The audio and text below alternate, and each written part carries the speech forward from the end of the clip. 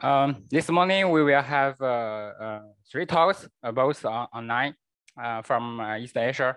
So the first one, unfortunately, they cannot come, but uh, so the first one is given by Junyi Xie from Beijing International Center for Mathematical Research, and he's talking about the geometric Bogomolov conjecture. So Jun, please. Okay. Uh, thank you very much for the invitation. Uh, okay. Um, I, I will talk about the geometric Bogomolov conjecture, and uh, this uh, uh, is based uh, on a joint work with uh, uh, Xin Yuan. Okay. Uh, here is our plan. Uh, we first uh, introduce uh, uh, Uh, the statement of uh, the Bogomolov conjecture. Uh, and then we give some historical notes. And uh, uh, in the end, we give the proof of, the, of our main results. Okay.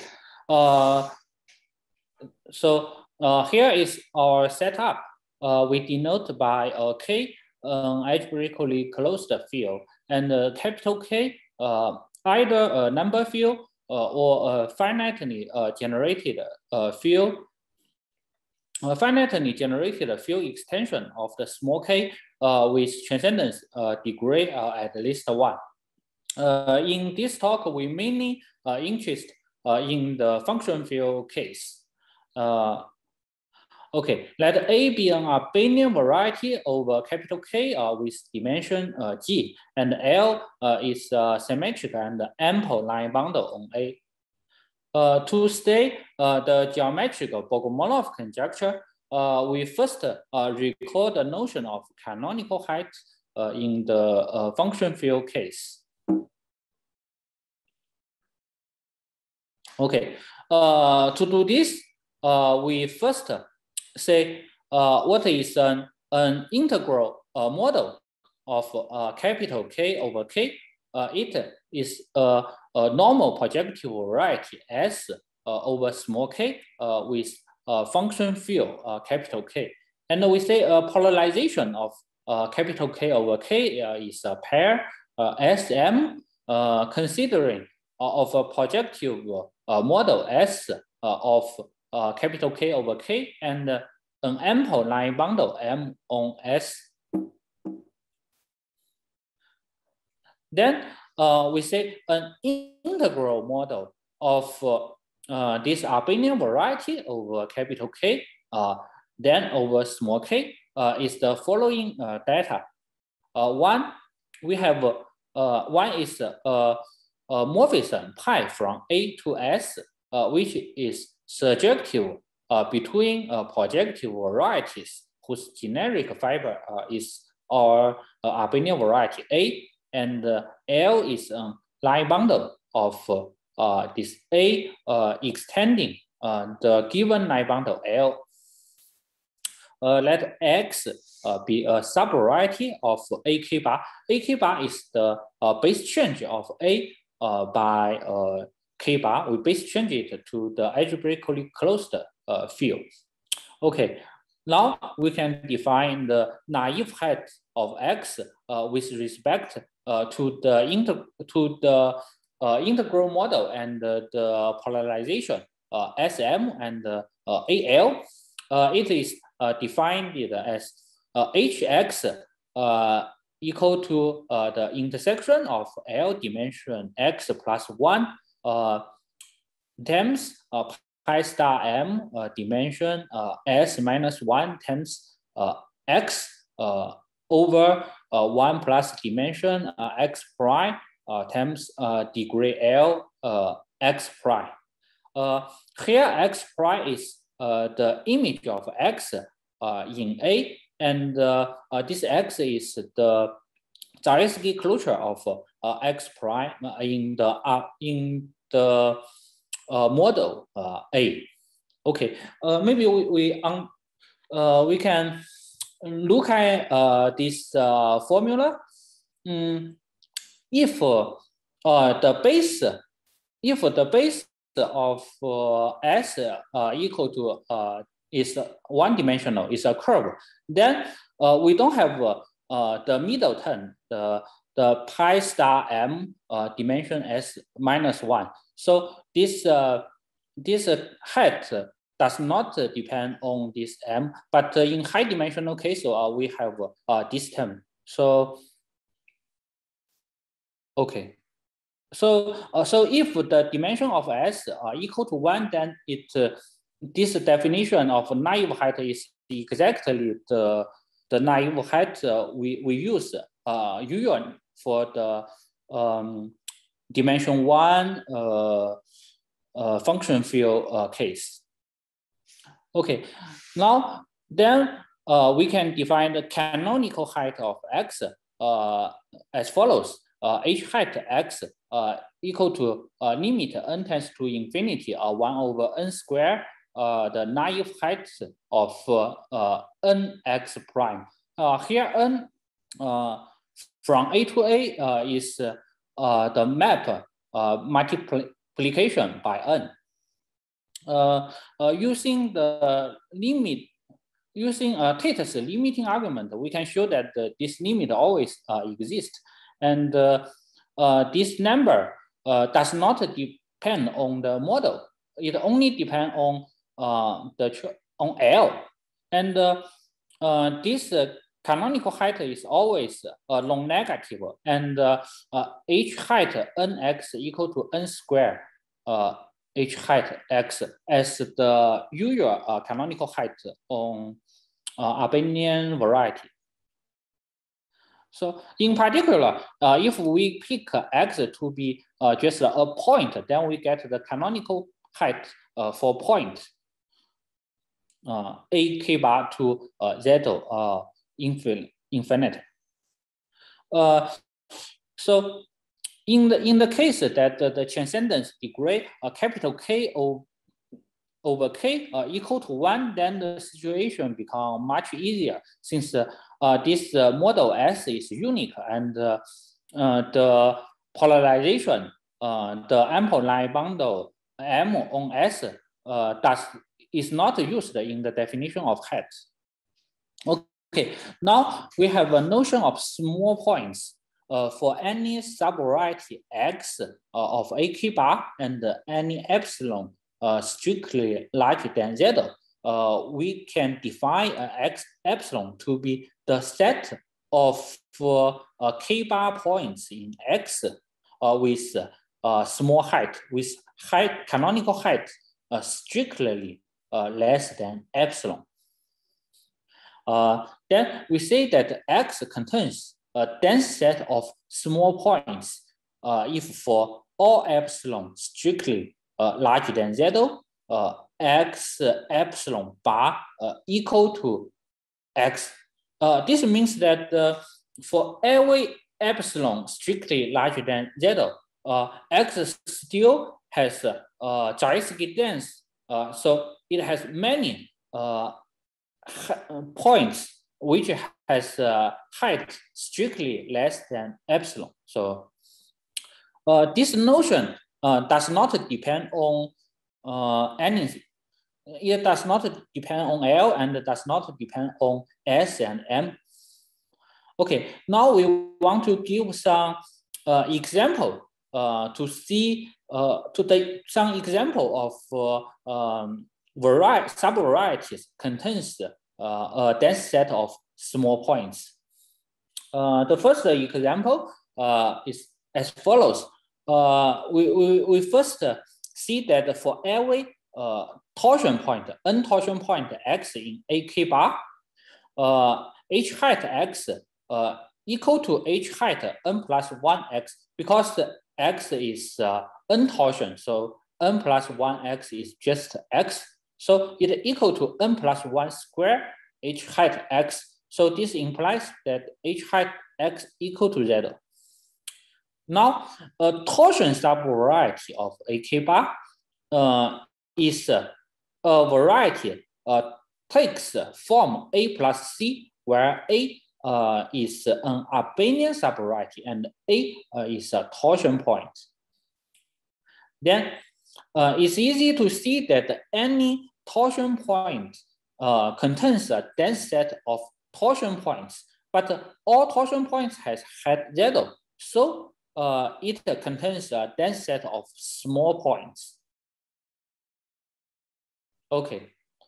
Uh, the second example uh, only exists in the function field case. Uh, uh, it relates to the notion of trace. Uh, the k bar over k trace uh, uh, of a k bar is a pair a capital K bar over K trace. What it is? It is the final object of the category of pairs CF, uh, where C is an abelian variety over the small k and F uh, from C uh, tensor K K bar to A K bar is a morphism. Uh, so this uh, is a slightly uh, abstract. So uh, if a characteristic of k equal to zero, then in this case, uh, the trace is uh, closed immersion. So in this case, the trace a k bar over k tensor k k bar uh, is exactly the maximum abelian subvariety of a k bar divided over small k. So um, it's we, we can think it it as the the the part of the abelian variety which is defined over the small field. Uh, uh, if the correct characteristic of K uh, is strictly is uh, positive, uh, in this case, the, this statement is not true, but uh, it's very close to be true. Uh, in this case, trace is not, uh, in general, it's not a closed immersion, but uh, it, it is purely inseparable isogeny to its image. So, okay. Uh, so, uh, in this case, we see that for every point x in a k bar over k uh, divided over small k, uh, we can view it as a point in a k bar uh, over k um, tensor k uh, capital K. And uh, the we can show that the image on the trace of this point uh, is it has hat zero. Then um, for every y in a k bar over k, so y is some subvariety divided over the small field k. And uh, uh, we can show that uh, uh, trace uh, yk uh, is Zariski dense in the trace of y uh, bar. Hence, trace y k bar contains a um, dense uh, set of small points. So such a such a subvariety trace a k bar uh, is something like uh, you can view it as some subvariety of a k bar, but uh, which is uh, uh, essentially defined over the constant, the, the field of constant over the small field. So, okay, so uh, we define a subvariety X of A k bar uh, to be special if uh, it is a combination of these two examples. So X uh, equal to a trace uh, Y tensor K K bar uh, plus T. Uh, here, uh, T is some torsion subvariety uh, of AK bar and Y uh, is some subvariety of A uh, K bar over K. Uh, it is uh, something defined over the small field, small, small field K. So, so we can think that uh, uh, special subvariety is uh, the combination of uh, torsion one and something, uh, some constant one. So any, uh, we can show that any special subvariety contains a dense set of uh, small points because uh, each part of it contains a dense set of small points. Uh, in number field case, uh, special and the torsion are the same. Okay, now uh, we can um, we can state the Bogomolov conjecture.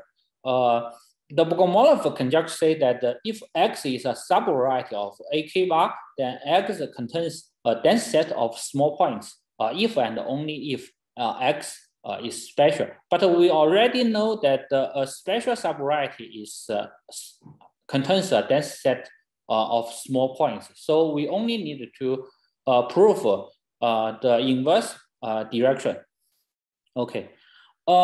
this conjecture uh, in, in the number field case, uh, this uh, conjecture was proposed uh, by Bogomolov uh, for curves in its uh, Jacobian. And uh, uh, it, the number of field case was proved by Ullmo in 1998 and uh, Shouwu Zhang in the same year. And 1K is a finitely generated field over uh, Q. Uh, in this case, we have another height uh, we can, which is the Moriwaki uh, height. And uh, there is an arithmetic version uh, for uh, the Bogomolov conjecture uh, using this Moriwaki height. And Moriwaki in uh, 2000 uh, proved this arithmetic version. And the function field case of this conjecture is called the geometric Bogomolov conjecture. it was proposed by Yamaki in 2016. And uh, uh, our main result uh, is the following. we I proved it with uh, Yuan uh, last year uh, that the geometric Bogomolov conjecture holds. Okay, now we give some historical note. for this conjecture, there are three main approach um, to attack uh, the the Bogomolov conjecture or the geometric Bogomolov conjecture. Uh, the first one uh, is to use the equidistribution. And uh, uh this result uh, was first obtained in number field by uh, Szpiro, Ullmo, and Zhang. And it then proved in function field by Gubler. It, the result is is the follow, following. Uh, for xn uh, in AK bar uh, is a set uh, is a sequence of uh, uh, points uh, with a canonical height uh, tends to zero. Uh, for uh, let uh, V be a place of uh, K. And then uh, uh, we have the following uh, convergence for uh, me probability measure. the right hand side is the sum of delta x, where delta x, where x is in the Galois orbit of xn, then we uh, do the average. And uh, delta x is just the Dirac uh, measure. And it converges to mu v, and mu v is some uh, canonical probability uh, measure on um, AVAN. Here, AVAN is some uh, analytic uh, uh, is some uh, analytic space associated to this variety A, but with respect to this place V. And uh, for example, uh, if V is an Archimedean, um, if V is an Archimedean uh, places, then this AVAN is uh, just something like uh, you view this abelian variety as a complex manifold. And in this case, this mu V is very simple. It's just it is just the Haar measure.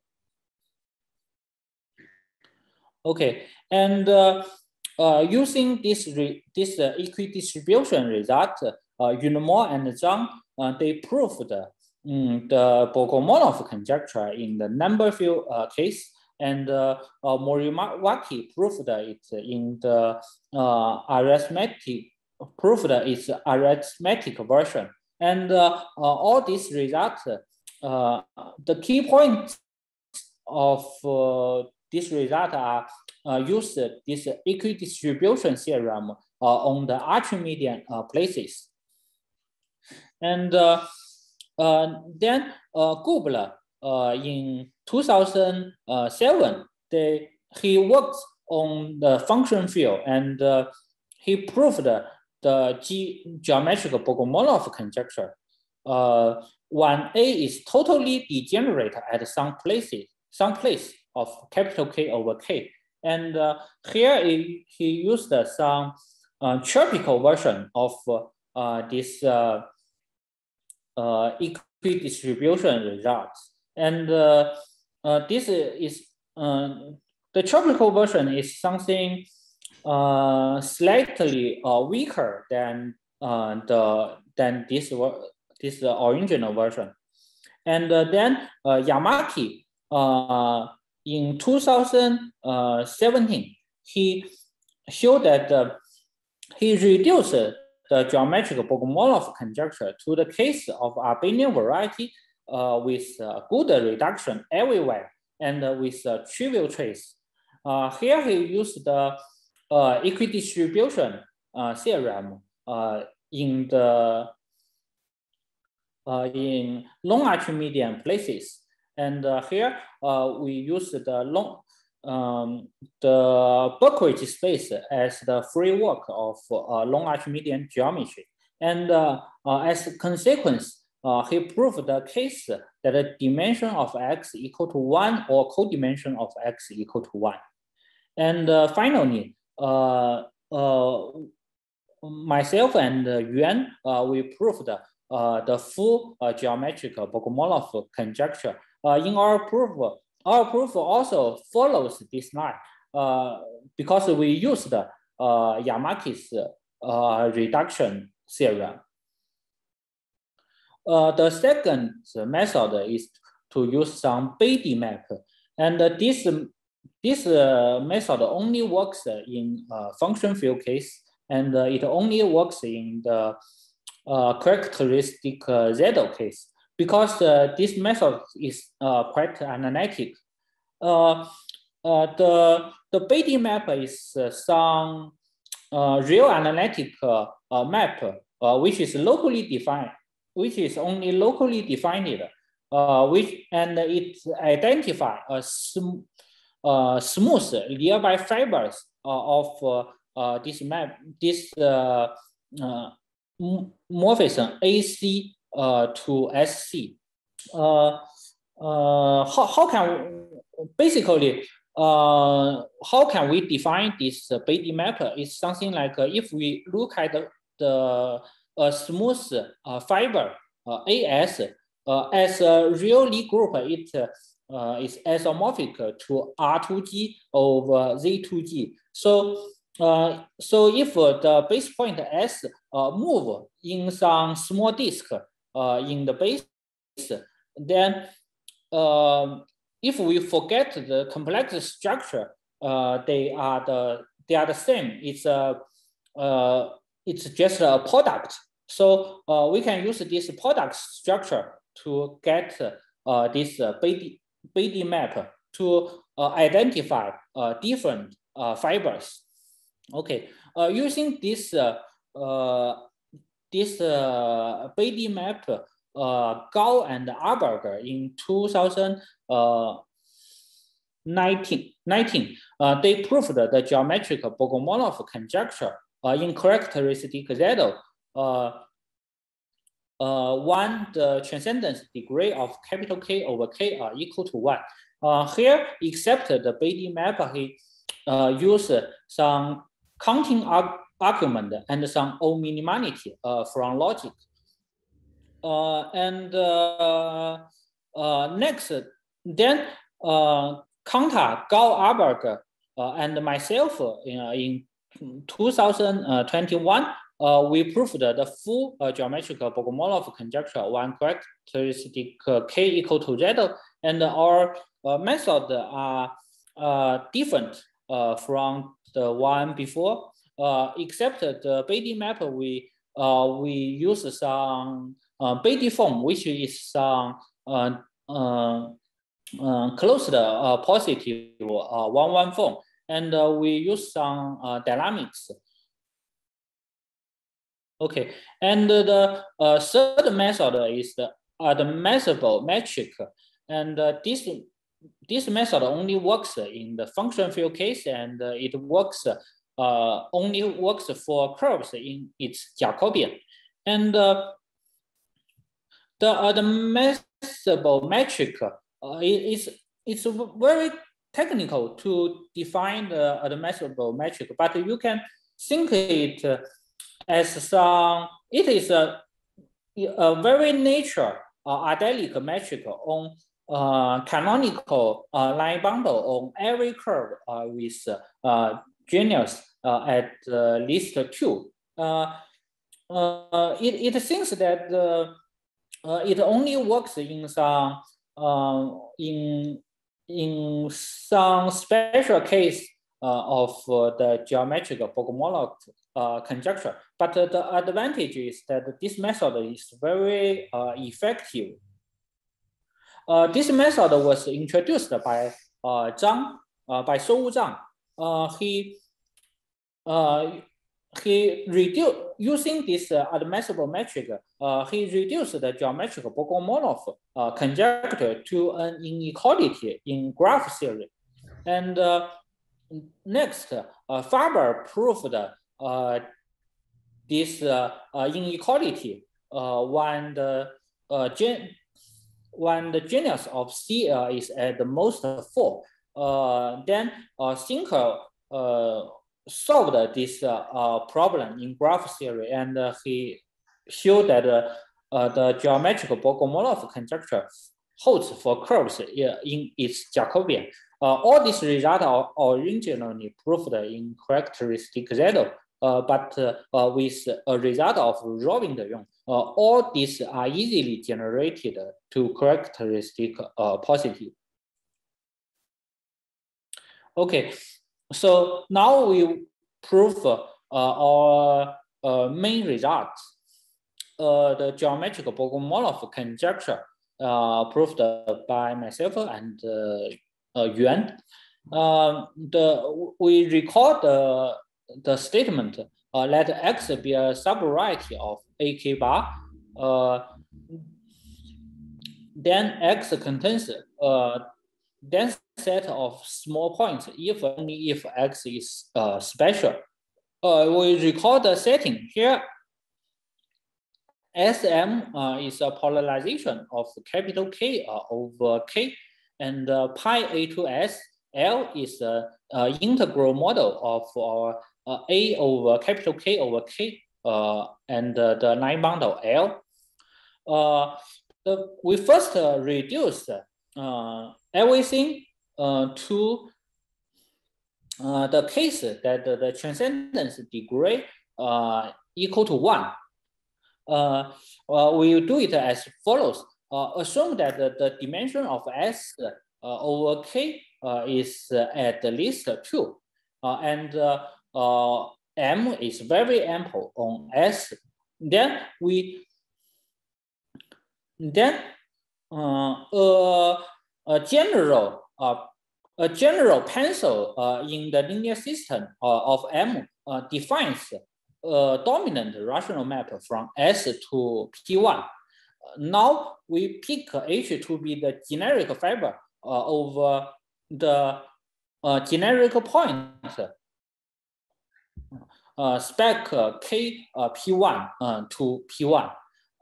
then H is a variety, but not over the original small small field K. Um, it, it is over this K prime uh, equal to uh, KP1.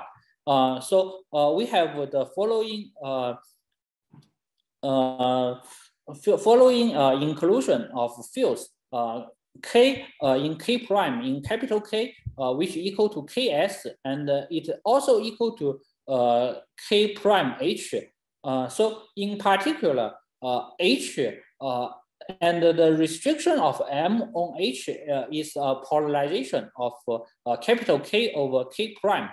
Uh, then uh, we can show that the, the geometric Bogomolov conjecture uh, holds for A over capital K over small k uh, if it holds for all uh, A over capital K over K prime. Uh, uh, here, uh, the here the transcendence degree uh, K over capital K uh, equal to transcendence degree of uh, capital K over K uh, minus one. So uh, the the transcendence uh, degree uh, is uh, smaller. So we repeat this uh, uh, progress, and then we get uh, the case that the transcendence degree equal to one.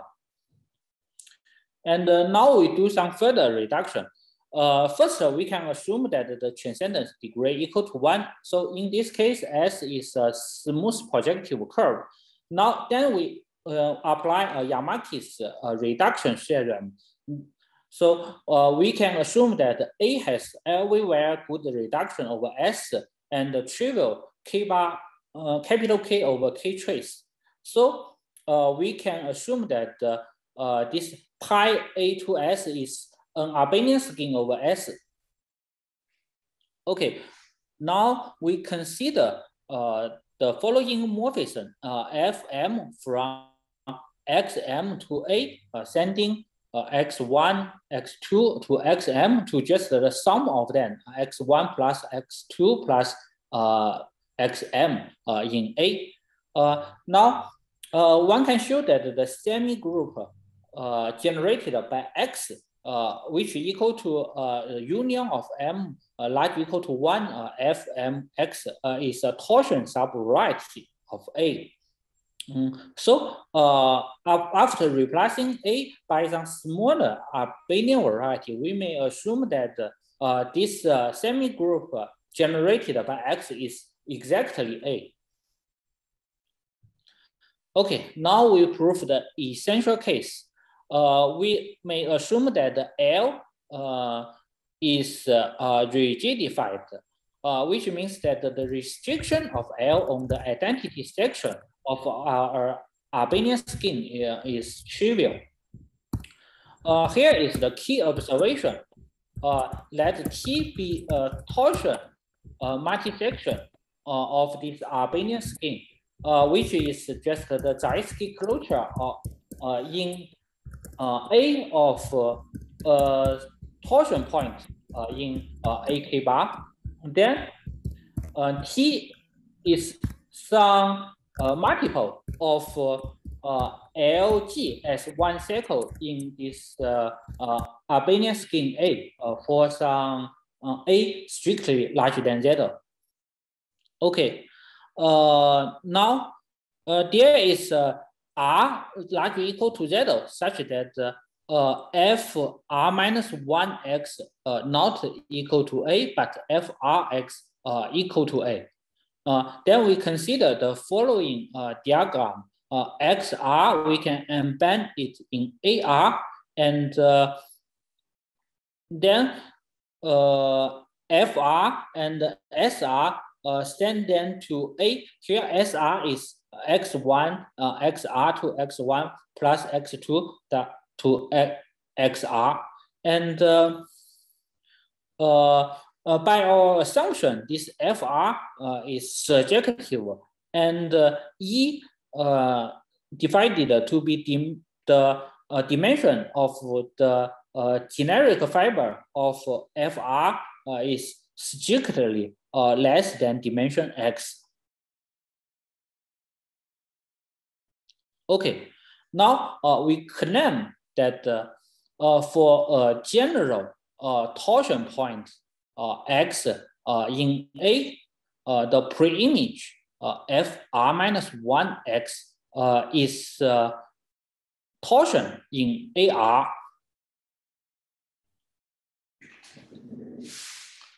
Uh, now we first assume we we assuming this uh, claim uh, this uh, pre-image uh, fr minus one t uh, it contains a dense set of uh, torsion points because itself is torsion, so it contains a dense set of torsion points. Uh, so because torsion points are dense in A and uh, general torsion points uh, satisfy uh, the our claim, then XR contains a dense set of uh, torsion points. Uh, using the first projection, we, we can project XR to X. It shows that X contains a dense set of torsion points. Uh, now we can conclude the proof uh, by Manin-Mumford conjecture, which was proved by uh, Raynaud uh, in the number field case and uh, Hrushovski uh, in the function field case uh, using model theory. And uh, it was reproved by Pink and Huxley using algebraic geometry. Okay, now we only need to prove the claim uh, uh, we denote by uh, T uh, the Zariski closure of T uh, in A. Uh, it is a torsion uh, multi-section and uh, X the Zariski closure of X uh, in A. Uh, then we, we consider the uh, the fiber product uh, XR over S uh, in uh, AR over S. And uh, uh, we can see that it is exactly the Zariski closure of uh, XR uh, in AR uh, in uh, this uh, fiber product uh, AR over S. Uh, now we, we can uh, extend uh, our uh, SR and FR uh, to this to this S scheme version. So then we get the following, we get this commutative diagram. And uh, we denote by T prime uh, to be the pre-image on the FR of T. Uh, we pick LR to be any relatively ample and rigidified line bundle uh, on uh, the fiber product uh, AR over S.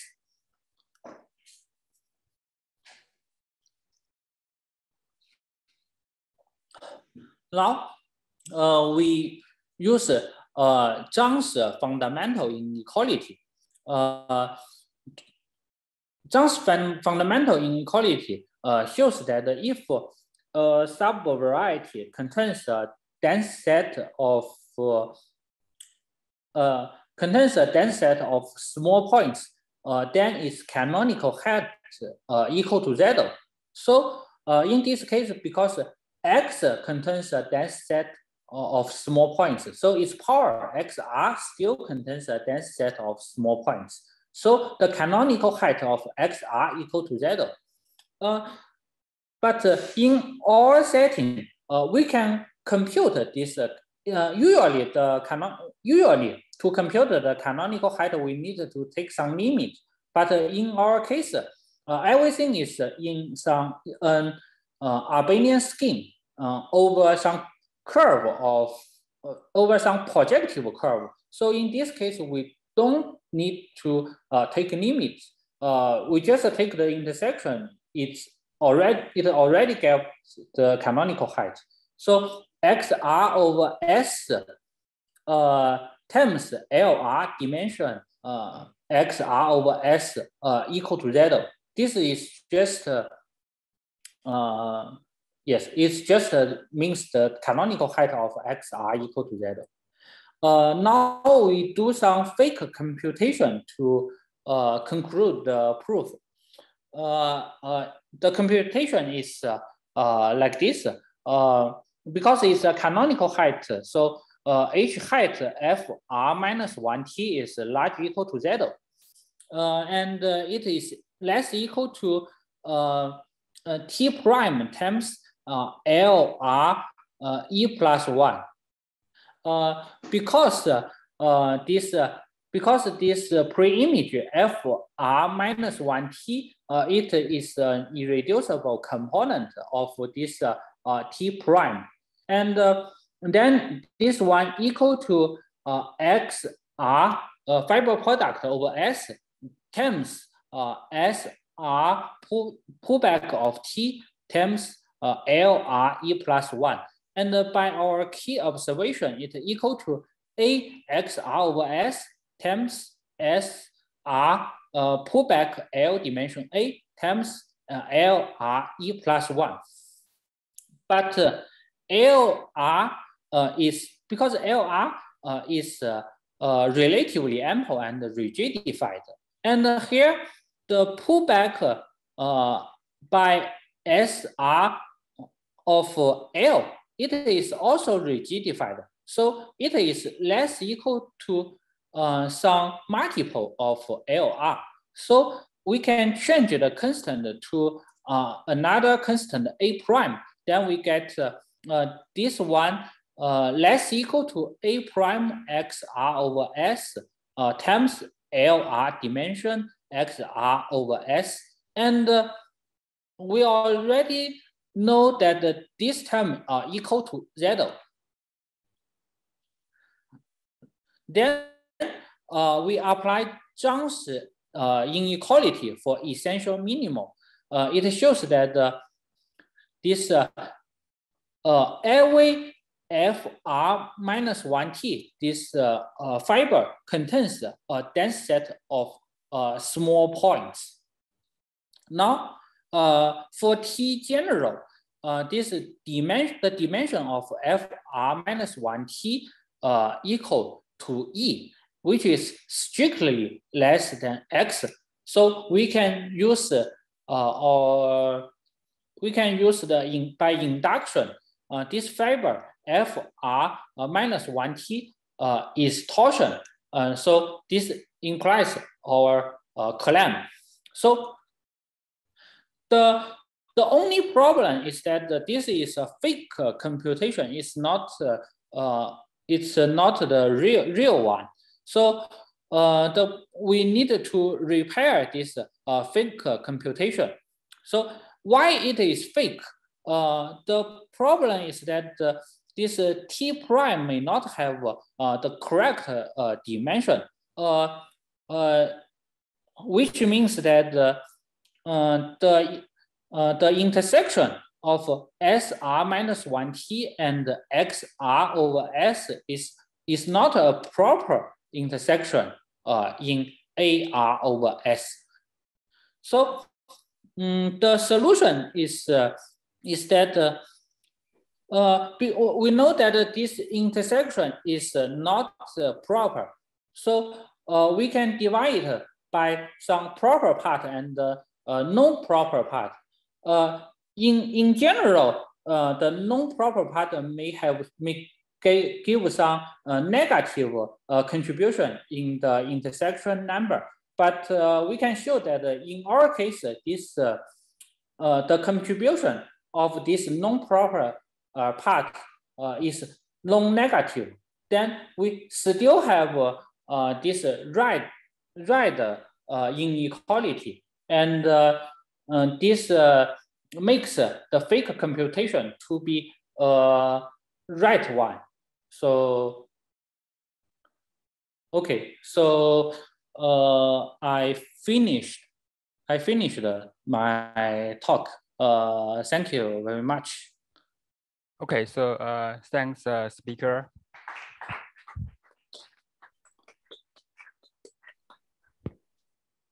So uh, any question?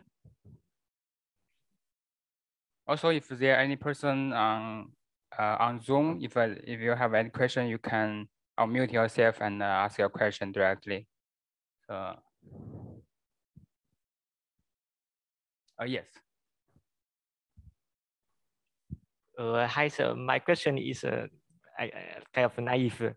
So the, could you explain a bit about the geometric meanings of the notion of height uh, you introduced uh, in the beginning of the talk? That's a... Uh, okay, so so I think it's um, uh, ge geometric means that uh, you do something for function field.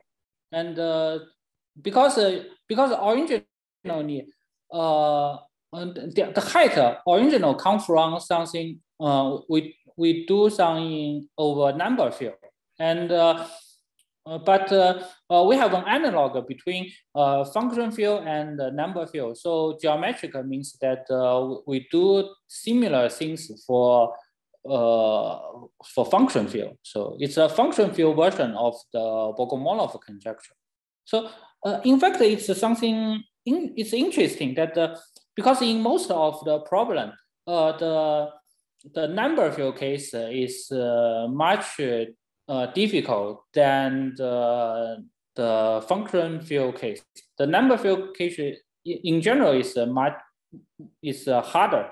But uh, for this kind of uh, Bogomolov conjecture, uh, uh, the number field case is uh, easier because uh, in, for number field, we have some Archimedean places and uh, the Archimedean, in the Archimedean places, you get some analysis and you get many uh, information. But uh, in the uh, function field cases, function field case, there is no Archimedean places. And using the same method, the equidistribution, you get uh, the, the information you get is, uh, is less and uh, it is not sufficient to get the conclusion. So usually we need some, so, so we, so we need to uh, do more work. So uh, I, I, I hope that um, I uh, answered you correctly uh, your question.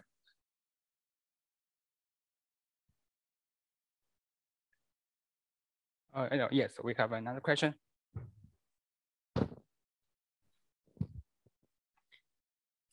Um, so, okay. Um, so can, can you explain a little bit if you have some special properties that uh, help you to show that the uh, the contribution of the non-proper part is uh, non-negative? Because that seems to be quite difficult, right? Uh, this part is, uh, yes, uh, I think this part is a bit uh, technical. So it, it's, it's, uh, uh, so, so usually this is phenomenon. So usually this is not true. For example, you consider uh, P2 and you consider P2 blew, blew up one point, then you get an exceptional uh, divisor. And you, if you consider the self uh, intersection, then the, the its proper part is uh, zero, and uh, its uh, self intersection is minus one. So so the non-proper, the contribution of the non-proper part is uh, uh, non-negative. So, so in general, this is uh, th this is not true uh, in in general, but uh, but uh, in in our case, uh, we, we can show that uh, this uh, uh, we, we have this uh, uh, phenomenon is uh, that the, the non-proper part have some uh, positive uh, contribution, non-negative contribution. Uh, maybe some, uh, okay, maybe maybe you can think it think it like, like this. It's something like uh, uh, if you have some ample uh, divisor and uh, you do the intersection of this ample divisor and uh, then uh, then uh, you get some proper part, proper intersection part, but you still have some, some part which is not uh, proper. And uh, I think uh, in I think in this case, you can show that uh, in this case, you can show that uh, the contribution of the non-proper part is non-negative. but but how can to, to show this, you need to do the com computation uh, by hand. So it's not uh, so easy to uh, ex explain this. And uh, then uh, in our setting, it's not that uh, simple, but we can uh, use some kind of uh, uh, uh, to reduce uh, our setting to uh, the setting of uh, intersection of uh, some ample divisors. So, so something, something like this. So, yes. Okay, Th thank you. So, so by Bertini, do you mean like um, um, what do you say? Um, kind of uh, moving lemma or something else? Uh, Bertini means that uh, you can uh, uh, mean, means that uh, I uh, you, you how can we say? Uh, usually Bertini means that uh, if you, you use some hyperplane to cut something uh, then uh, if you the hyperplane you cho choose it gen generally then the then the intersection is uh, is good. You can make it to be smooth or irreducible or something like that. And uh, uh, here we need to use uh, to do some uh, to the Bertini, but uh, some some more uh, some stronger version because we, we need to we cannot we cannot move this uh, uh, hypersurface very very freely. Uh, we need need it to uh, uh, pass something, but uh, we move the other part of this uh, uh, hyper surface, and uh, uh, we, we want that the, the, the final intersection uh, it contains uh, some part we need, but uh, uh, for something uh, so outside the, the, the place we want, uh, it uh, is uh, more freedom and uh, the intersection is something nice. So maybe, so so so it, it, it's, it's something like this. Okay, thanks. So so it seems you Bertini uh, seem to be something similar to like Lefschetz uh, hyperplane section, uh, right? Uh, Or- or yes, maybe. Okay, yeah, thanks. Uh, any other questions? Uh, I have uh, one last uh, question about uh, uh, your talk. So, so Jun, can you hear me? Uh, yes. Yeah. Uh, it seems that you and uh, your, your this journal almo- uh, already finished this program. So I'm wondering if your techniques can could be used to some other problems, like uh, for example, uh, the Kawaguchi-Silverman conjecture. Uh, for example, uh, this Kawaguchi-Silverman conjecture maybe you can also think of, think about a geometrical version, and then uh, uh, for example, if your techniques in this paper can be used to consider that geometrical Kawaguchi-Silverman question. Does that make sense? Uh, I'm, yeah. Mm, I'm not. mm, I'm not so sure because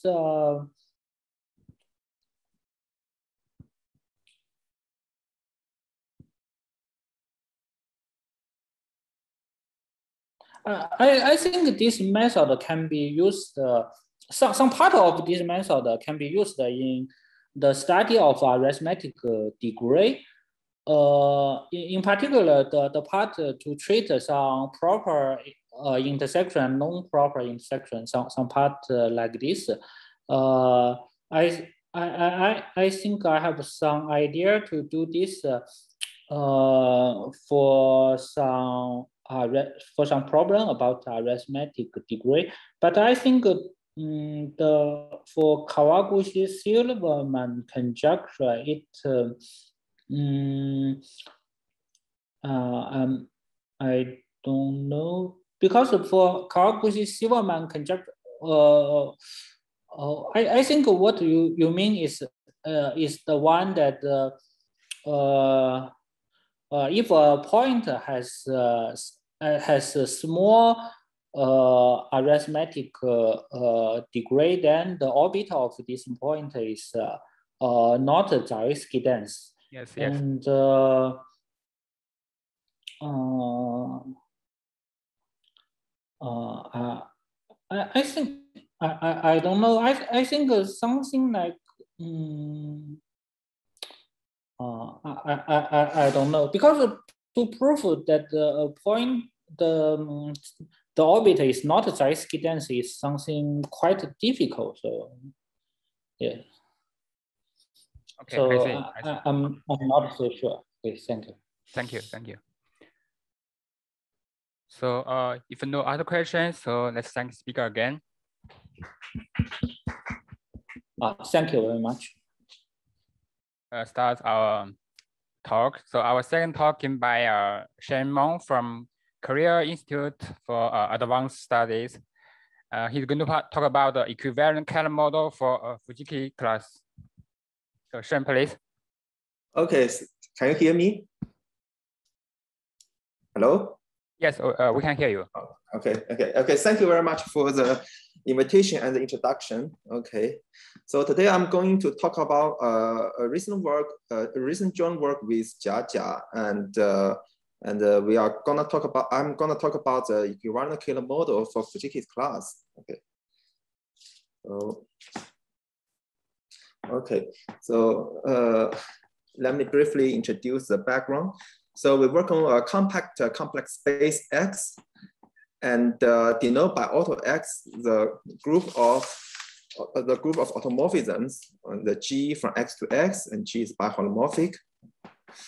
And uh, uh, it is by duality that uh, the automorphism group X carries a complex Lie group structure, uh, and this is a complex Lie group which acts biholomorphically uh, on X.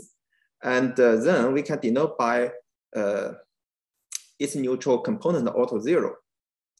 And this is a generalization of uh, the, the case for uh, the case when X is a projective using the statement of Hilbert scheme.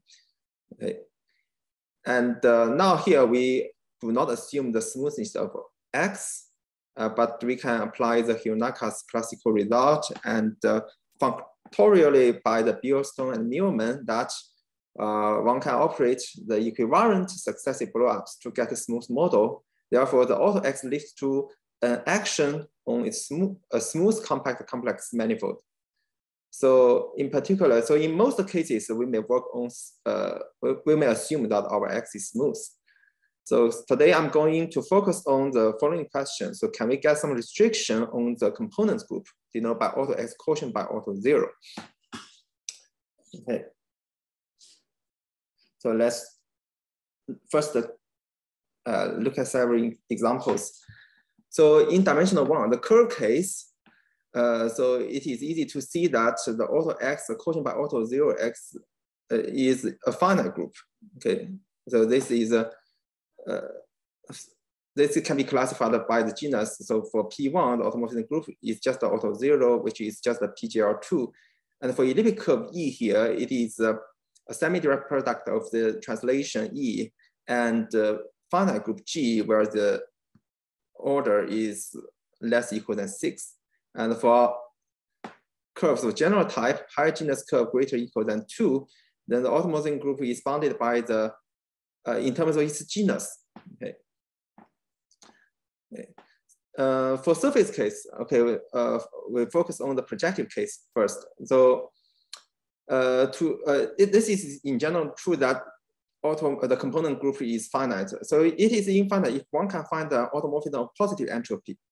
Okay, so for example, there are typically three cases. So usually you can uh, for abelian varieties, if you take the abelian varieties to be the product of E and E itself, then you can see that the component group contains the GL2Z, uh, which is which the map is easy to given by the matrix action. The x, y maps to ax plus by is x plus dy, and a, b, c, d is a matrix. The a, b, c, d are integers. Okay. And the uh, second uh, typical example is about the rational surface. Okay, but you cannot choose P2 as uh, because the automorphism group of P2 is just the auto zero P2. in general, you need to block uh, many points. So at least you need to block 10 nodes of a nodal sextic of a, a, a, nodal curve of degree six, okay? And there is a, there have, it has 10 nodes and you block these 10 nodes and you will get, uh, you, you can find the automorphism of positive entropy on S. And then for this case, the component group is also infinite. Uh, a third classical case is uh, the, the K3 surface uh, with large Picard number or Enriques surface. Okay. Uh, later, we shall see that the component group is finite uh, uh, projective or Kähler if the, the cone of nef divisors is a rational polyhedron. And the reason is that it will, we will see that it, uh, if it preserves some Kähler class or ample class, then this component group is finite. for example, when X is a Mori-Dream space, Fano or Fano type, or the Picard number or the H11 equals to one. Okay.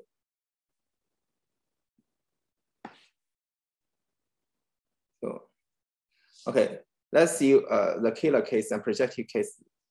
Okay, so now we fix the we fix the class in uh, fix the class in the H11 uh, space, and let it be a Kähler class, uh, which means there is a Kähler form containing this class. And denoted by the subgroup auto alpha X, the, the elements of G, which pull back are the class alpha equals to alpha itself, okay? So this is the subgroup, and uh, and uh, we, we, we, can, we can use the following results. Okay, so first we consider the representation of automorphism group uh, on the second, second singular cohomology with Q coefficients or Z, co Z coefficients and while pull back and denote by the kernel auto Tor X. And then we use the Hodge decomposition that H11 can be embedded into H2K XC. This is not true in general for, uh, for general compact uh, complex manifold, but here we assume X is a Kähler, so it is okay. Mm, and so uh, by definition, auto X is a kernel, so it acts trivially on the singular cohomology H2, and therefore it acts trivially on the uh, H2XC, and therefore it acts trivially on the subspace H11.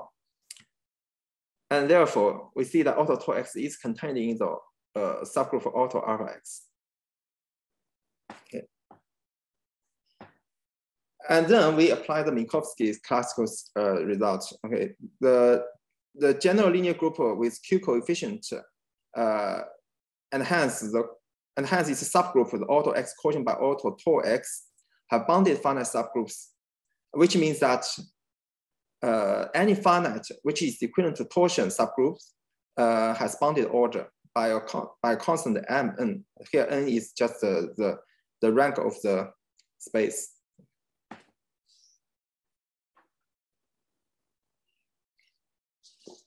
Uh, we will not use the following, uh, but uh, you can see it first that uh, by Kronecker's theorem, indeed you can show that this auto alpha x, uh, the, the difference between auto, auto alpha x and auto 2x is not so large. It is, it is finite, the quotient is finite. The reason is that, uh, the reason is that if you have some automorphism G preserve this class alpha, then you can, by some linear algebra, you can show that the pullback action on this, uh, this vector space is diagonal, diagonalizable and uh, uh, all the eigenvalues have been modulus one. And then note that since you since the eigenvector, eigenvalues can be obtained by the action on H2, the single cohomology with Q coefficients. So the eigenvalues are algebraic integers, and therefore you can see that they are uh, then you can apply Kronecker theorem to show that uh, all the eigenvalues are roots of unity. And in, in particular, after some iteration, eventually it, it is the trivial action on H2XQ. Here you also need some Bernstein theorem, okay. So now we have discussed the blue part, the relation, uh, the blue part, auto tau, auto alpha, and auto.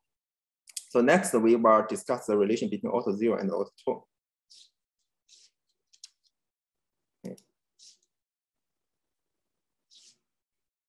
Okay, the following is the important theorem by Fujiki and uh, Lieberman uh, independently. That they show that uh, if alpha is a Kähler class, then the auto alpha, the automorphism group pre preserving this Kähler class uh, has only many components.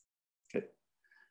And uh, uh, in the case of projective varieties, especially when the base field has arbitrary characteristic uh, in positive, positive characteristic, uh, so if H is an ample class in the Néron-Severi group, Néron-Severi space, then uh, the automorphism group fixing this ample class has also only finite many components.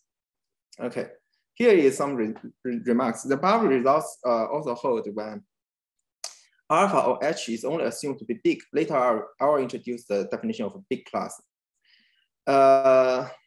Uh, this is simply because if we pull back by some linear algebra, you can show that if the automorphism group fix this uh, big class, you can show that uh, its action, its action uh, on the Néron-Severi or H11 is eventually, is virtually uh, a trivial action. So we have the auto alpha uh, x quotient by auto tau x is still finite. Okay, and then we can see that uh, this group virtually preserve some ample class or Kähler class. Uh, then we can use the result of uh, the, the Fujiki-Lieberman or this one. Uh, but here the proof requires uh, uh, essentially requires the requires the existence of a Kähler class or an ample class. Okay. So okay, but anyway, now we have a positive answer to the following question for Kähler or projective case. So the question, general question is that if X is a compact complex space, uh, so we ask whether the component group have bounded finite subgroups. Okay, and this statement has have a very, has a lot of applications, and we will see it later.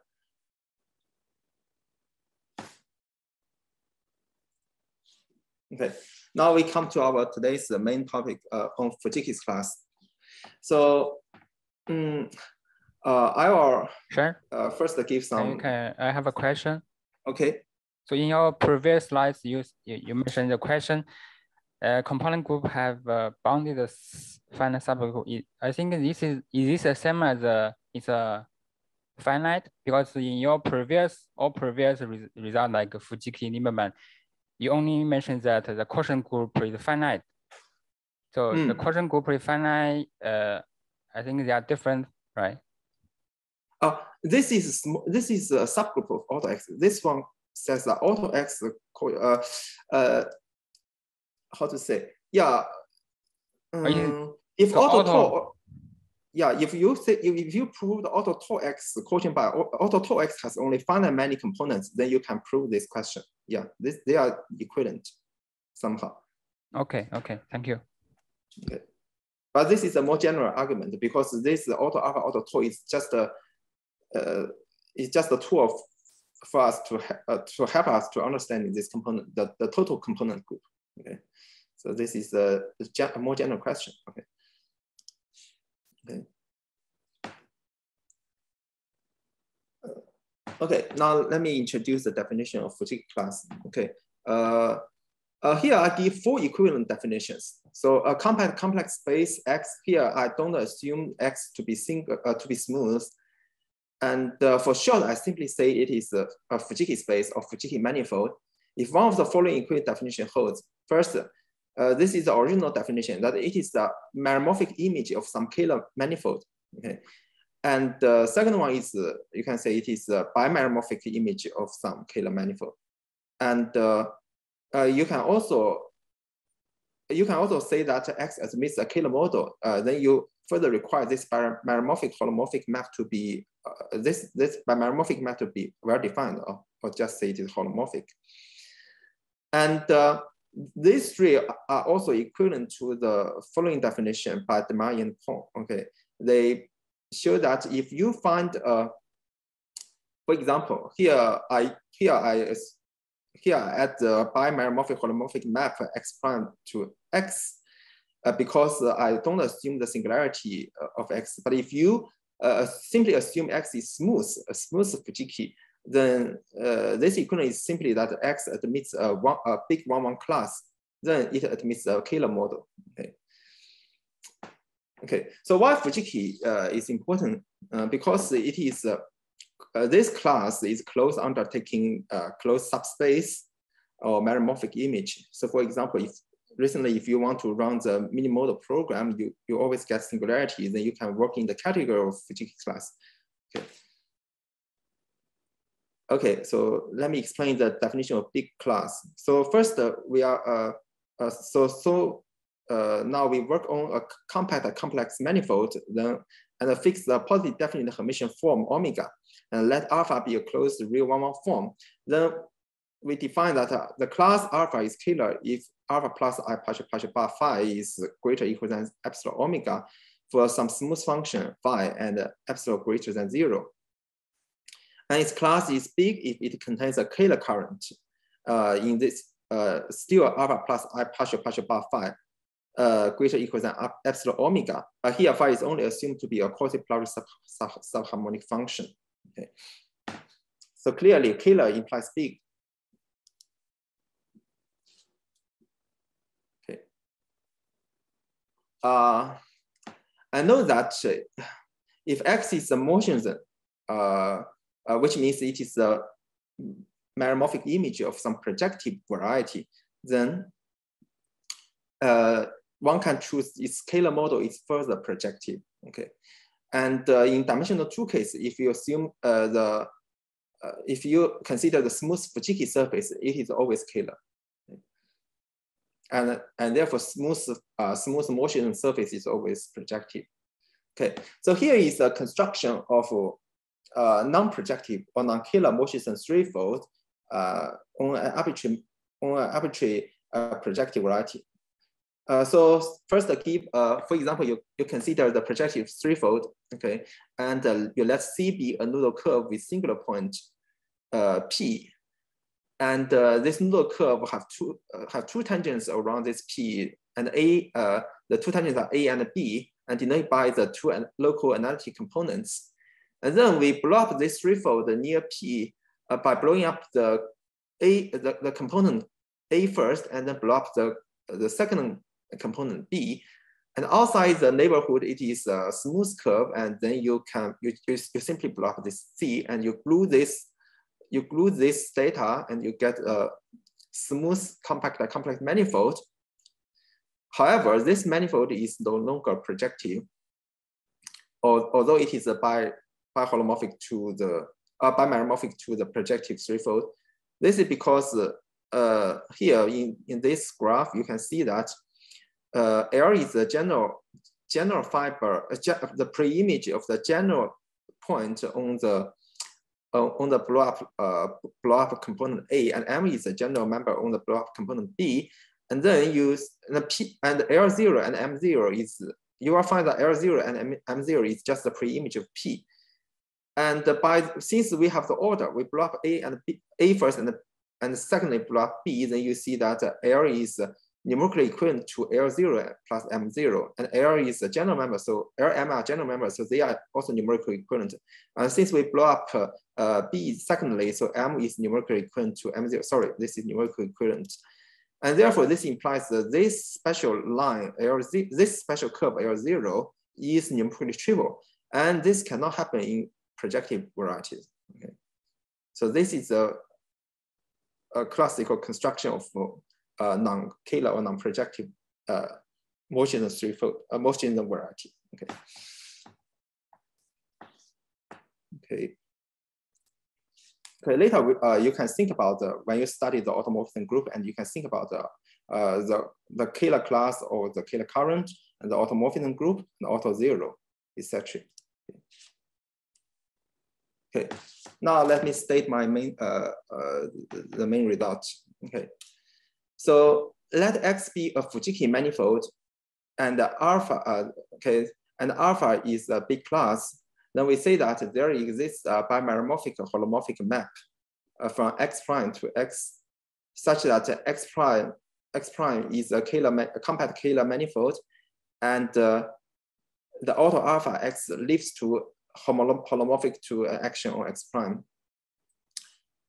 Uh, here is some remark, okay. And, our pi is obtained by a successive auto alpha equivariant blowups along smooth centers. Um, so the so the exceptional part is the simple normal crossing. Okay, everything is good, and the lifting is holomorphic. Okay. Uh, uh, this is this can be obtained naturally if you want simply can simply can uh, lift the, the group action to x prime. Okay, and uh, and also we can compare their auto zero part. So auto zero of x prime is uh, isomorphic to auto zero x, while the while the pi you can you can you can push push down or pull back. Okay. And uh, this is not true. This, this comment is not true in general when X has some very bad singularity, for example, has non-normal singularities. So in this case, in this situation, we, uh, we cannot uh, only assume that X is uh, uh, just the Fujiki space. So this result can be, this result can be generalized to when X has normal singularity, but cannot be, but cannot be easily applied to the normal singularities. Okay. So therefore, uh, we can see that the component group, but here we only con uh, consider the small component part of the auto alpha x quotient by auto zero x is a sub can be viewed as a subgroup of the automorphism group of x prime preserving this uh, the class pi back alpha, and this is also a big class. Okay, and uh, as I have just mentioned, uh, if we know x prime is Kähler, and the pi pack alpha is big, then this component group is also a finite group. So therefore, we can show that auto alpha x quotient by auto zero x is a finite group. Okay. Okay, this result also is also true when x has normal singularities. Okay. Okay.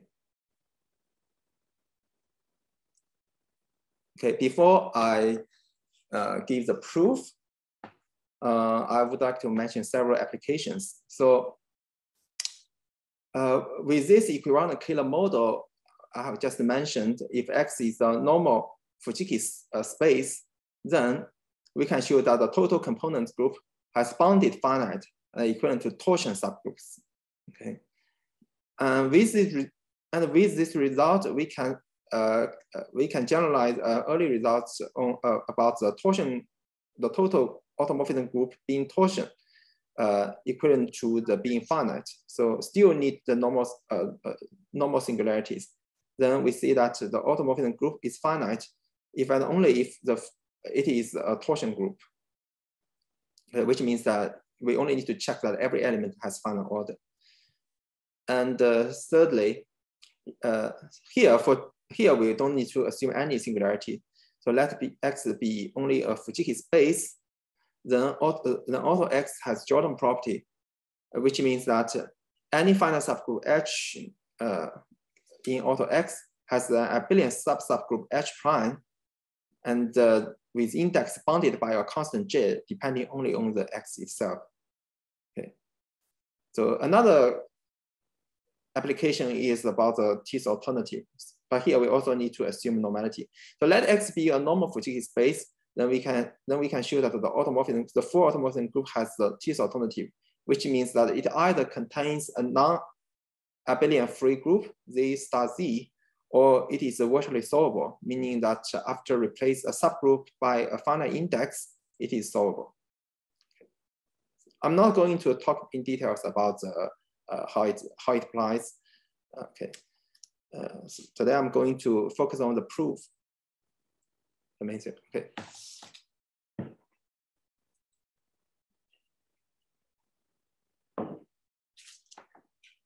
okay, now let, let me uh, let me try to explain the proof. So the first step is to find a equivariant ideal sheaf. Okay, the contraction is obtained in the following way. First, uh, first we fix our big class alpha in the Fujiki class and by Demailly's uh, regular, regularization uh, theorem, we can find a Kähler current T alpha plus I partial partial bar phi with, with further analytic singularities set of type J phi, uh, the, the ideal sheaf J phi C for some, uh, here J phi is some coherent ideal sheaf and C is uh, a number, is a real number greater than zero. Uh, and this means that we can locally write the potential uh, in, in this way, C log sum uh, the F square plus H, where Fi are locally, uh, Fi are locally holomorphic, holomorphic and uh, they are gen then and we did denote by uh, J phi the ideal sheaf generated by this Fj, and H is a smooth function. Okay, and then we construct the ideal sheaf to be the the sum of the G pullback of J phi, where G runs through the all the automorphism in auto alpha X. And uh, clearly, when you when you pull back again, you see this ideal sheaf is uh, is a is invariant. So it is this ideal sheaf, this constructed ideal sheaf is auto alpha x invariant. And since we are working on a compact manifold, so this ideal sheaf, you can see it is a coherent. So you only need to choose finite many GI in this automorphism group and you put uh, and uh, then you can write it as a finite sum of this ideal sheaf.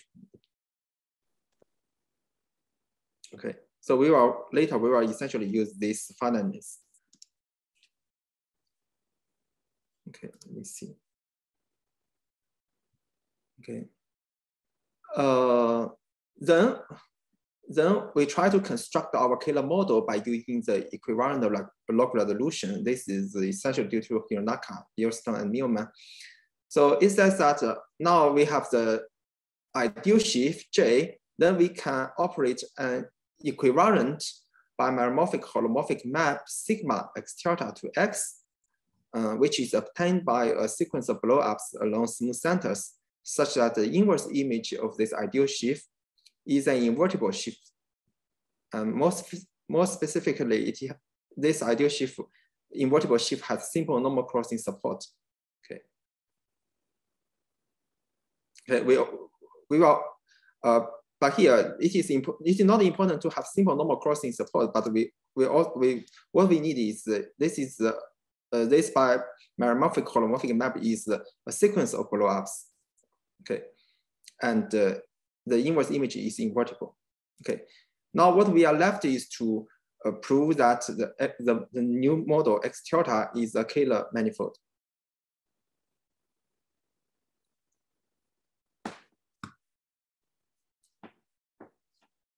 Okay, now we, uh, to show that the X tilde is the Kähler manifold, then we need to construct a, uh, we try to construct a, a class and show that it is a Kähler class. So this is the blue part is our claim. So we try to claim that this new class is Kähler for, uh, okay, now let me give, uh, explain the notation here. So sigma is our, sigma is our map, and sigma pullback is pullback of this form, sigma uh, uh, alpha is, is a form in our big, in our big class, and D is obtained in the following way. So the inverse image of the ideal sheaf is invertible. So we can denote by S the local generator of this, this invertible sheaf. And then we define a positive current D, which is the integration current along the divisor S equal to zero. And then by the Poincare-Lelong formula, D can be locally written as the partial partial bar log S squared. Uh, so this is our D. And the C is just what we uh, mentioned that the potential function is written in this way, and C is a Lelong number. And uh, here E is a reduced full exceptional divisor of the sigma. And then since our procedure is by sequence of blowups, then step by step you can you can find some uh, smooth closed one-one form uh, UE in the class uh, in the class E such that uh, the sigma pullback omega minus epsilon UE is totally definite when epsilon greater than zero, which is uh, sufficiently small.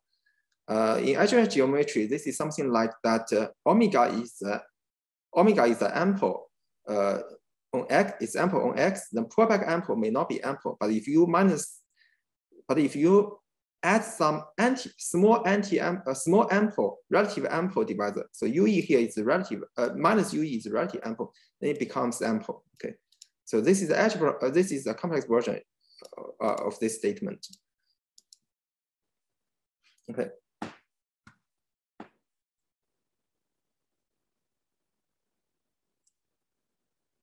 Okay. Okay. Now, now we now we use the a trick of Boucksom to show that the the uh, newly constructed class is a is Kähler. Uh, this is uh, by checking that the non-Kähler locus is empty. Here, the non-Kähler locus is defined to be the intersection of the singular locus of the current T delta. Uh, here, T delta runs through all the Kähler current in the in the class alpha delta. Okay, so so to, so now we try to find several Kähler current in this new class and check their singularities. So as I just mentioned, uh, uh, we only need to choose finite many uh, GI, and we denote by the TI, the pullback of T. And each TI is still a Kähler current. So TI is greater equal than some epsilon i omega. Since it is finite, so we can find a universal, uh, we can find a, a common Hermitian form, a positive definite Hermitian form omega, such that Ti is always greater equal than omega. So here I omit, I omit the epsilon here, okay. And then uh, we consider the we consider the current uh, in the x delta, and uh, here ti delta is constructed by further pull back the uh, pull back ti and minus cd minus epsilon ue.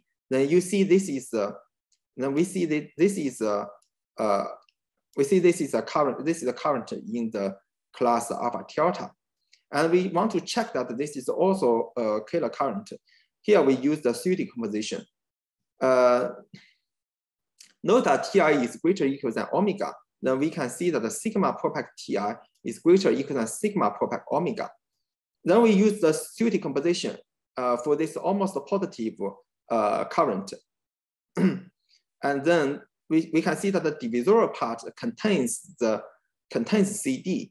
Therefore, and by Siu decomposition, if uh, sigma propact Ti greater or equal than omega, meaning that sigma propact Ti minus its divisorial part is still greater equal than sigma propact omega.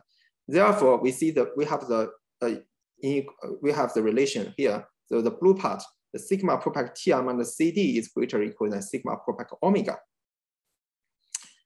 And then we need to, we further minus epsilon UE as we have just mentioned, this is the positive definite uh, Hermitian form. Therefore, we see that Ti delta is the Kähler current. Okay. So, uh, so, so we have, so we have obtained a Feynman-Many uh, Kähler current, and its potential functions can be easily written in this way.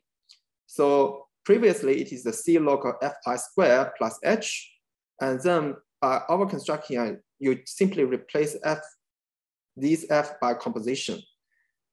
Okay. And note that the inverse image of Ji generates uh, the generates the inverse image of the ideal inverse image of J.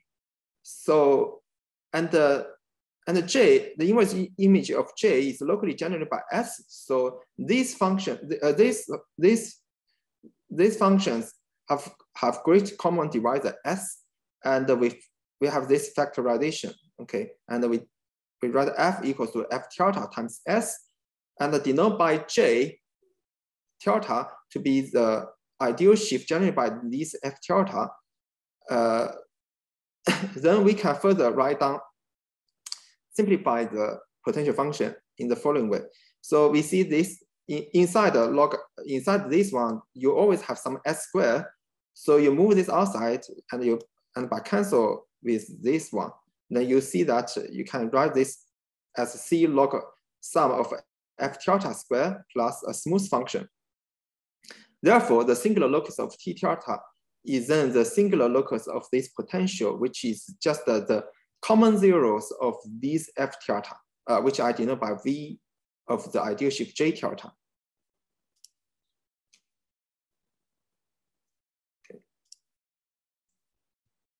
And finally, we can check the non-Kähler locus.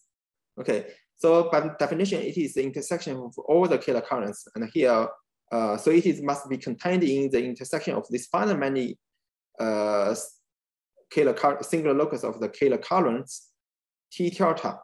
And uh, it is just the common zero of all the F delta, which is the zero of the sum of the ideal sheaf J delta.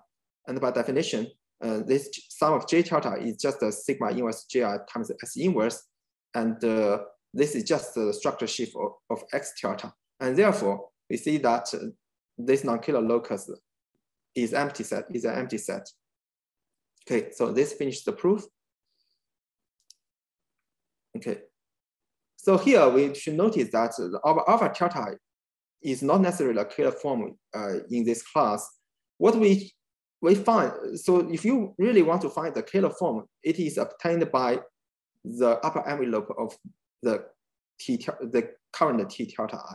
Okay.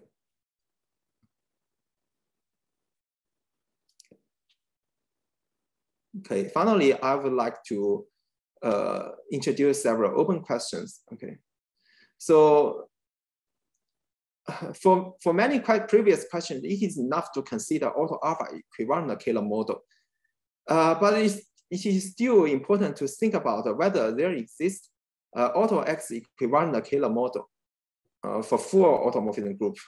Uh, of course, this is true when the H11 space is one, because then you automatically fix some, fix everything. Uh, a weak version is a weak version a weak version is that uh, can we find some big class with minimal singularity? Okay, I consult this question uh, with uh, Boucksom, but uh, it seems uh, seems not known. So given and given any big classes uh, alpha and beta, so there are two different classes. Can we find a big class gamma such that uh, the non-Kähler locus of gamma is contained in the intersection of alpha and beta?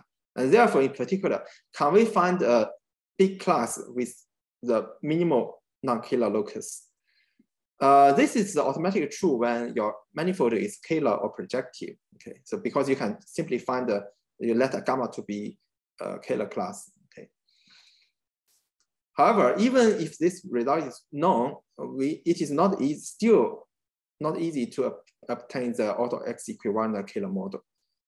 Um, and if one or two is true, then we can uh, generalized uh, conjecture on wild automorphism to Fujiki space. So a Fujiki space X has a wild automorphism G. Then a question is, can we can we say that it, it is automatically Kähler? Because if it is not Kähler, then you must have some, you must have, you must have every big class have non, non-empty non-Kähler locus. Then you must, you, you can, you must can find some uh, big class with big class with a minimal uh, non-Kähler locus, and this non-Kähler locus is automatically auto X equivariant. And then, and then you, you can find some G invariant subspace, uh, which is non-trivial in X, then it is not, uh, it, it is not a wild automorphism. And further, by the result of uh, Oguiso and Zhang, uh, they uh, they show that for a projective threefold, then it is either a abelian variety or a strict labial. And the latter one is uh, expected to be not possible. Okay, but this is uh, very difficult. Okay, and then I, I, guess the Kähler case is also true that it's either a complex torus or a strict or a strict labial. Okay, okay, I think I stop here. Okay, I stop here. Thank you. Okay, thanks. Uh, thanks to the speaker. Uh, any question?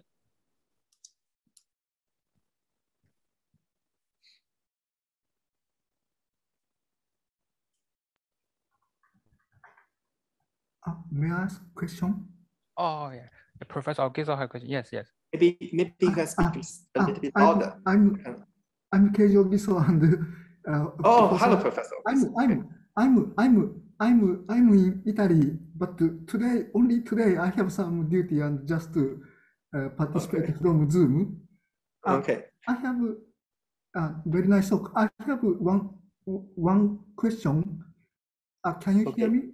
Yeah, I can hear you. Uh, uh, about your open question three, can you return back? Okay.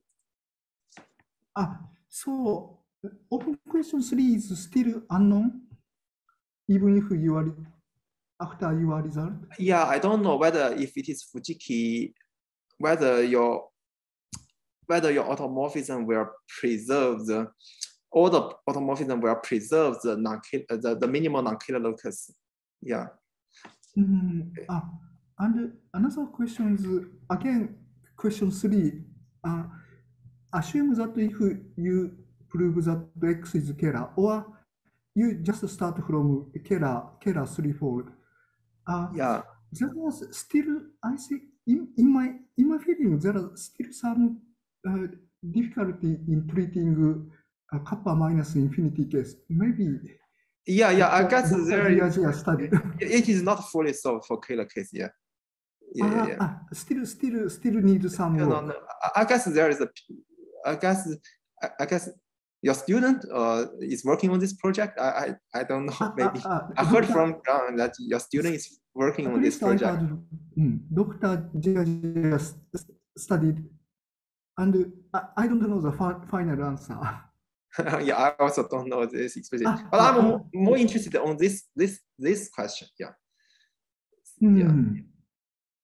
So let me give you show you the more geometric graph. So you see this typical Mhm. Morrison threefold. Then this is the, the you can construct the class by the non-Kähler locus. I guess the non-Kähler locus is L zero, but I don't know Mhm. whether this L zero, L zero is always. pre- I guess this L, L- for this example, L zero is always preserved by any automorphism on, on this Morrison threefold.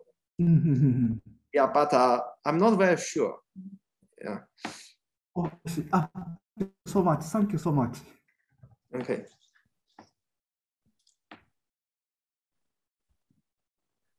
Um, so I, I might have a question. So you mentioned uh, uh, at some point uh, for uh, this uh, uh, minimum model program. So Yeah. so so uh, is there a kind of a minimum program for this Fuki, Fujiki class? I I don't think so. I I guess uh, uh Fujiki, but I you can always take a scalar model first, right?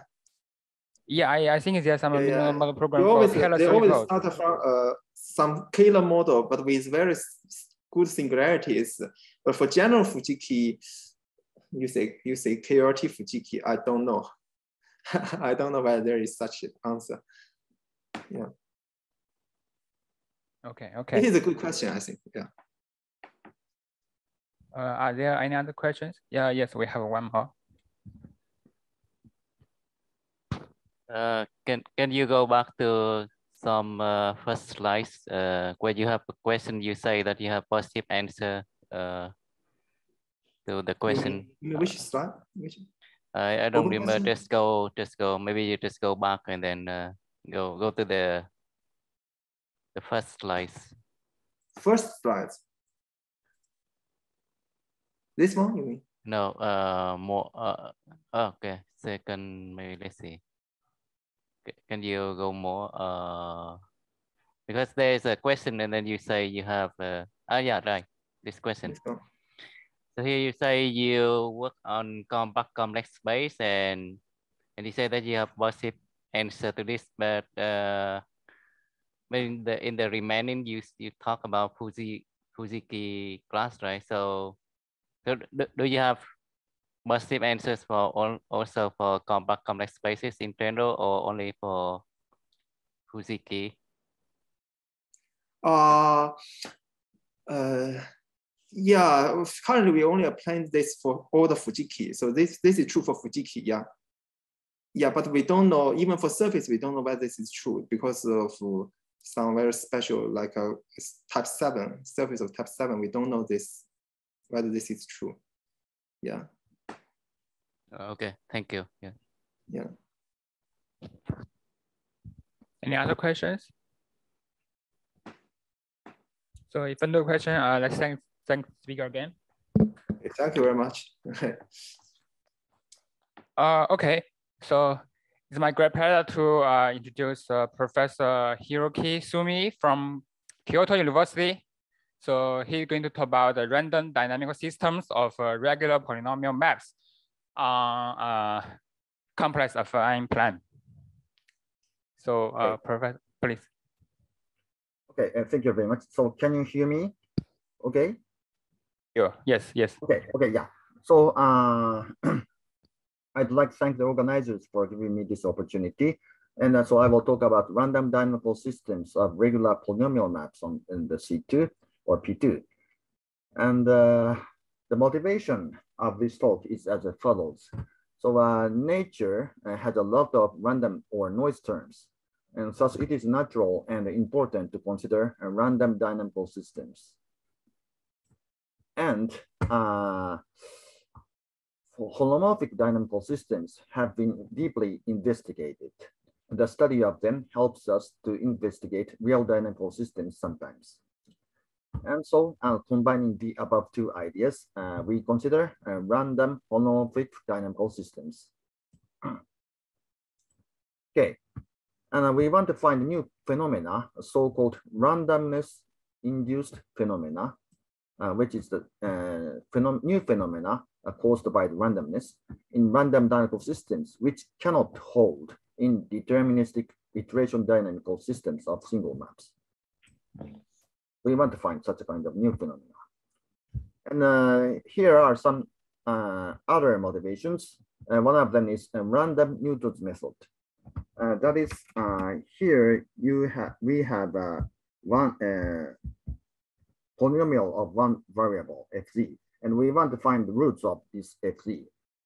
And you you know that we sometimes use the Newton's method, and in, in order to do that, we consider the iteration of the following uh, rational map on the Riemann sphere. And but uh, sometimes uh, this cannot work well if the if the f uh, is not if the f and uh, uh, initial value values are uh, not good, then this doesn't work well. We cannot find any root.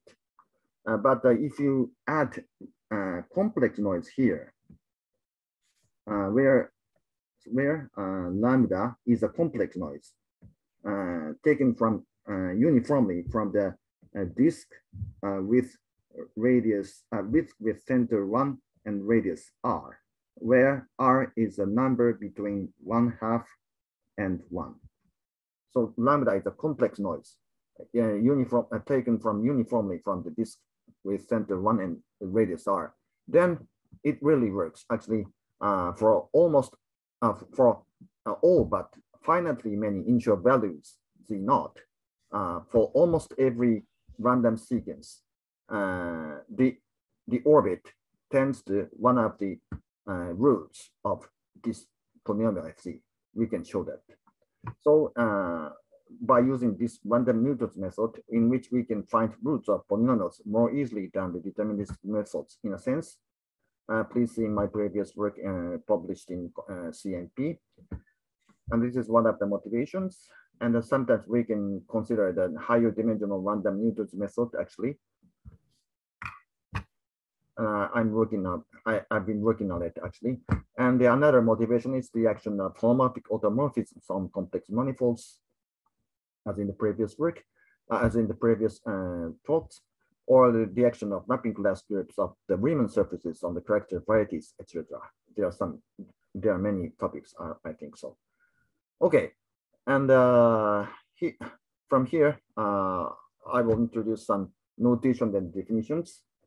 Let C to be the two-dimensional complex Euclidean space, and let F be a polynomial map on C2. That is, if we write f of z, f of xy equal to g of xy and h of, of xy, then g of xy and h of xy are polynomials of x and y. And uh, we say that f is a regular polynomial map on C2. If f extends to a holomorphic map on P2, P2 is a two-dimensional complex projective space. And note that uh, we regard C2 as a subset of P2 via the following canonical identification and inclusion. Okay, and uh, here is a remark. Let F uh, be a polynomial map on C2. Then and F is a regular polynomial map if and only if the following uh, condition uh, star holds. let F of xy be g of xy and h of, h of xy. And let g1 xy be the highest degree term of g of xy, and let h1 xy be the highest degree term of h of xy. Then a degree of g1 equals to degree of h1, and g1 of xy equals g1 of xy and h1 of xy are equal to zero if and only if x and y equals to the origin. Here is an, one example. Uh, let f of xy be the following uh, map. a1 is x squared plus a2 xy plus a3 xy squared plus b1x plus b2y plus b3 and c1y squared plus c2x plus c3y plus c4 where a1 c1 are non-zero complex numbers, and A2, A3, B1, B2, B3, C2, T3, T4 are complex numbers. Then actually we can show that F is a regular polynomial map on C2. Because in this case, uh, this one, this part, uh, this part is uh, G1XY, and this part is uh, H1XY. So uh, the degree of G1 is equal to 2, and the degree of H1 is also 2. And uh, we can show that this condition uh, holds very easily, okay? So uh, this map F is a, a regular polynomial map of uh, on C2 of the 2 Okay. And uh, of course, if F is a regular polynomial map on C2, then we regard F as a holomorphic map on P2. And we call such a holomorphic map F on P2, a regular polynomial map on P2. So from now on, uh, we consider uh, random dynamical systems uh, of regular polynomial maps on P2 actually. And in order to do that, let X be the space of all regular polynomial, polynomial maps on P2 of degree two or more endowed with the distance eta, which is defined as eta of f and g is equals equal to primum uh, of uh, d of fz and gz, where z runs over the p2, uh, where uh, d denotes the distance from p2 induced by the Fubini-Study metric on p2. And five, uh, we denote by uh, m1x uh, the space of all Borel probability measures on x. Also, we set uh, M1x, M1CX uh, to be the set of all elements tau in M1X, such that the support of tau, uh, this support of tau denotes the topological support.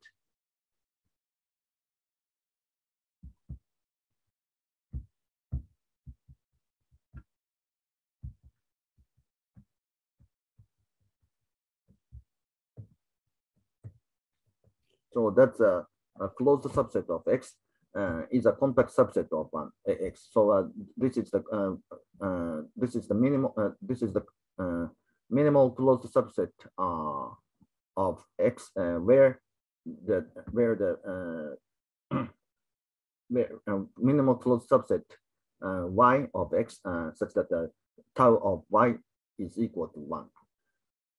Okay, and Okay, and we endow M1CX uh, with the topology O, uh, which which satisfies that uh, tau n tends to tau as n tends to infinity, if and only if a uh, for each bounded continuous function phi on x, we have that the integral of phi with respect to the measure tau n tends to integral of phi with respect to the measure tau as n tends to infinity, and uh, support of tau n. That is, uh, which is a non-negative complex subset of X tends to support of tau, which is also a non-empty non open subset, and which is also a non-empty complex subset of X. as n tends to infinity with respect to the Hausdorff metric uh, in the space of all non-negative uh, complex subsets of X. So anyway, so support of tau n, uh, if n is large enough, then support of tau n uh, looks like support of tau. Okay, anyway. Okay, uh, I think this is a natural topology in M1CX. And uh, for each uh, tau in M1CX, uh, we consider independent and identically distributed uh, random dynamical system on P2, such that at every step, we choose a map F according to tau. Uh, this defines the Markov process whose state space is P2 and whose transition probability P of ZA from a point Z in P2 to a Borel subset A of P2 satisfies that uh, P of ZA equals to uh, tau of the set of elements H in X uh, for which H of Z belongs to A. Okay, and uh, the easiest the easiest uh, case is the following. So here you have uh, F1 uh, F1 and F2. And that, so first you choose a you choose the initial value Z naught, and uh, please you you have a dice and you throw a dice, and if you get the uh, odd number, then uh, uh you uh, you map the point Z naught under the uh, cho chosen map F1. But if you get an uh, even number, then you choose um, this map F2, and you map the point under the, uh, you map the point uh, under F2. Okay, so if you have an odd number first, then you have it here, the first orbit, then you throw a you throw a dice again, and you obtain if uh, you choose F1 or F2 again, uh, uh, half and with probability half and half, and uh,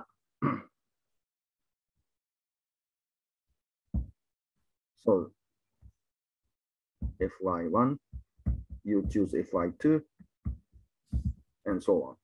And uh, you consider uh, random orbits, okay? so uh, this is a very easiest, this is the very easiest, uh, this is the very easy situation.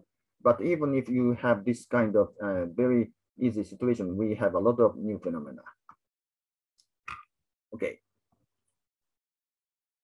And uh, in order to investigate random dynamical systems of uh, random dynamical system generated by this tau, uh, we have to consider the following things. So six, uh, for each element tau in M1CX, uh, let G tau be the semigroup generated by uh, the elements of support of tau.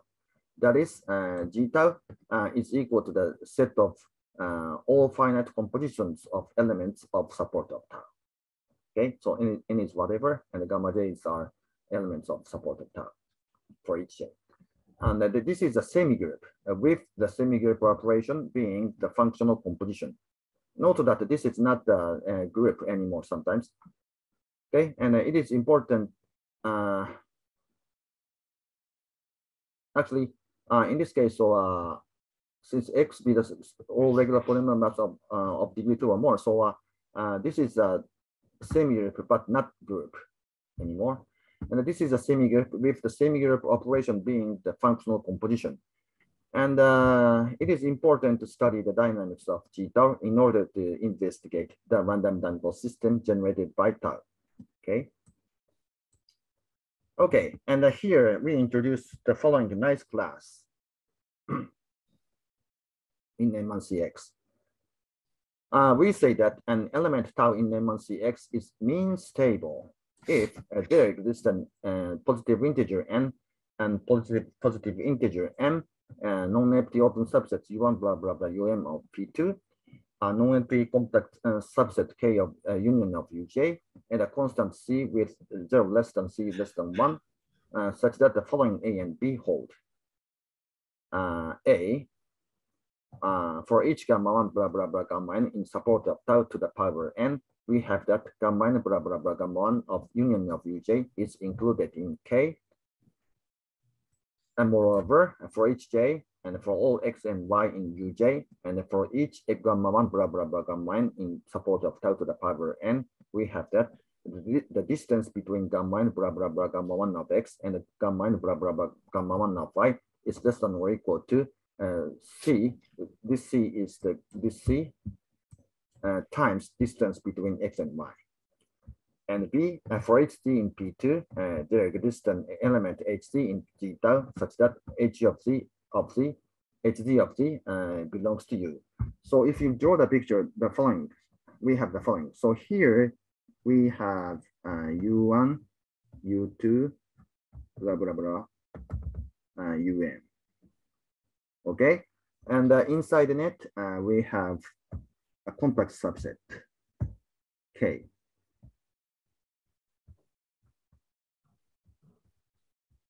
The union of these is K. And uh, if you consider uh, n words, uh, n compositions of elements of support of tau,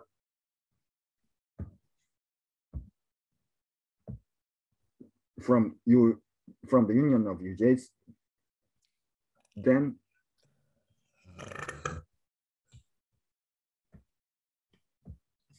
uh, this map gamma blah blah blah gamma one is a uh, contraction map from the union of UJs to into this uh, complex subset K of union of UJs.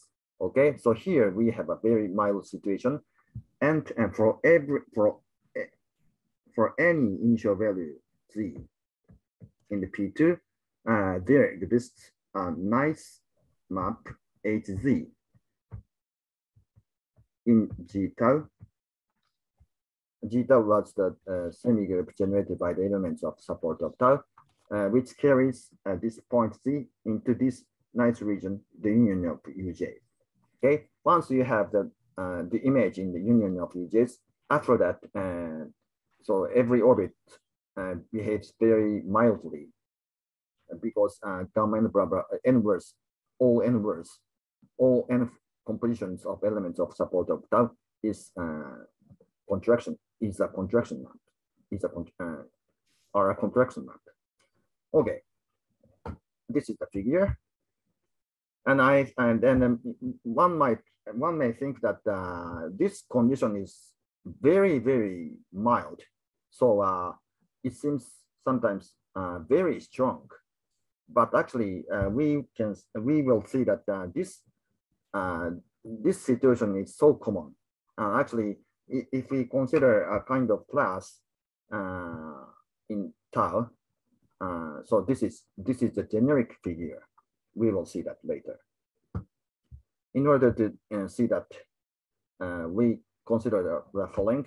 We might to let ms be the let ms be the uh, set of all elements tau in M1CX and such that tau is mean stable. Then MS is non-empty and open in M1CXO. Uh, openness is easy to see. Okay. Uh, and the non-emptiness uh, we will see uh, in the following example. Uh, let F1 and F2 be two elements in X defined by the following thing. F1 xy is x squared, y squared, and f, f2xy is equal to one quarter times x squared and one half times y squared. And uh, if you draw the picture of y uh, P2, this is the figure of P2, and this is the, the origin in C2. So this is the uh, 0, 0, 0, 1, and this is the uh, 1, 0, 0, and this is the 0, 1, 0. Then those three points are common attracting fixed points of F1 and F2. So uh, here uh, you have a common attracting a co common attracting basin for F1 F2. I mean, if you take any initial value from here, then every orbit every random orbit tends to 0, 0, 1. If you take initial value from here, then every random orbit tends to 1, 0, 0. And if you take orbit, from, if you take any initial value from here, then every random orbit tends to 0, 1, 1. Okay? And uh, for the dynamics of F1, uh, if you consider the basin boundary, then uh, the basin boundary is like this. So this is one, and this is one. And uh, if you consider the basin boundary of F2, then the, the figure is different. Actually, uh,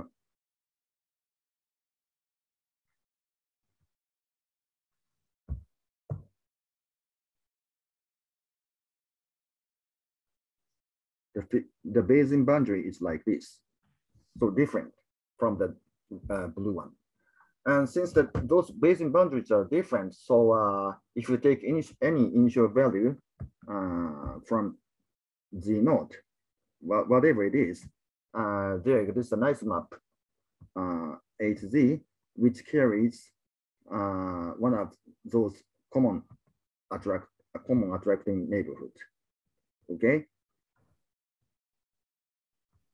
So uh, we can show that uh, let the, uh, this tau, uh, that, that's the one half times Dirac measure at F1 plus one half times Dirac measure at F2, where delta Fi denotes the Dirac measure concentrated at Fi for HI, and then the tau belongs to MS. The tau is a mean stable one.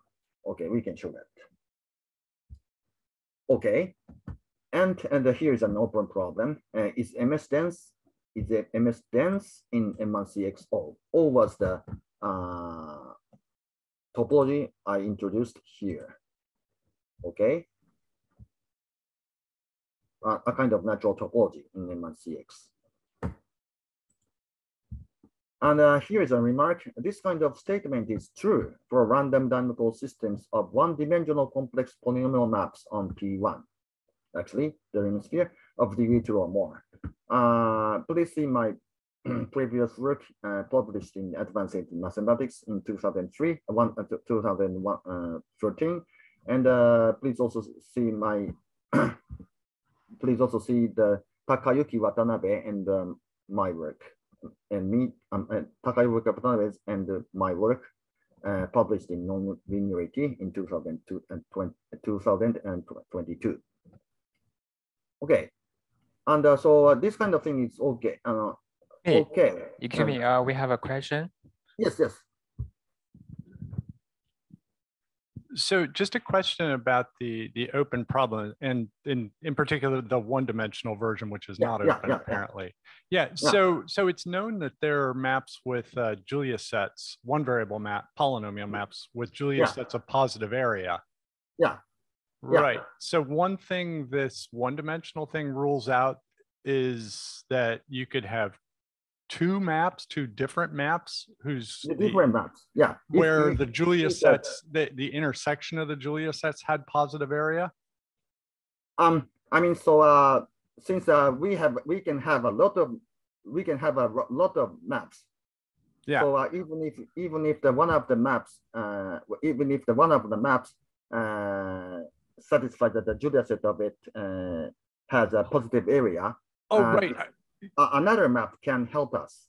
Right, right. Yeah. And it's just, uh, okay, I see now. It's Yeah, not just yeah, those two. It's just that, uh, you know, F1 and F2 might be a problem, but F1, F2, the one that with that. Right, Okay, so- I understand. Sorry. Yeah, that Yeah. kind of thing, that kind of idea really works. Uh, uh, we will see that later. Yeah, thank you very much. Okay. Yeah, yeah, okay. And so, uh, anyway, uh, let us proceed and uh, let P1 infinity be the uh, line at the infinity. So this is the, you know that uh, this is the figure of P2 and uh, the line at infinity is, of course, you know, uh, this part.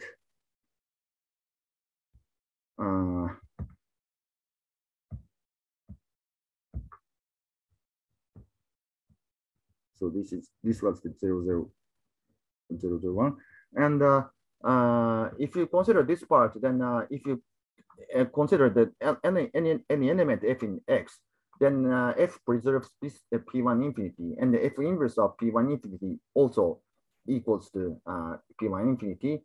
And if you consider any neighborhood b of p1 infinity, there exists there exists an open neighborhood c of p1 infinity uh, with c included in p, b such that the closure of FC is included in C. So that the figure is uh, the figure is uh, if you consider that uh, here is a B, uh, there is an open neighborhood uh, inside open neighborhood C inside the net, which is invariant under uh, F, like this.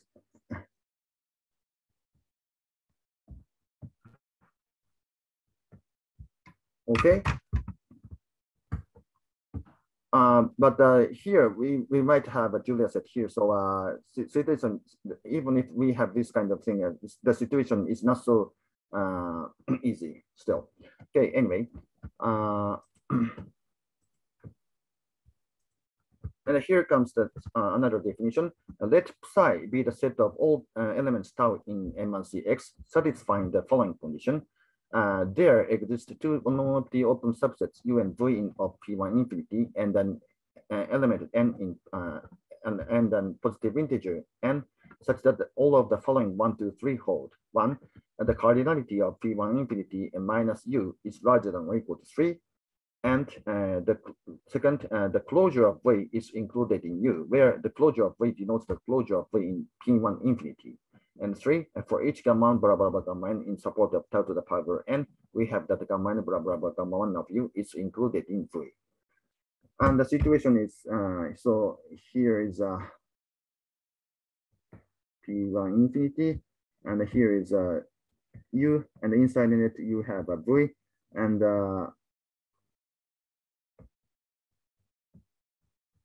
n compositions of elements of uh, support of tau uh, maps this U into this uh, V. So if you consider the hyperbolic metric on every connected component of U, uh, we, we immediately see that uh, we have a common attractor inside V or inside V.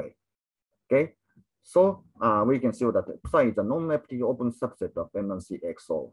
So in uh, so I, I in this talk we consider this class this set psi and in this psi uh, we, we, we want to solve uh, this open problem. Inside of this class, we want to solve this problem. Uh, this, this is what I want to uh, do in this talk. And uh, psi is non-empty, why? So here is an example.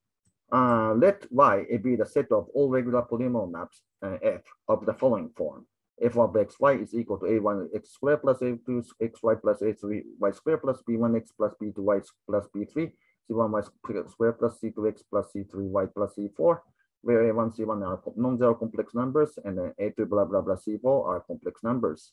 Note that y is isomorphic canonically isomorphic to c uh, c c minus 0 uh, squared times c to the power 8 and let a tau be a real probability measure on y with compact support then we can we can show that tau belongs to this class psi. Because uh, in fact, for any uh, for any f in y of the above form, via the uh, identification p minus infinity is isomorphic to the Riemann sphere uh, via this uh, respondence.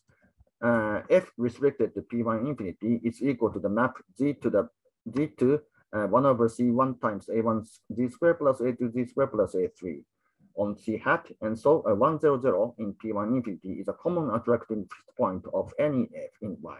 So from this kind, from this fact, uh, we immediately see that tau belongs to this class psi. Okay. And there are, we have another, uh, we have a lot of lot of examples of elements of tau, uh, elements of psi. okay. And uh, here comes the main theorem. Uh, let A be the uh, let A be the intersection of psi and ms. That is, uh, A be the A is the set of all elements tau in psi such that tau is mean stable. Then A is open and dense in psi. So those, this density in psi is the main part of this main theorem. Okay. And moreover, for each mean stable tau in M1CX, in particular, for each tau in A, we have all of the following statements 1 to 8. 1. uh, there exists a constant c tau with c tau uh, less than zero, such that the following holds. Uh, for each z in P2, for each initial value z in P2, there exists a Borel subset b tau z of x to the set of positive integers with infinite product of tau of b tau z equal to one, such that uh, for each gamma 1, gamma 2, and so on in b tau z, we have that uh, the lim sup of 1 over n times log of the norm of the derivative or differential of gamma n blah, blah, blah, gamma 1 at z is less than or equal to c tau, which is negative. Uh, here, for each f in uh, x and each z in p2, we denote by the, uh, this one, uh, the norm of the differential of f at z with respect to the Fubini-Study metric in p2. So uh, the, the uh, for every for each initial value z for almost every uh, random orbit the Lyapunov exponent at z is negative and the constant is uniform okay so the situation is very very mild uh, we cannot have this kind of thing for uh, uh, deterministic deterministic iteration dynamics of f in x because we have a Julia set. And the second, uh, for each z in P2, uh, there exists a Borel subset theta z of the x, x, x to the power x to the set to the power the set of positive, positive integers with uh, infinite product of tau of theta z equal to one, such that for each gamma in gamma equals to gamma one, gamma two, and so on in theta z, uh, there exists a number, a positive number r, which depends on tau z gamma, satisfying that the diameter of gamma n blah blah blah gamma 1 of p of the r tends to zero as tends as n tends to infinity exponentially fast. So the here is a BZR. And if you consider gamma 1, the orbit, if you consider images, forward images, this shrinks. Okay and where BZR denotes the ball with center Z and the radius R with respect to the distance D induced by the Fubini-Study metric on P2. And for each subset A of P2, we set diam, diam A, the diameter of A, that is the supremum of D, D of XY, uh, where D denotes the uh, uh distance D induced by the metric. Uh, and, and the supremum is taken over uh, all elements XY in Y, A. Okay, and then three, three, and let min tau be the set of all minimal sets of tau. Then uh, the set of the, the cardinality of minimal sets of tau is finite. Okay, so we only have we we have only finitely many minimal sets of tau. Here we say that a non-empty compact subset L of P2 is a minimal set of tau. Uh, if for each z in L, we have that L is equal to the closure of the G tau orbit of Z okay? Uh, we cannot have this kind of situation uh, for a deterministic, deterministic iteration dynamics of a single map F in X. And for, uh, for HT in P2, there exists a Borel subset d tau z of X to the set of positive integers with infinite product of tau of d z equal to one, such that for each gamma one, gamma two, and so on in d z, the distance between gamma and blah, blah, blah, gamma one of z and the union of minimal sets of tau tends to zero as n tends to infinity exponentially fast. And five, and let CP2 be the Banach space of all continuous complex valued functions on P2. Uh, we here, this is uh, arbitrary point in P2. This is uh, important. And let CP2 be the Banach space of all continuous complex valued functions on P2 endowed with the supremum norm. And let m tau uh, be the linear operator on CP2 defined by the following. Uh, for each phi in CP2 and for each point z in P2, m tau phi of z is equal to the integral of phi of hz over a over x, uh, where the variable, uh, where the, uh, with respect to the measure tau, where the variable is this h. Okay, this is called a transition operator. Uh, this is called a transition operator.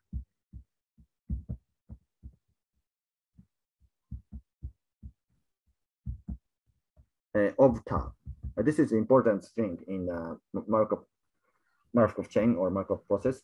And uh, then there, is a finite dimensional subspace, subspace W tau, which is not 1.0 of CP2 with M tau of M, M, M W tau equal to W tau, such that for each phi in CP2, uh, the, the sequence M tau and phi tends to W tau as n tends to infinity.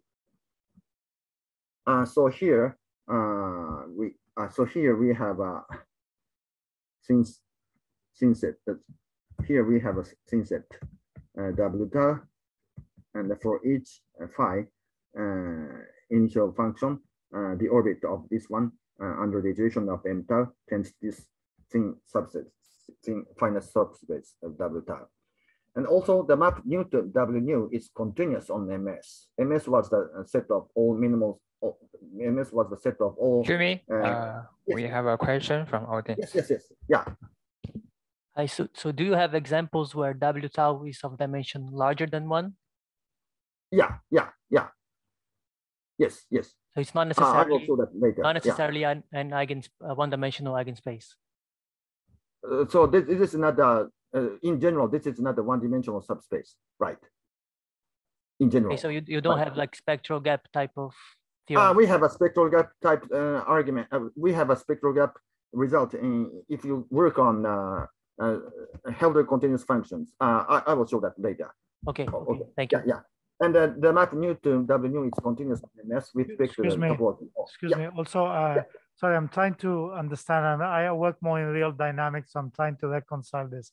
So is this a WT in the complement of your open and dense set? Uh, this, this is a this is a finite subspace. So uh, this is a thin, thin subspace.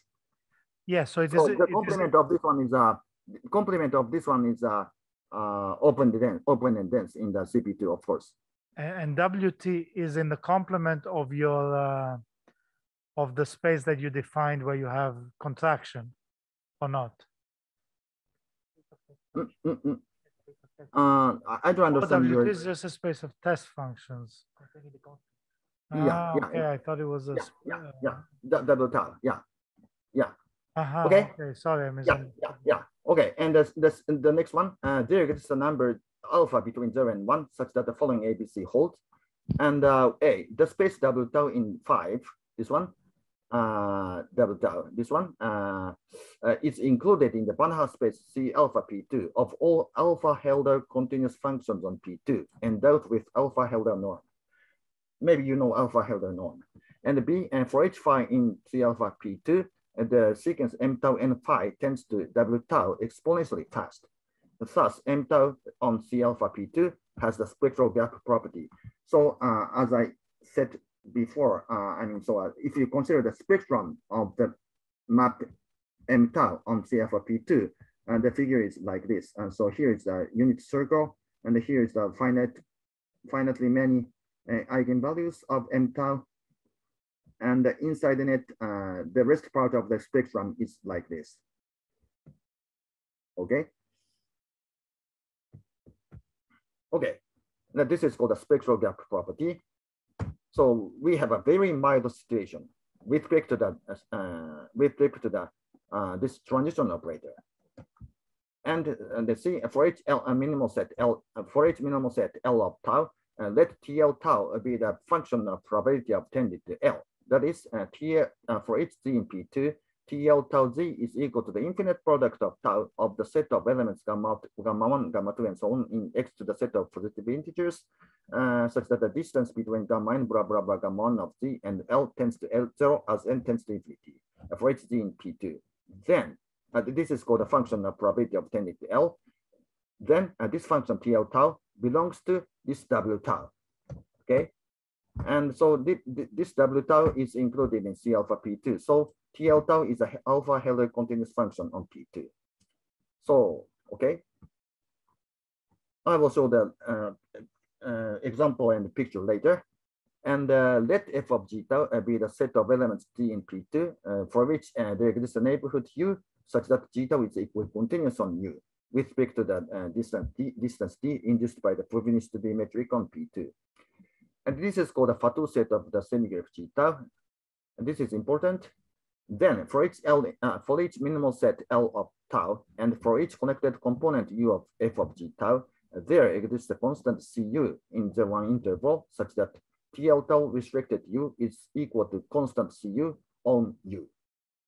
Thus, uh, TL tau is a continuous function on P2, which varies only on J of G tau. That is the complement of a Fatou, Fatou set. This J of G tau is called a Julia set of semigroup G tau. J of G tau is also important.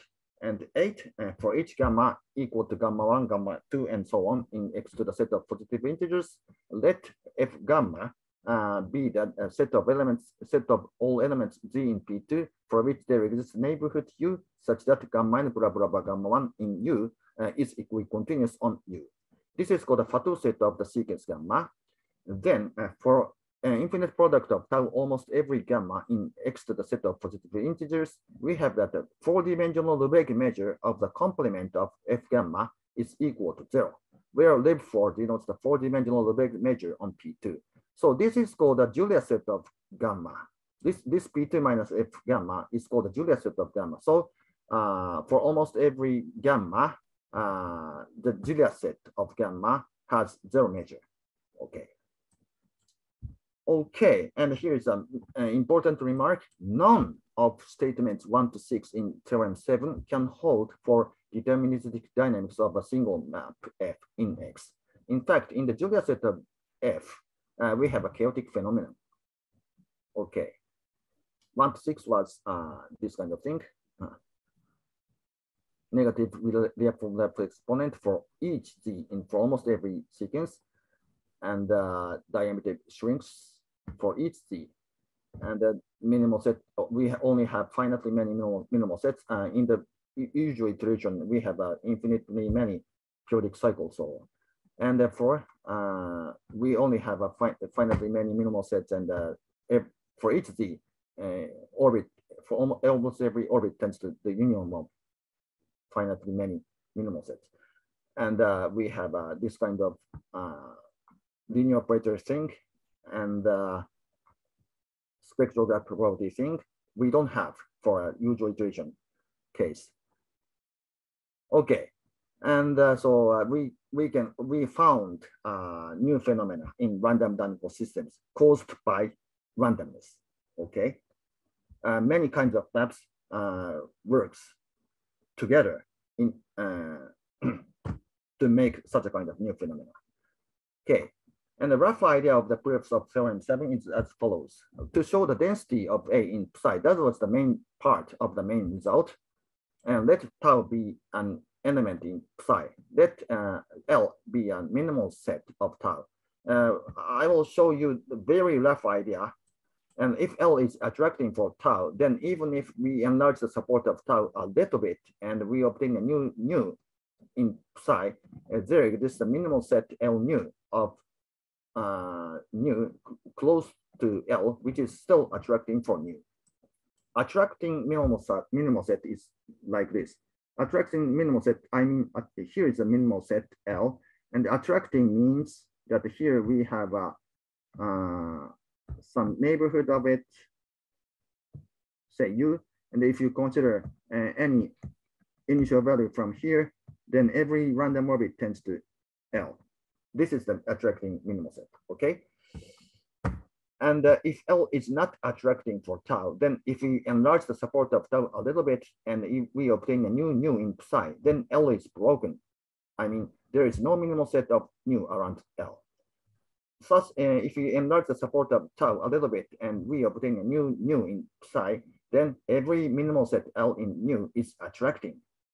Once you have such a kind of situation, then it is easy to see that nu is mean stable. Mean stability was the this kind of thing. This is the this is the uh, de definition of mean stability. Okay, you know. Okay, and so thus the in in this way we can show that the set of all mean stable elements tau in psi is open and dense in psi. Density was the difficult part. Okay, and the summary, uh, we introduced the notion of mean stability in, in independent and identically distributed random holomorphic two-dimensional dynamical systems. And we can see that the generic random dynamical system of regular polynomial maps on P2 having an attractor in the line at infinity is mean stable. And if a random holomorphic dynamical system on P2 is mean stable, then for each z in P2, for almost every orbit starting with z, the Lyapunov exponent is negative.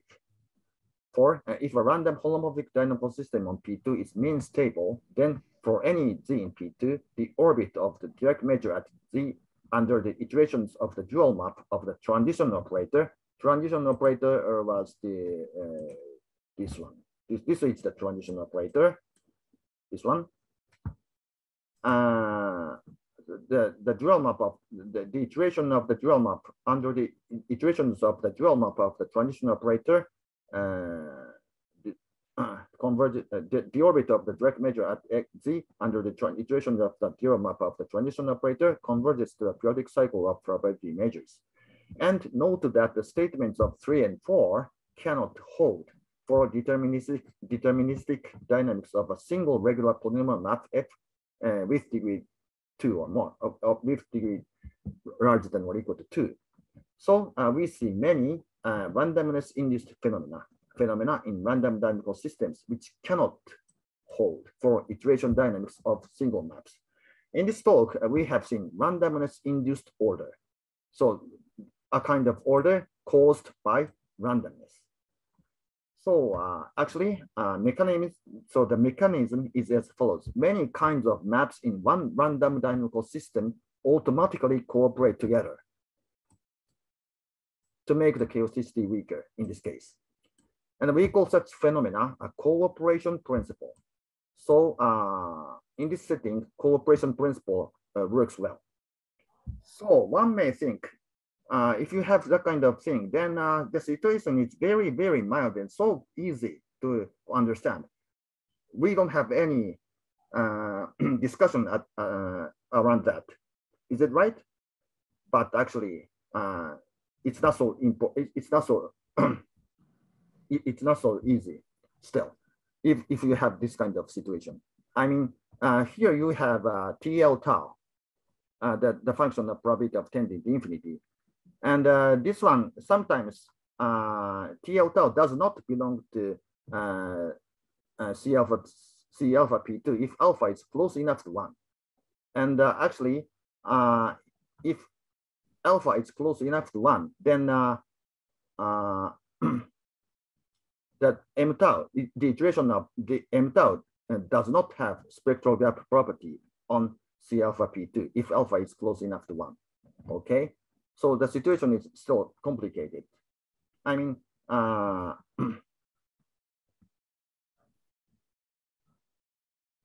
so uh, we still have a kind of complexity. So we have to consider uh, gradation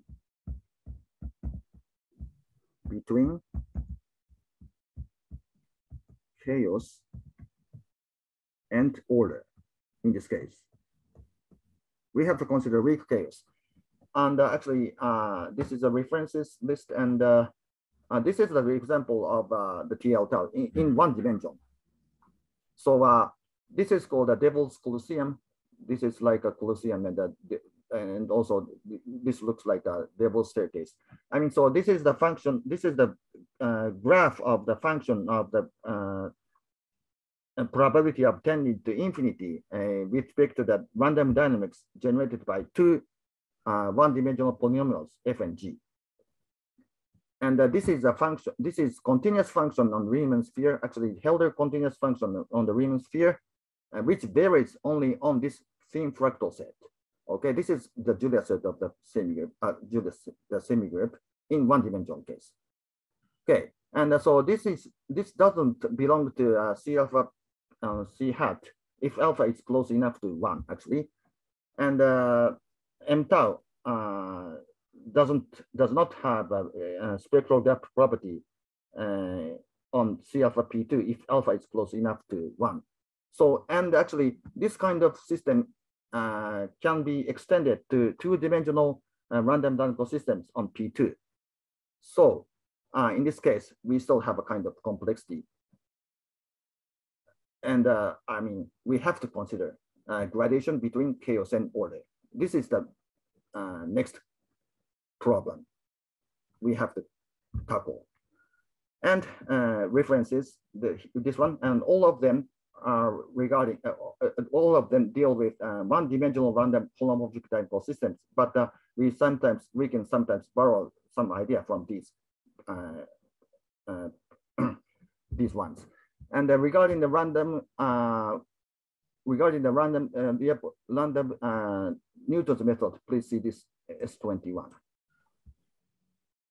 Okay, and uh, regarding this uh, picture, uh, I don't I don't know whether we, we, we can see this one. So, uh, but we can we can have a 3D. We can use a 3D printer to make this kind of 3D thing.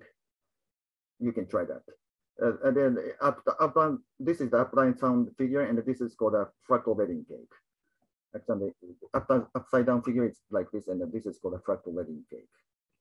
And this is called a complex analog of the devil's staircase. And the devil's staircase is this one, you know, okay?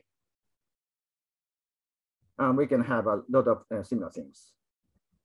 And we can have a lot of uh, two-dimensional things uh, as, as we have seen in this talk. Okay, uh, I stop here. Uh, thank you very much for your attention.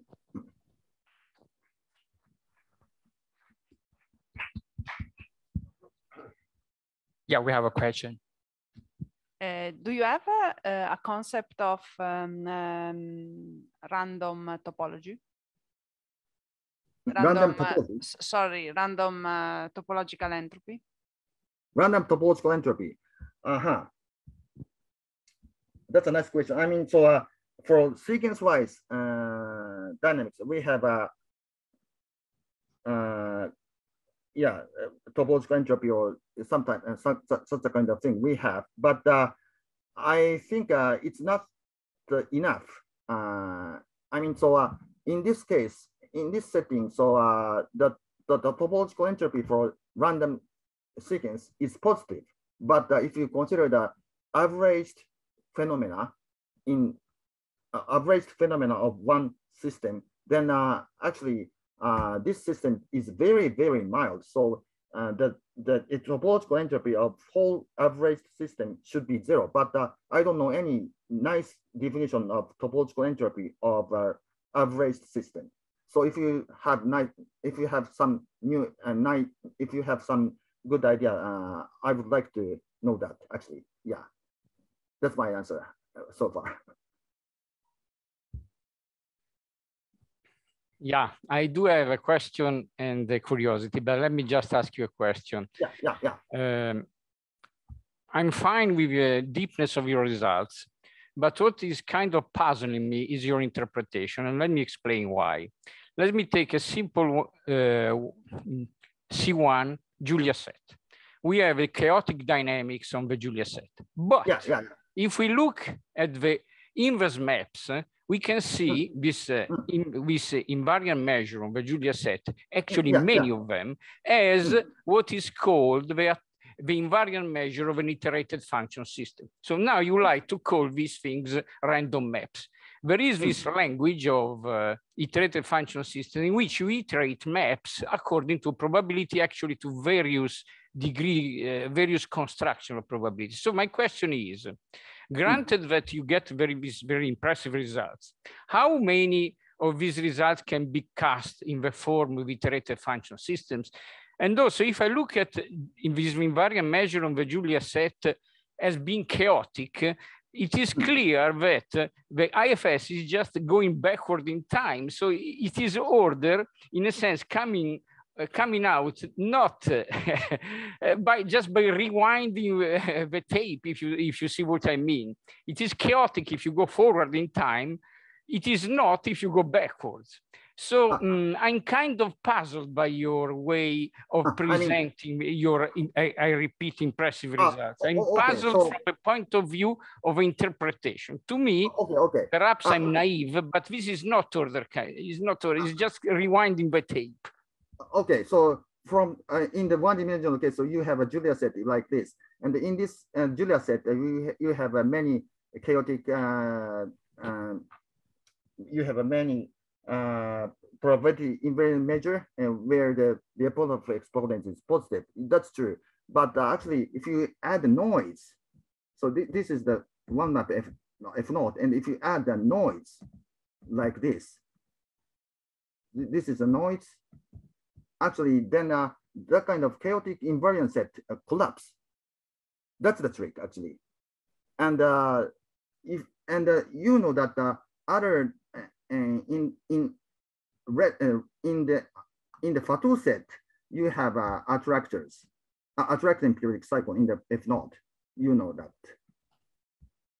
And we can we and uh, those kind of chaotic invariant set collapse easily if you add a noise, and uh, we and we just have uh, that kind of uh, attractors where the the exponent is negative that kind of that kind of uh, trick we have here actually. Yeah. So uh, here in, in the in the in the Julia set of the one map, if you add the noise, uh, th this kind of chaotic uh, invariant collapse collapses. Yeah. Actually, yeah. So uh, um, Okay, I have one more question. That, oh, sorry, sorry. Hmm. So you know that if you have a uh, iterated function system, if you know the iterated function system generated by uh, contracting maps, then uh, you have a uh, invariant, invariant set and invariant measure, and where the uh, of exponent is negative. So actually, uh, the situation is like that here, because uh, we we don't have any that kind of chaotic invariant set in, in this setting. Yeah. Can I have one more question? So can yeah, you go yeah. back to your spectral gap theorem? Spectral gap, yeah, yeah, yeah, yeah. So you said yes. that you cannot take alpha arbitrarily close to one, right? Mm -hmm. If alpha is arbitrarily close enough, uh, if alpha is close enough to one, then uh, there exists uh, then in, in some setting, in some uh, in some uh, under certain conditions, if alpha is close enough to one, then uh, there exists that phi in C, alpha P2 uh, such that, that the if alpha is close one, then uh, there exists the alpha, uh, there exists the phi in C alpha uh, P2 uh, such that the, the alpha Hölder norm alpha Hölder norm expands.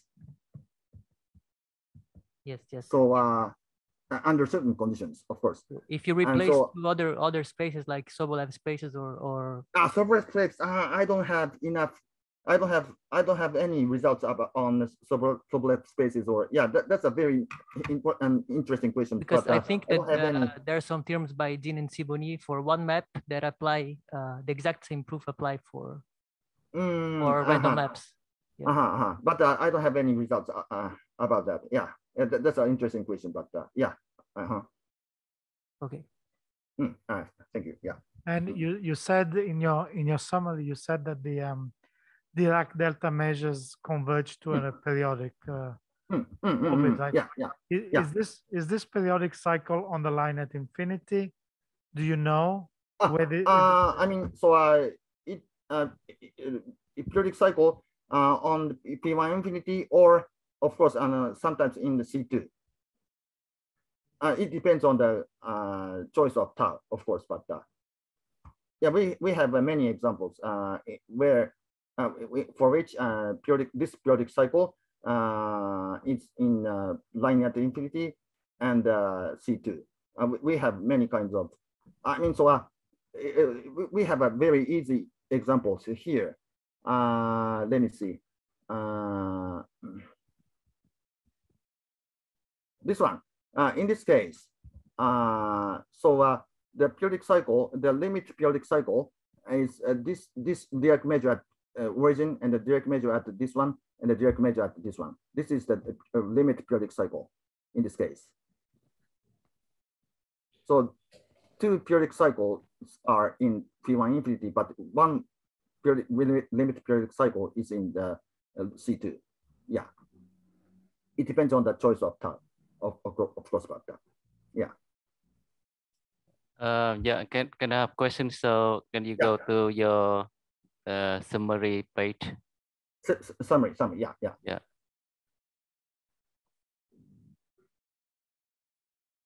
Yes, yes. Uh, next, next page. Yeah. Uh, next, next, okay. okay. Yeah, yeah, yeah. Yeah, this uh, cooperation principle. So my question just uh, maybe uh, kind of philosophical uh, because so um so this kind of cooperation principle um do, yeah.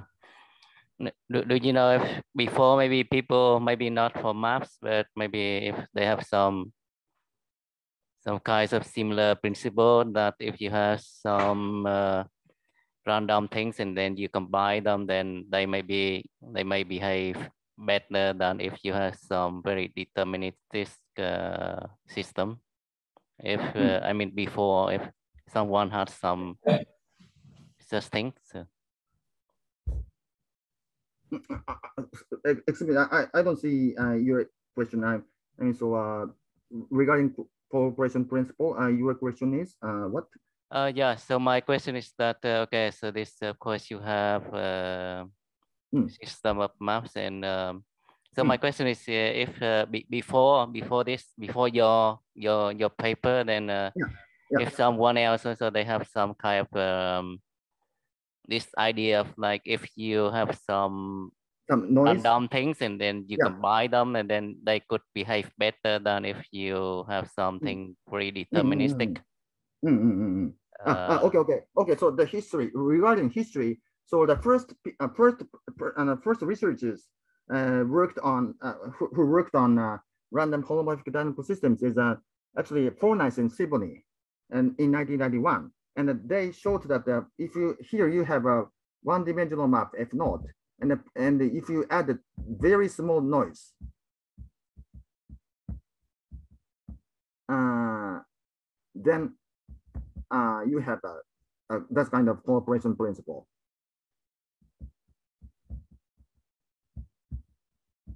So that was the 1991 ETDS and Fornæss and Sibony.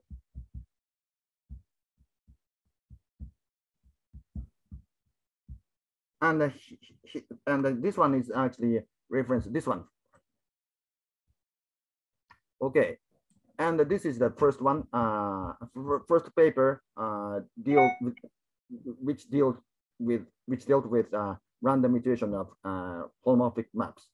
And uh, here, but uh, uh, they deal with, they only deal with small noise here. But in this talk, I deal, we can deal with very big noise. Yeah, even if you have a big noise, we still have a, uh, this kind of cooperation principle and uh, this disappearance of chaos in a sense. Uh, even if actually more precisely, even if a disappearance disappearance of chaos, we still have a uh, weak chaos uh, actually, but uh, anyway, yeah. So uh, yeah, th this is this is the first paper. So uh, if you if you want to see that uh, first paper, uh, then please see that uh, Fornæss and Sibony paper, 1991 ETDS. Yeah, this is also very interesting, of course. Yeah. Thank you. Uh, any other question?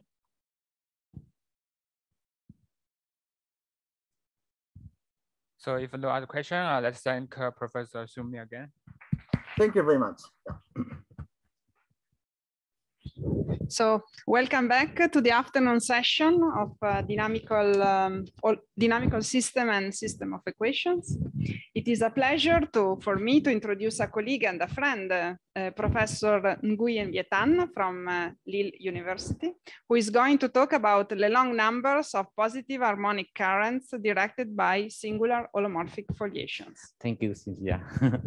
First of all, I would like to thank the organizers for, uh, for the very nice invitation. And this is the first time uh, I visit the PISA and uh, I appreciate very much the, the conference. Uh, there are many interesting uh, talk and uh, the city, also the city. And I, I also like would like to thank all of you for coming here. And uh, I mm, today I will talk about um, uh, the Lelong number of um, directed positive uh, uh, harmonic current. And here is the plan of my talk. Uh, and it is divided into three parts. In the first part, uh, uh, I I will recall the background uh, uh, about um, uh, positive current and then directed positive current and low low number, uh, etc. And in the second uh, part, uh, uh, I will state some main reasons and I will make some comment on this result and the history. And finally, the, um, the, the last part is devoted to, to a sketchy proof. Uh, uh, I will outline some idea of the proof. Uh, and, and now we we begin by the first part, uh, background. Uh,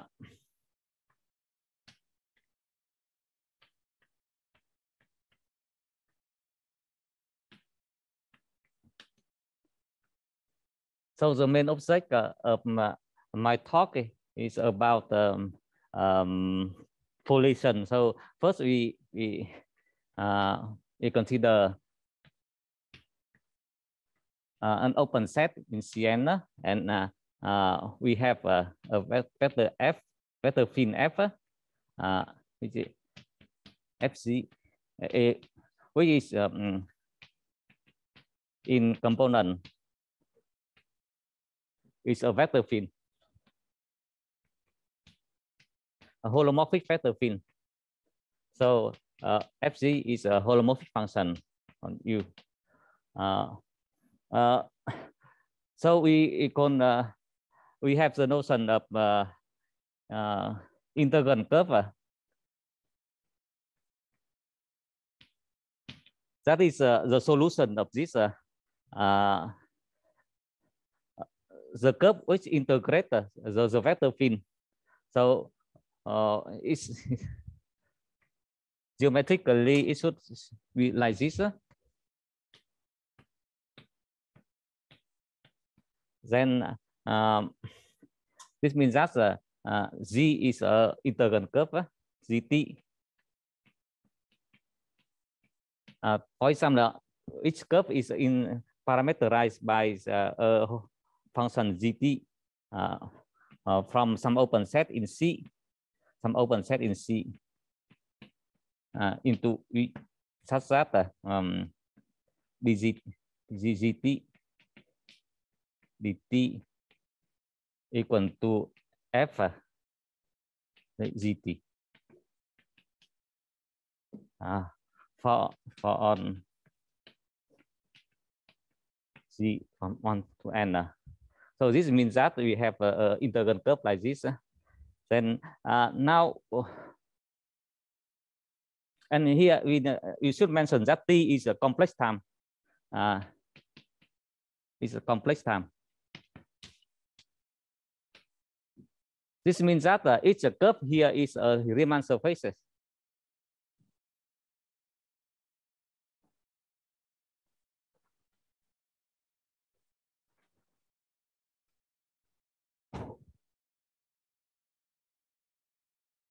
Now I would like to uh, uh, generalize this situation to a complex manifold. And then uh, now X is a complex manifold.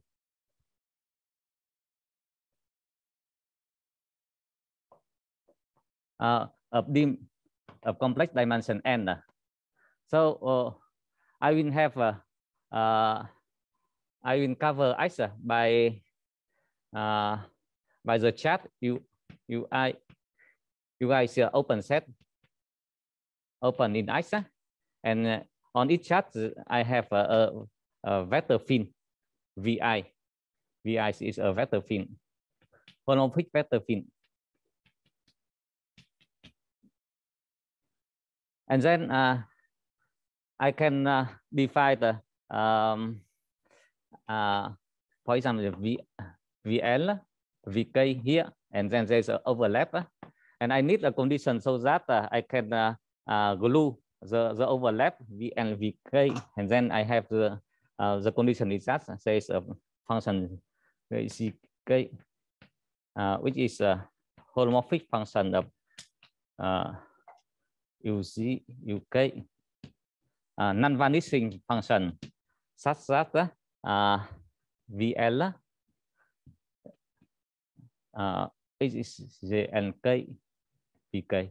A cosine condition like this. Uh, and then I, if, of course, I need a cosine condition uh, so that, uh, for example, um, and and by this way, I can uh, glue this vector field so that uh, if I have uh, uh, an integral curve uh, uh, on uh, on UL, uh, here is yeah, in the open chat UL. Here I have a UK. Uh, I have a, another curve.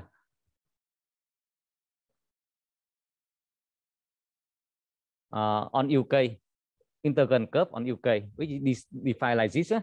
Then it, it should be coincide in the overlap by, by the condition uh, like this. Eh? Uh, G and Of course, we have a condition like this. Eh? Uh,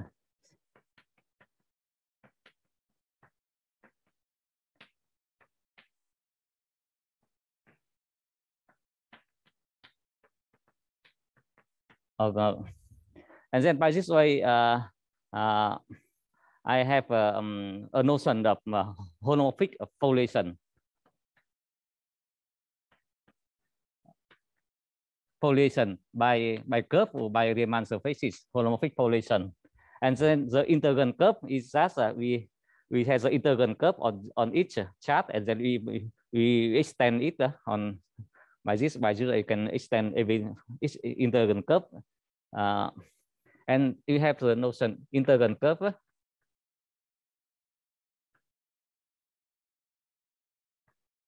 which is uh, called a leaf of the foliation uh, uh, passing through through a point x in x. For example, we have a, a point x here. A leaf, uh, we call a leaf and x. So it's a immersed Riemann surfaces. And then uh, we have the notion of uh, singularity. Then uh, here we should have a uh, singularity of f. This is exactly uh, the set where the, the vector field uh, vanish. And, and then we, here we also have the notion of uh, singularity of the foliation is uh, in some uh, singularities of the foliation should be, for example, in the it should be uh, something sing singularity of the vector field VG. So uh, we have uh, remarked uh, is that singularity of the foliation F uh, is a, a complex analytic set of codimension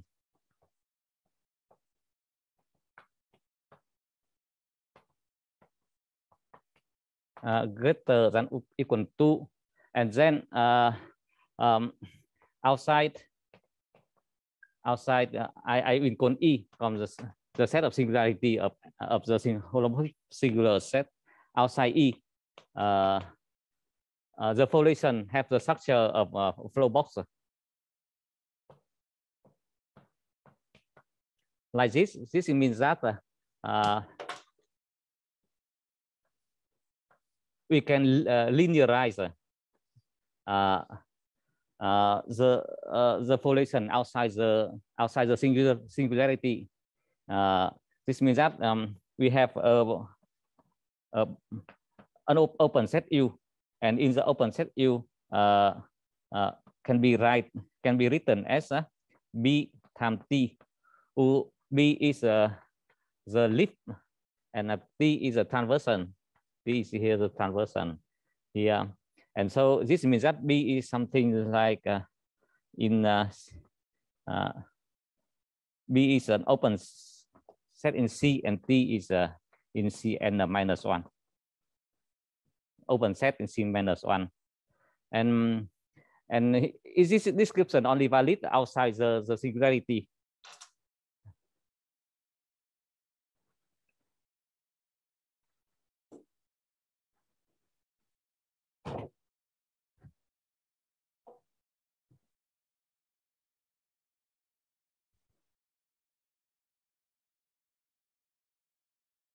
And we have a, a, um, a description of the singularity.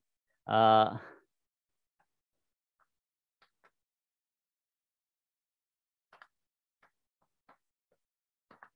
uh, look, here is a, a local study.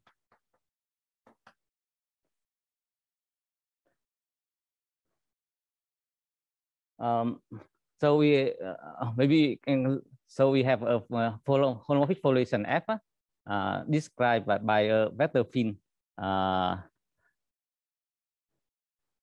F equal to Fg uh, near neighborhood of, of the origin in Cn. And then it says that uh, um, the, so uh, uh, zero is a singularity. So we need that uh, 0 is in f equal to 0. And we say that the 0 is uh, um, linearizable uh, singularity.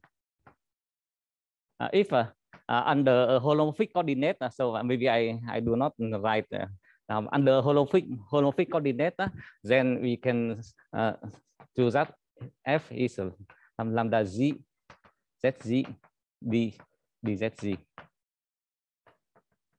Under holomorphic coordinate, change the coordinate uh, where uh, lambda à, 1, lambda n uh, as a complex number, uh, non-zero num complex number. Uh, and here's a linearizable singularity. And we say that uh, zero is a uh, weakly hyperbolic.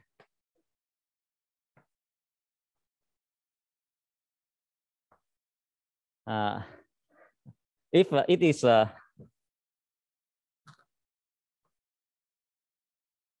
if it is um, linearizable singularity and if uh, moreover there are some there, there's uh, some indexes z k uh, such that uh, look uh, their quotient uh, uh, are not real.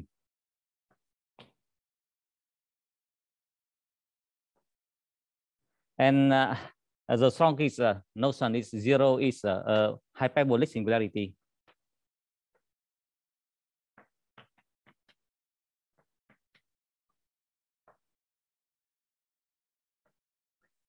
if uh, uh, here if there are some here, here we require that on uh, à, for all. À. Uh, uh, their question. Are not real.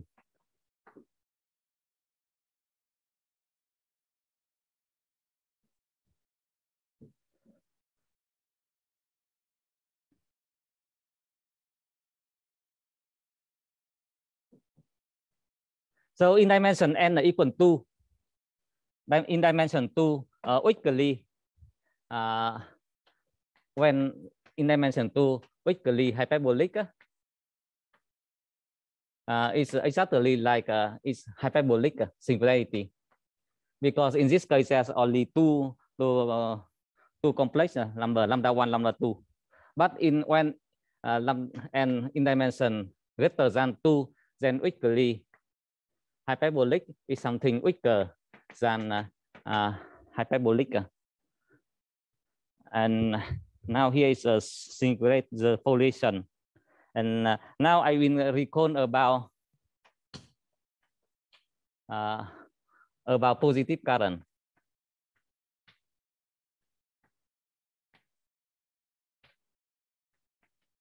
And the low number.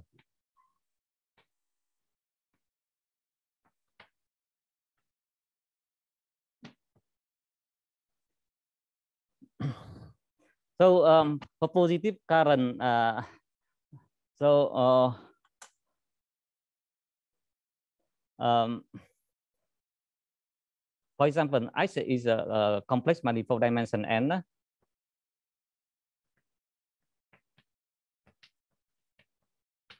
and then we have uh, the um, uh, the space uh, uh D uh, PQ uh, ICE.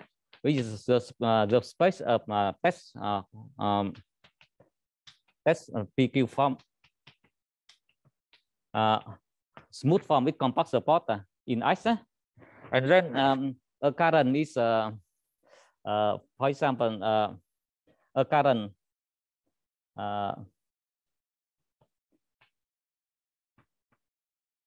a current of uh, bidimension uh, PP for example, uh, is a um, continuous linear form.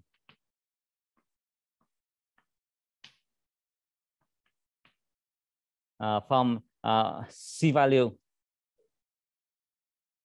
C value, continuous linear form on uh, uh, on the space of D uh, PP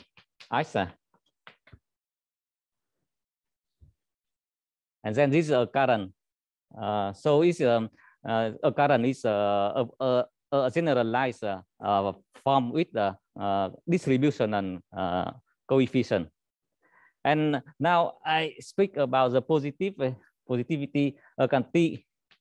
Uh, is a, a BDIM PP. And then I have notion of positive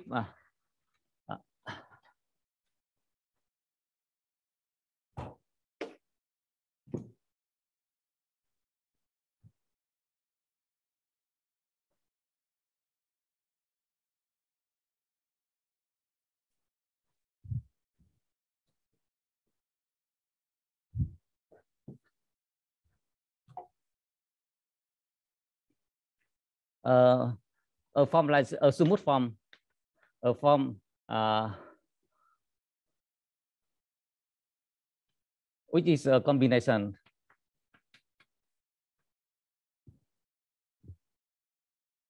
Uh, a positive form.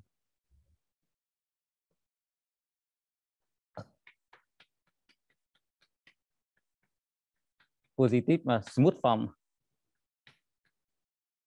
uh, is a, uh, a, a combination, a linear combination.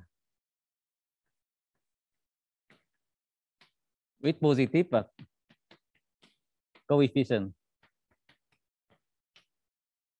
of the form uh, E uh, alpha 1, alpha 1 bar uh, E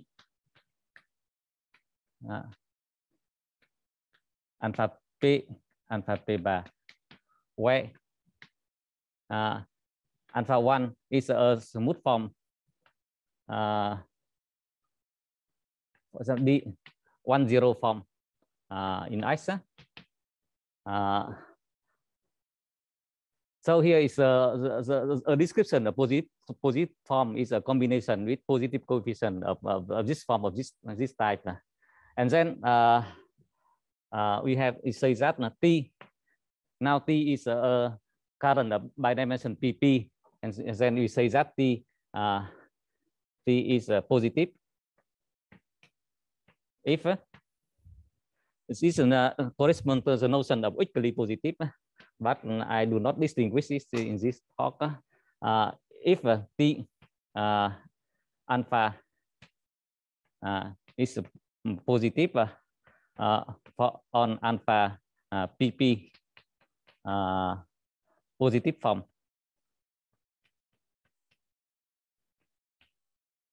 So like this one. So um, um, um, uh, um, so in fact, we can show that the T is um, uh, a current of order zero. Uh, that, that, is, that means that the coefficient of this current is uh, a measure. And uh, and then uh, when we we have um, uh, then when this uh, current is the coefficient is measured, we can uh, talk about the mass, the mass of a measure, uh, etc. And uh, now uh, uh, T uh, is close. If uh, dt in the sense of current equal to zero and T is uh, harmonic, if uh, uh, ddct equal to zero, this means that uh, uh, T d alpha equal to zero. Uh, for on uh, test form alpha, here it means that uh, T ddc alpha equal to zero. For on test form alpha. And here I, I recall that D, D equal to D, D bar and DC is D minus D bar over D uh, 2I pi I. So that uh, uh, DDC DD bar E over 2 pi. So that's in the center.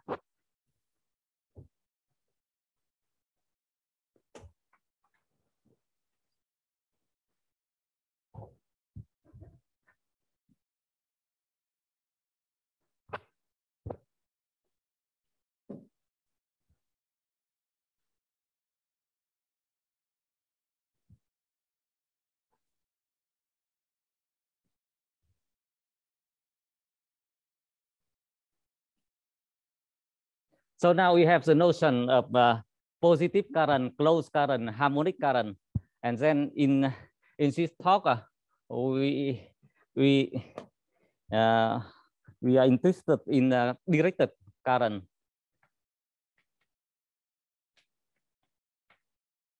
Uh,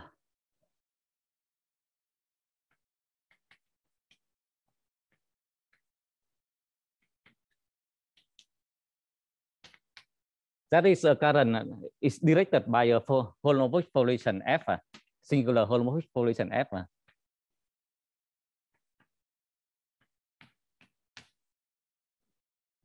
Then what does this mean? This means that uh, uh, T is directed. So T is a, a current, a DDC, a harmonic, positive current of a bidimension one one. And then uh, in the description outside the singularity, we have uh, the local flow box like this. And then the leaf is a horizontal light here. Uh, uh, the leaf is parameterized by an open set B in C. And the transversion C uh, T is like this. Uh, and then uh, we say that the, the current T is directed by the holomorphic foliation if T is um, can be in uh, this integrator. Uh, for example, is um, ST uh,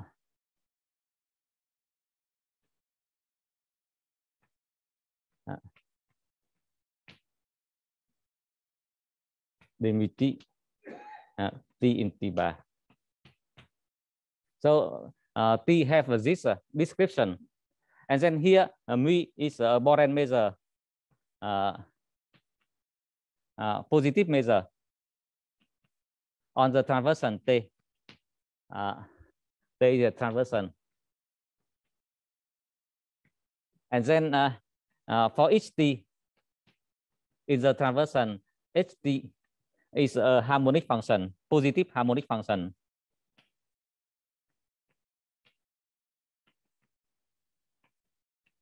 Uh, living on, uh, on, for example, T here. So HD uh, living on uh, living on this plaque is this so-called the plaque, plaque corresponding to, to T. And HD is a positive harmonic function. And uh,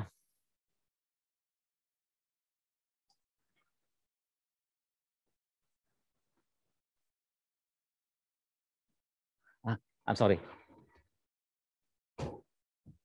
And we say that uh,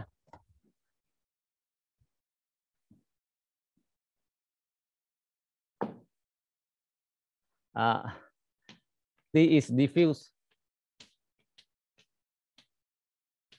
if uh, uh, uh, the, the measure, the transversion measure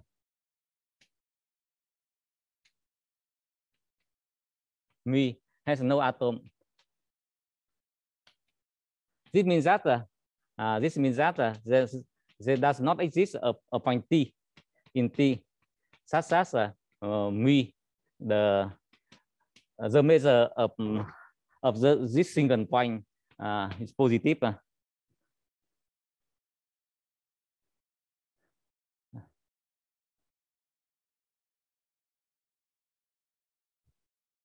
And finally, uh, I have the notion of uh, Lelong number.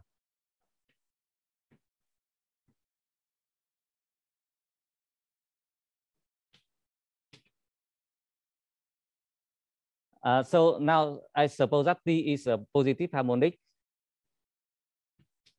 positive uh, harmonic current in the neighborhood of zero uh, or in a complex manifold. Uh, uh, by uh, by dimension by then pp uh, à, for example we, we can uh, uh, near the origin in uh, in cn uh, but uh, this notion is uh, exists when in complex manifold and then uh, the long number of t s0 is something uh, is a, the limit uh, uh, of the mass of the uh, on uh, on the bone error divided by the uh, p 2 pi i p error 2 pi. And here is uh, the the air of a of a bone in dimension p in dimension uh, uh, p and then at 10 10 0 so this is um we we take the mass of the because uh, the positive current here with the uh, coefficient measure then uh, uh, then we can take the mass of a measure and then we divide by the uh, the, the, the area of a bone of radius r and then we take the radius r 10 to 0 then it's called the Lelong number. And then in this uh, context uh, then uh, the result of Lelong Skoda, uh, Lelong for positive closed current and Skoda for positive à, uh, harmonic current. Uh, so that the Lelong uh, à, the Lelong number of this on the axis uh, and it's finite. It's a positive uh, number, positive finite number. And uh, I'm sorry.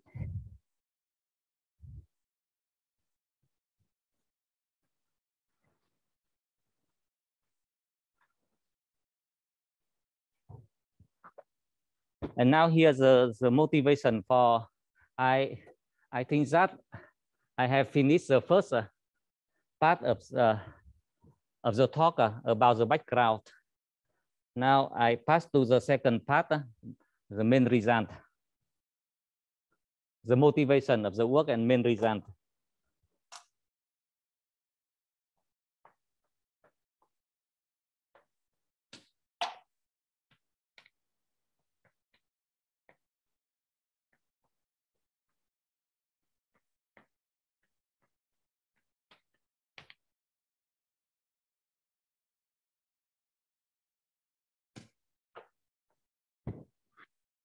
And uh, we make a, a, comparison between the dynamics of map, uh, uh, uh discrete dynamic,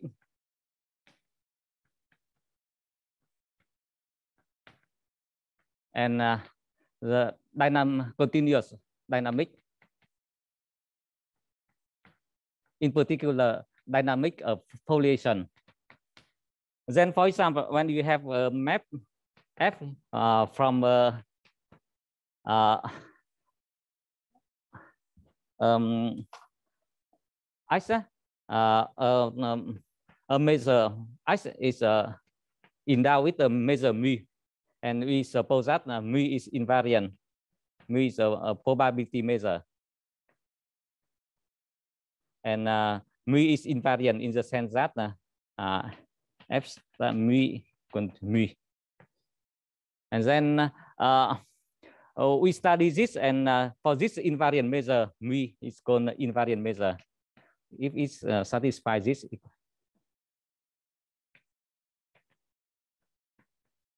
And uh, we expect that in the good uh, dynamic system, we expect that mu is uh, when distributed in the sense that it does not concentrate mass on somewhere. Then, and the, so um, in the similar situation in, in dynamic of foliation, we invariant measure. Invariant measure should be here corresponding to uh, uh, directed. Uh, positive harmonic current. This is natural because uh, in uh, in the uh, discrete dynamic uh, we have the uh, uh, orbit of a point x of x is a sequence of point x fx uh, f2 x etc fn x but in the in the dynamic evolution, it should be something like uh, if you have a point x here, uh, then uh, we do not have a discrete uh, orbit like this, but we have the whole leaf uh, passing through x. Uh, this, we have situation like this. here is the orbit. And the, the dimension of the orbit is one. That, that's why we need to, to work with the uh, directed positive harmonic current. This is a current of bidimension one one to reflect uh, the dimension of the orbit. And, uh, and then uh, as in the case of uh, discrete dynamic, we need a measure mu, uh, not concentrate. Uh, for example, in the equilibrium measure, the measure mu is not concentrated on some somewhere. And here we we prefer that we expect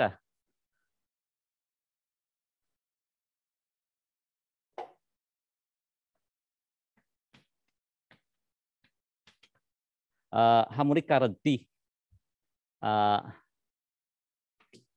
the current T, the guarantee in uh, uh, the dynamic of population is uh, does not concentrate uh, on some uh, particular space. As is T, for example, uh, uh the long of T, at x equal to zero everywhere, and uh, T is a diffuser.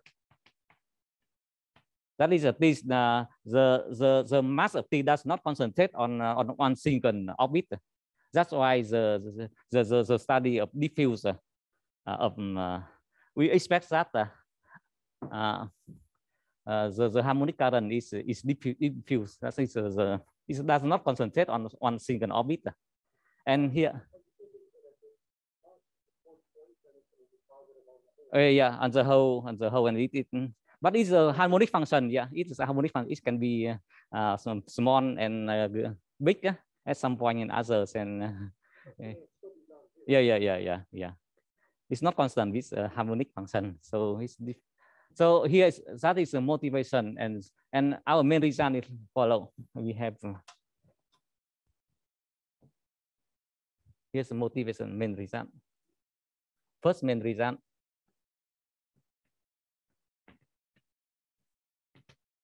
Now we, we have the, it's a local reason. Then we, we have a, um, uh, weakly hyperbolic uh, hyperbolic uh, singularity. That is, we have a vector fin f uh, equal to uh, fg uh, associated to a a vector holomorphic vector field like this. Uh, with fz is exactly lambda z, zz, d, DZG Here.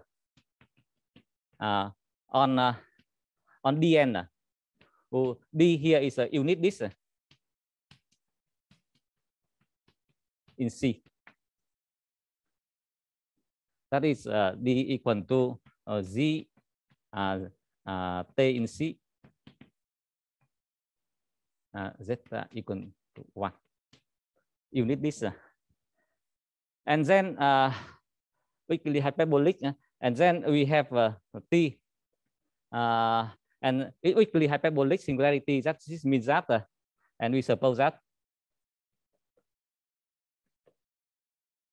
Uh, this uh, zero is a weakly hyperbolic singularity. So that is in this is uh, two indexes z, k, such uh, the quotient of the two uh, com, uh, here lambda z uh, in a complex non-zero number.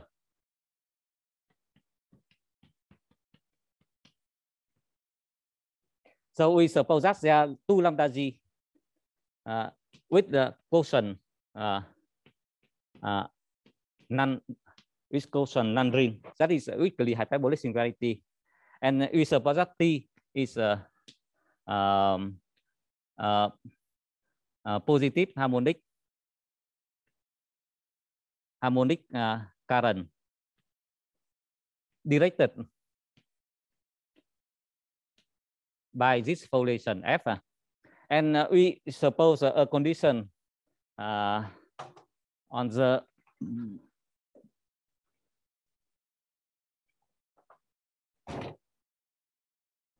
I, I write I write here a condition. Uh, in fact, we know that there uh, in n uh, equal to you have uh, two separatrices, but here in in then here n is a uh, ờ, I, I do not here n is a uh, dimension uh, arbitrary dimension greater than two, and then I suppose that uh, t the current t uh, does not uh, uh, uh, put uh, does not charge uh, uh the invariant. Hyperplane. Uh, z equal to zero.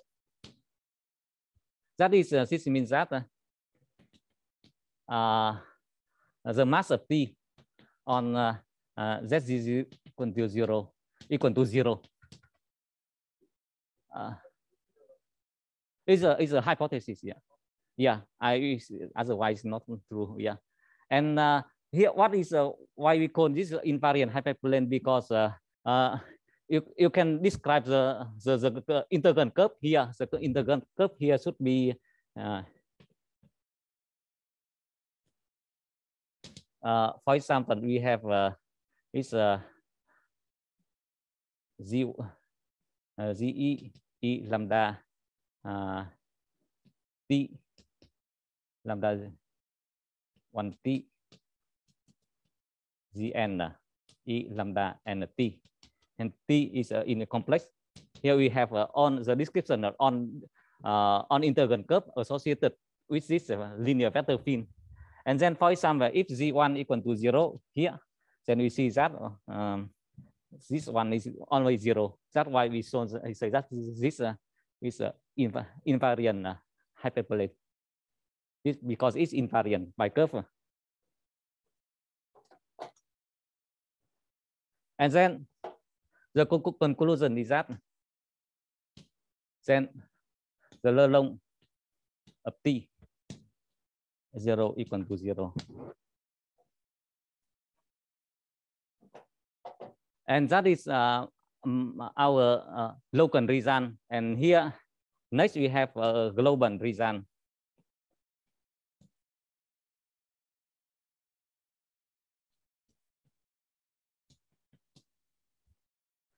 Uh, global result, Uh, now we have a singular holomorphic foliation. Now we have uh, F is a singular holomorphic foliation. Uh, on the on the X, a complex, compact complex manifold. Now, compact complex manifold. And E is a set of singularity of, uh, of the foliation F. And we suppose that uh, uh, suppose that uh, uh, they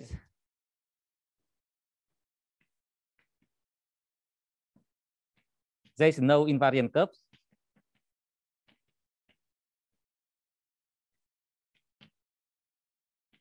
This says no leaf, à, which is an, an, an a curve, an analytic curve. Uh, à. à,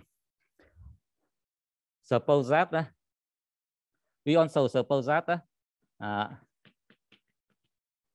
on singularity are linearizable. Uh, this, this includes that uh, on the singularity are discrete, uh, are finite. So there are only finite number of singularity and every singularity uh, is linearizable.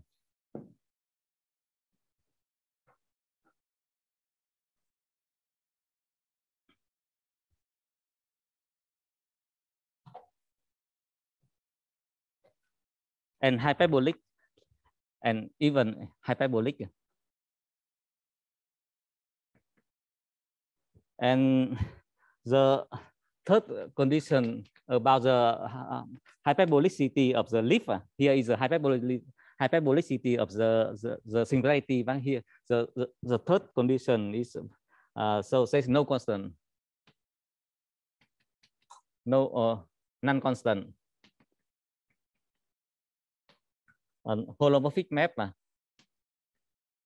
uh, uh, from C to to X uh, sát sát uh, out, out of the singularity set, uh, the image uh, of C is locally uh, contained in a leaf. Is some kind of a Brody uh, hyperbolicity, Brody hyperbolicity. Uh, à, then the conclusion of the, the global reason is that uh, uh, for every every directed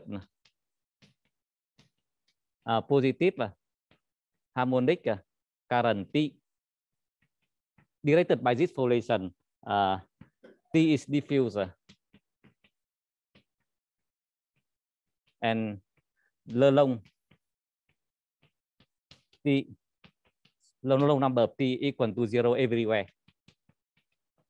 So this means that uh, when we have um, uh, invariant uh, object uh, t, and then uh, the mass uh, when distributed everywhere, it does not concentrate on something, then this this should be a nice system.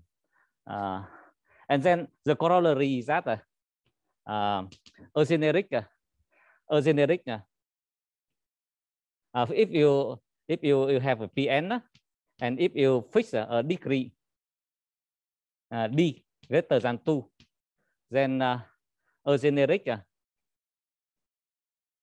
uh, solution of degree d uh, here uh, satisfy uh, on this condition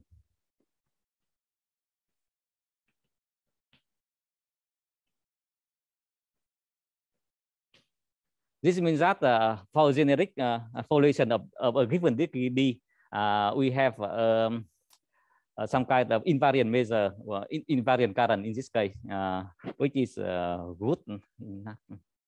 And the, the existence of uh, the existence of um, of uh, a such guarantee is approved uh, by uh, Benson of, uh, of a current, of directed current Benson Siboni, I think in uh, 2001. And then uh, another construction mm, is given by Fornes Siboni in 2005. I'm sorry, I have, uh, maybe I have, uh, I have a six minutes, something like this. and then, uh, and then we take, the, for example, we take this current, the existence this current, and this current is diffuse and learn, its low number equal to zero everywhere. And is this, so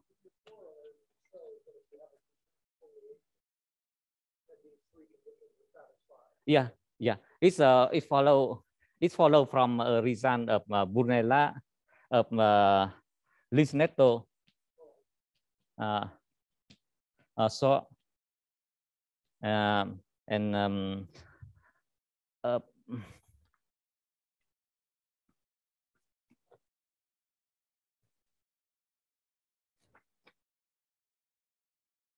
uh, of Zuanalu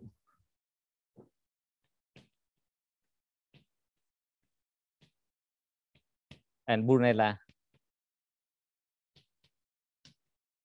And then uh, uh, something like Lins Neto uh, says that uh, generically um, uh, the two condition I and 2i are satisfied.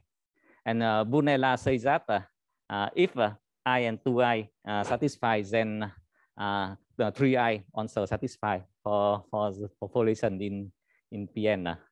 and then and then that's combining this and yeah. Mm. And then now for the five minutes, uh, which remain to me, I will say what is new for uh, in uh, in my previous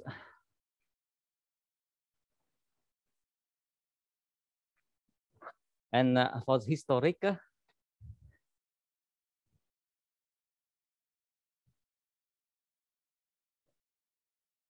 the theorem one uh, for for dimension two is proved uh, by myself in 2018 and and then uh, and of uh, I, I I should uh, uh, mention here the result of uh, Chen in uh, 2020. It says that uh, if uh, uh, if the in uh, dimension two, if uh, uh, the singularity, uh, if uh, the singularity is not hyperbolic, à,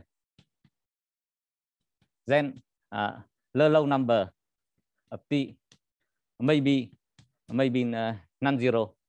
So the the the, uh, the hypothesis in hyperbolic is uh, important, and the result of uh, Ding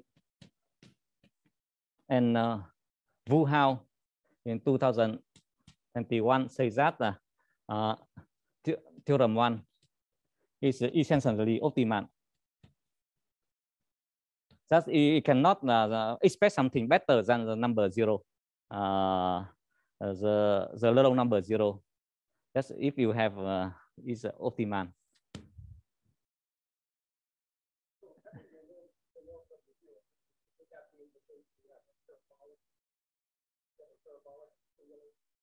if the number zero, uh, I'm sorry. I, I, I was wondering, um, for instance, you said you could have some non-hyperbolic example uh, with the long number non-zero. Where? Could such an example already be with like a parabolic fixed point singularity? Hyperbolic fixed point singularity. In other words, not, parabolic point is not hyperbolic. Apa parabolic? Uh, um, because uh, um, uh, in, in the case of uh, Chen, uh, uh, this means that uh, you, uh, parabolic uh, uh, singularity here uh, because uh, um, in in uh, what does it mean parabolic? Oh, I'm taking you off of your subject. I, I'm. Uh, Yeah. I'll ask you later. Yeah, um, maybe uh, there's uh, um, Don't let me stop your talk. yeah. Uh, yeah, thank you. Um, yeah, it's a uh, it's a very nice question uh, because uh, if uh, uh, if you have um, uh, if it's not hyperbolic, then uh, we have only here is only Paschen reason. So maybe it's uh, some kind of uh, more uh, uh, different than uh, non-hyperbolic singularity, but we do not know. Yeah. So it's uh, it's still open. Here is only a even in dimension two is a Paschen result. And uh, uh, theorem two uh, for n uh, equal to two is known by Fornet-Siboni. In other work in 2010. And then for my recent work, uh, uh, I uh, I prove this theorem in dimension uh, uh, arbitrary dimension and the vector than uh, three. And then uh, the, the new difficulty here is, uh, is some kind of phase space. Uh, phase space in dimension two uh, is a phase space is uh, something to parameterize uh, a leaf, a leaf inside inside the end. Maybe I have one minute and then I finish. And a phase space in dimension two, it should be uh, some cone like this, uh, some in dimension two.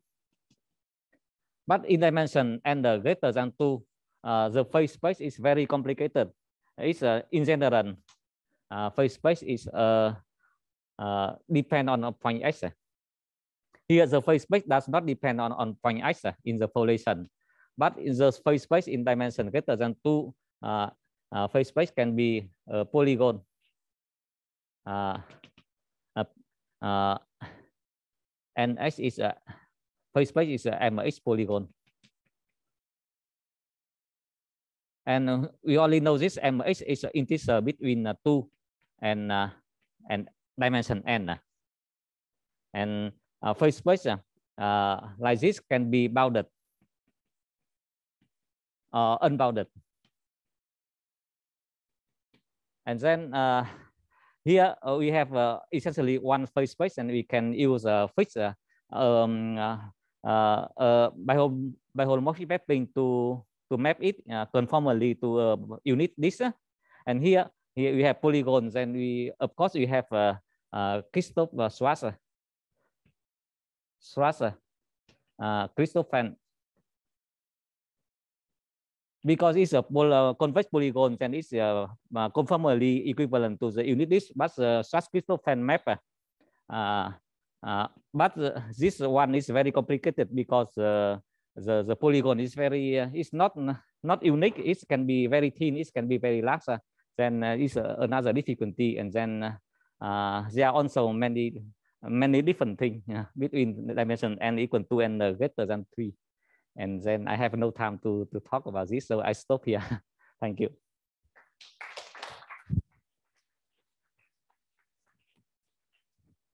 Are there any questions?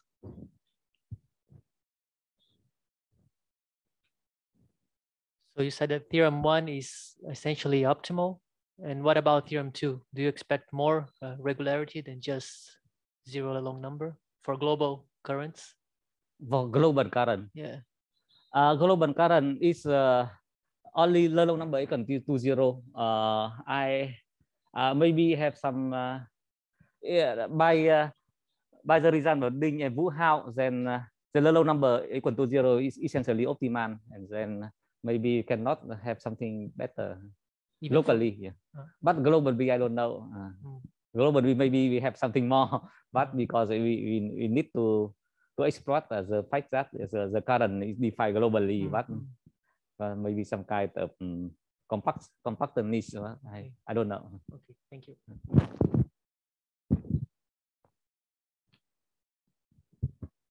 So in your global theorem, what is the role of condition three? How is condition three giving you something that condition one is not? I mean, how would, if, if condition three were violated, um, but Uh, condition one was not?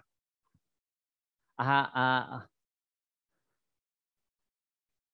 uh, in uh, if you are in CPK, uh, in CPN, uh, then if uh, condition uh, one and two satisfy, then condition three also satisfy is uh, the result of Bur- Brunella uh, in, in CPK, in CP, in CPN only.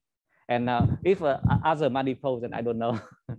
yeah, maybe there's some some kind of some uh, particular particular geometry of CPN uh, of the projective space. uh, I see, but then you would expect something with a positive Lelong number that you didn't.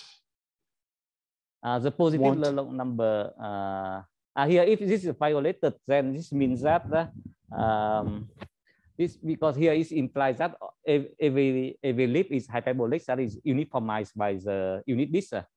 Uh, And if it's uh, maybe there are some parabolic leaf, uh, some parabolic leaf, and maybe uh, uh, I, I don't have any reason on this. Yeah, maybe. Uh, uh, I, I have not yet thought about this. it's a nice question. Yeah. Thank you. Other questions? Uh, maybe I have a, maybe one or two questions. Yeah. So so first, uh, so uh, you mentioned that uh, uh, the result about two months is actually optimal. Yeah. Yeah. So so what exactly the, the statement of? Uh, yeah, the statement in dimension two is like this. Uh, I think uh, essentially.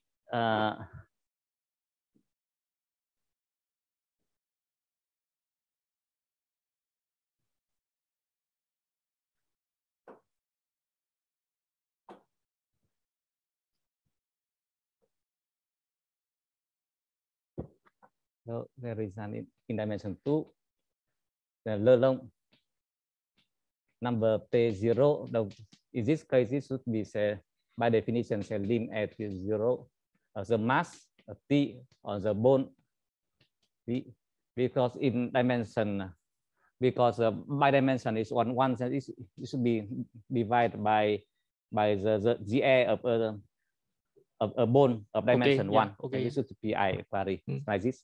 This Yeah. is a low number definition because the P is a P is a be the, by dimension one one.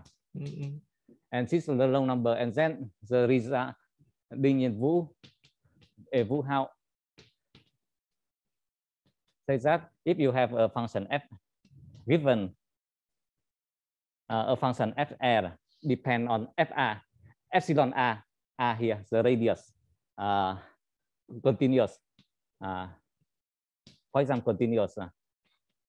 Uh, from 0, 1 to A plus, uh, such as uh, F0, 0 equal to zero, Mm. -hmm. Then we can show that uh, uh, there exists only a current P. Uh, positive harmonic yeah, mm, -hmm. hmm directed mm, -hmm. locally. Mm, -hmm. that is a local. Mm, -hmm. such that hmm, hmm, uh, T B 0A VRO carry uh, greater than epsilon R. Okay, okay. Okay, for on R. Uh, so service, sufficiently small. This means that you can uh, not. for example, this means that you cannot have something like this. Uh, uh, you cannot have some, uh, this one cannot uh, like uh, log R mm. Uh, mm. minus one. Uh, then you can take the function is here is log error, Mm. then minus one, then you cannot have something better than uh, Okay. Okay. So maybe maybe second question. Mm. so in uh, theorem two, you comment that uh, uh, in dimension two, uh, Fornæss simulate proof that uh, uh, theorem two. For, uh, yeah. But uh, the, do, do they do it for for P two or any any uh, complex surface? Uh, theorem two, uh, they state this uh, for for uh, compact uh, uh, manifold dimension two. Ah, Yeah, okay. but okay. I I I use uh, uh, their proof, uh, and uh, Mm. but I have some uh, some new uh, estimate on the uh, Poisson kernel, and then I can uh, adapt this proof to dimension uh, arbitrary dimension. But it's still uh, you need uh, some more new work. Uh, yeah. Okay. Yeah.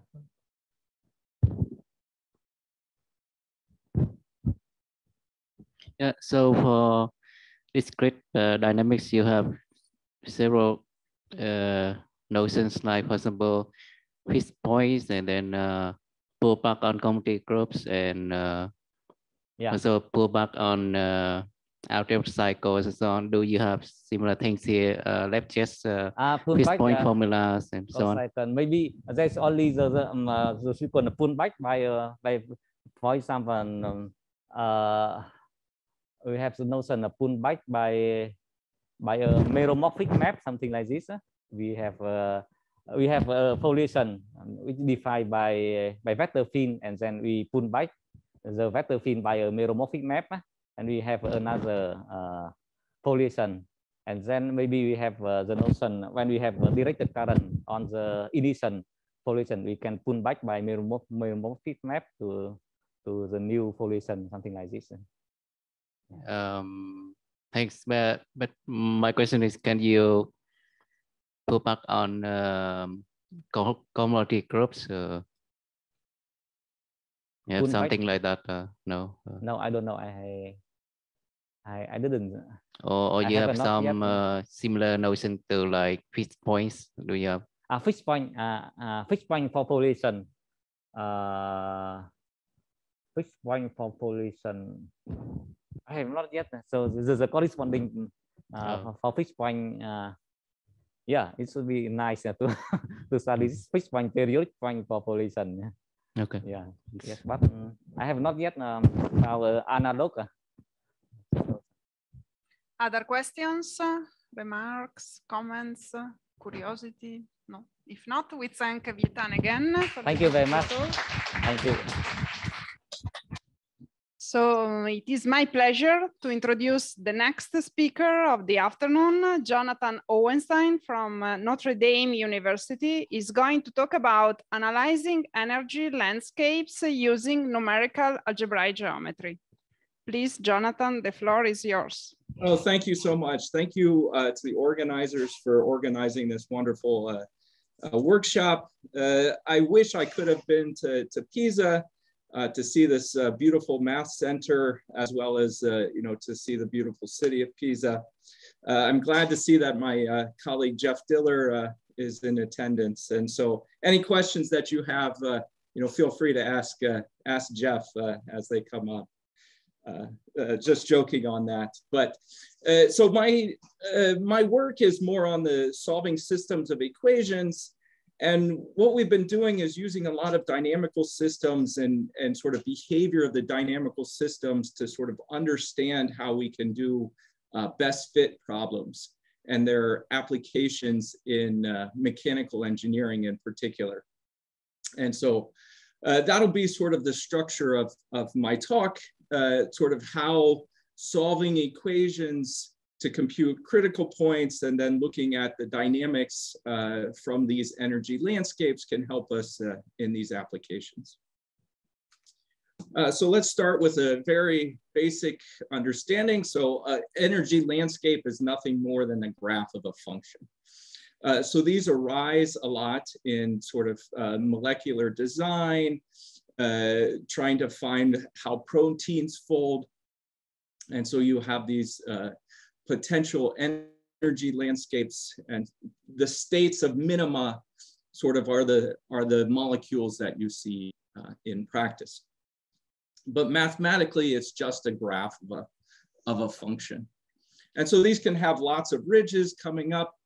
My work is on polynomials. And so these functions that we're interested in really are, are polynomial uh, functions.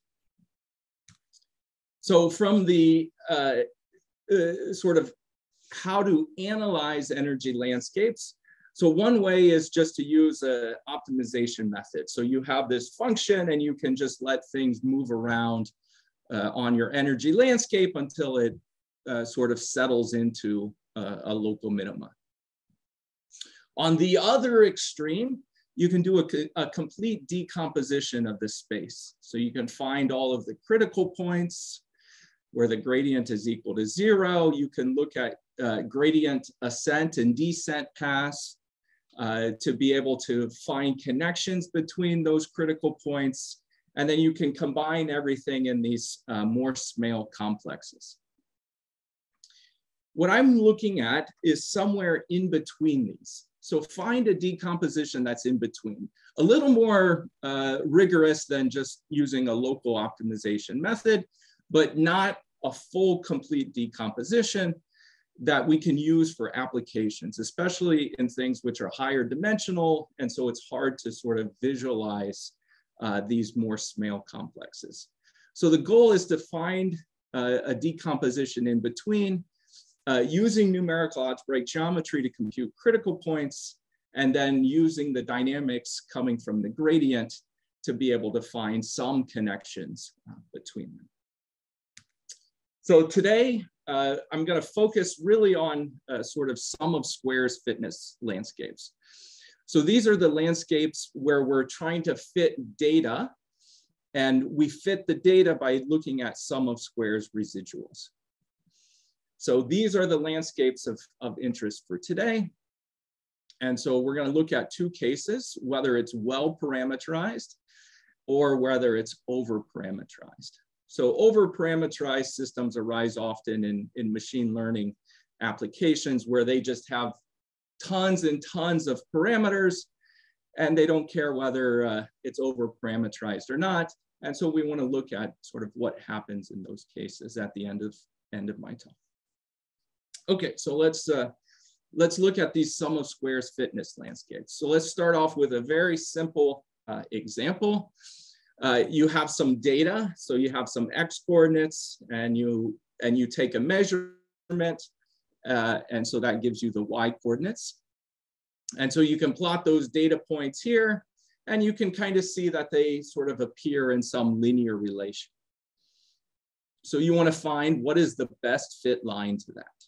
So you want to find the slope and the intercept that best fits your data. So you have your x coordinates and your y coordinates, and you take this sum of squares fitness function. This gives you a, a energy landscape, which is called the fitness landscape.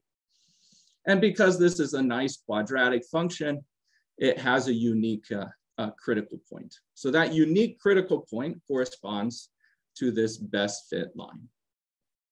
So you can compute uh, or solve gradient of f equal to zero to be able to compute sort of this best fit line. You can do this in, in other uh, more general cases. So in general, this is what's called regression in statistics. So you have some model that you're given. So you have some model function g.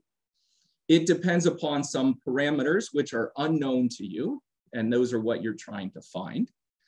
And then you have the input data x, and then the response or the output is y.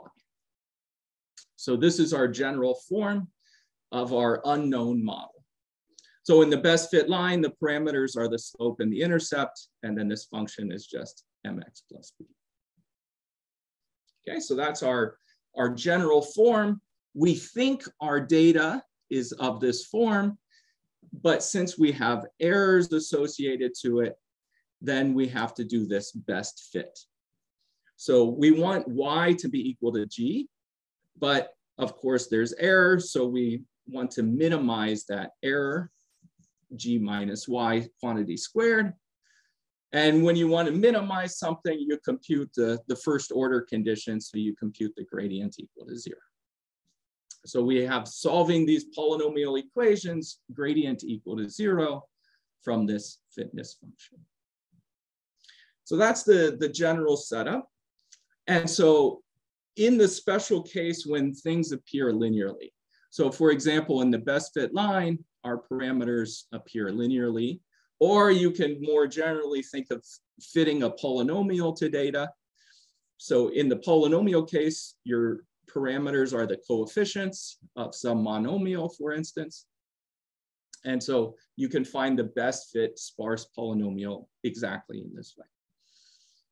So when these parameters are linear, then this gradient is just a linear function. So you can uh, find uh, you can solve this by just using linear algebra. So of course, the interesting cases are when your uh, uh, when your parameters don't appear linearly. And so uh, what we know is that, let's say G is polynomial because that's the case I'm interested in. We have sufficiently large number of data points and our data is generic. Then what you know is that solution set, the number of critical points is independent of both n, the number of critical points, and the actual location of the, the data points. So this is a really nice property to have in that you can use uh, uh, parameter homotopies uh, to be able to solve this as your data changes, as your n increases, as you gather more data, you can quickly solve uh, for these critical points by using uh, a parameter homotopy. So as new data comes in, things behave nicely and you can just update your critical points very quickly by using uh, a parameter homotopy. So this is nice, but we haven't talked about how the parameters appear. So from the algebraic geometry side, the number of critical points could either be infinite and have this positive dimensional set, or it could be zero dimensional, so isolated points, and, uh, and finitely many. So we'll call the well-parameterized case the case when we have finitely many critical points. And then the over-parameterized case is when there's a infinitely many or a positive dimensional set of so of course, when things are well parameterized and you have a, a zero dimensional system, that makes things much easier because there's only finitely many things to compute. And because of this genericity property, we know that there's a generic number of critical points. And so that generic number only depends upon the structure of, of your system. And so we'll call this the SOS degree. So we have this generic number of solutions that we can use in our, in our homotopy. Of course, as we have seen uh, several times now, if the parameters appear linearly, the SOS degree is one. There's a unique critical point that uh, uh, describes the best fit to your data. So let's look at an example where the, the parameters don't appear linearly just to get our heads around uh, this setup. And so the example that I want to describe is computing concentric ellipses that best fit your data. So you have concentric ellipses and uh, you can have different uh, so-called radii of those ellipses. Of course, you know, the radii corresponds to circles, but you know, you can think generally uh, uh for ellipses as well. Okay, so here's the, here's the formulation that we're gonna use. So we have four parameters, P1 through P4. Uh, P1 and P3 are gonna be the axis scaling, so the major and minor axis scaling. And then P2 and P4 are the center of the ellipse. So we have the center of the ellipse, and then we have the major and minor axis scaling. And we wanna find the center and the scaling that best fits that best fits our data. So we want sort of a concentric family of ellipses that best fit our data. And so you can solve the gradient system for a generic uh, behavior, and you can find that there are 33 critical points.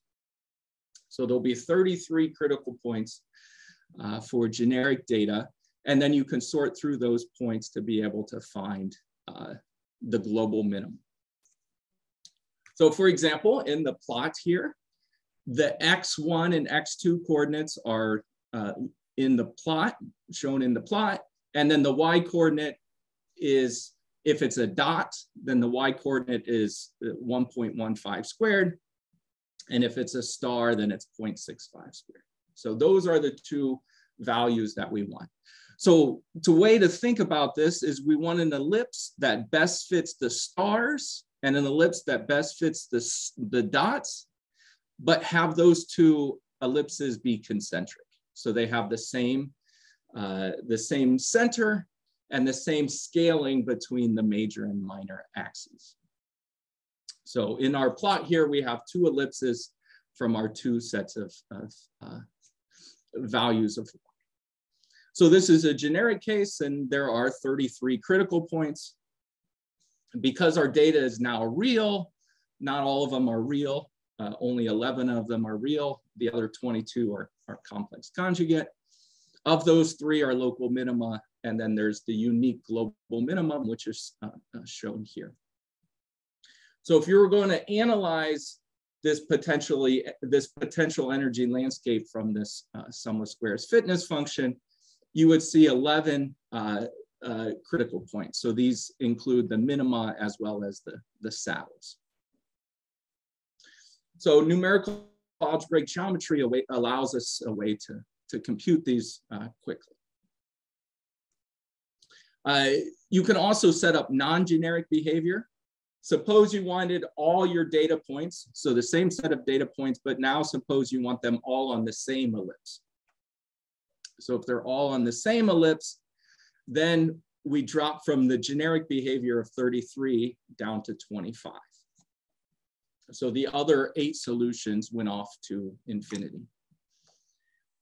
And of these, uh, nine are real, and of the real ones, you have a unique local min, which is the global min uh, shown in the plot. So there's this way to be able to compute these critical points quickly using a parameter homotopy and allow you to analyze these uh, sum of squares fitness uh, landscapes uh, using numerical algebraic. Okay, so now uh, comes uh, an unknown question that I, I don't know the answer to. And so how do these uh, degrees of critical points, so how do these number of critical points relate to the structure of our, our uh, function g? So when we have this best fit ellipse, we can expand it out and you clearly see that the, the parameters appear nonlinearly. The X's are, are, are data, so those are gonna be given numbers. And so it's these unknown parameters is what we're searching for. Uh, the number of critical points is 33, but if you just look at the monomial structure from them, the monomial structure would suggest that there should be 49. And so you could say, well, maybe these coefficients aren't completely generic because they're sort of related to each other. And so you could set up the same problem, but now each one of the coefficients, you put a new generic number uh, uh, with it. So you could separate all your uh, monomials and have a generic number in front of them. And sure enough, the SOS degree increases. Now it's 36 and 30 instead of 33, but it's still short of what you would expect from just the monomial structure. So I'm at this uh, uh, point where I don't understand why these things uh, behave the way they are. So if uh, people have questions about uh, the behavior of them or can sort of answer how these uh, uh, critical points relate to the structure, I'd be happy to hear that sometime later. So that's an open problem or open question that I have no idea the answer to. But what we can do is we can use this to be able to design mechanisms. So we want to look at these fitness landscapes and design mechanisms from this. Uh, so this is joint work with a PhD student here at Notre Dame, Ervin, and a colleague in the uh, mechanical engineering department, uh, Mark. So we'll look at two different uh, examples of how we can use these uh, sum of squares degree and uh, and uh, gradient descent to be able to find a best fit. Okay, so let's start with uh, uh, an example. So we're trying to mimic the behavior of someone's finger as it's moving. So what Ervin did was he took a video of his finger moving and plotted it. And so these light blue dots are the raw data well, there's noise in the video capture and everything. So he, he just looked at this and said, okay, this is a quadratic fit. So I want to be able to approximate the way that a finger moves, it behaves like a quadratic function. As this angle changes, this one behaves in a quadratic manner. So what you're trying to do is you're trying to design a linkage inside your finger to mimic this behavior, this behavior. Okay, so this is what's called a function generation. You're trying to generate this function based on this input angle to match this output angle. The problem with this is that there's a degenerate solution. If you set all of these things to zero, you get this degeneracy here. And now you can twist one angle and the other angle is completely independent. And so you can fit any function you want. Of course, that's completely useless for a practical application. So this happens often in these types of problems is that there's this degenerate global minimum that appears. The reason that it's there is because it's too difficult to formulate all of the constraints into your problem. So like you have torque constraints, you have branch defects, you have sort of packaging. You want it to fit inside of a mechanical finger. So you have to worry about how to package it in a nice way. There's a lot of things that you can't formulate mathematically or are too difficult to formulate. So this is where our dynamical systems comes in. So if you just look at the critical points, you could have something that looks like this. Of course, this is just a cartoon. So down here, you have your global minimum, which is completely degenerate, not useful in any way. If you just use optimization, you may get uh, some other local minimum, which is inferior. You know, there's a lot of room between this local minimum and this global minimum. And so our idea is, well, instead of doing a complete decomposition of the space, why don't we look at what happens if we take gradient descent paths from these saddle points down into the global minimum?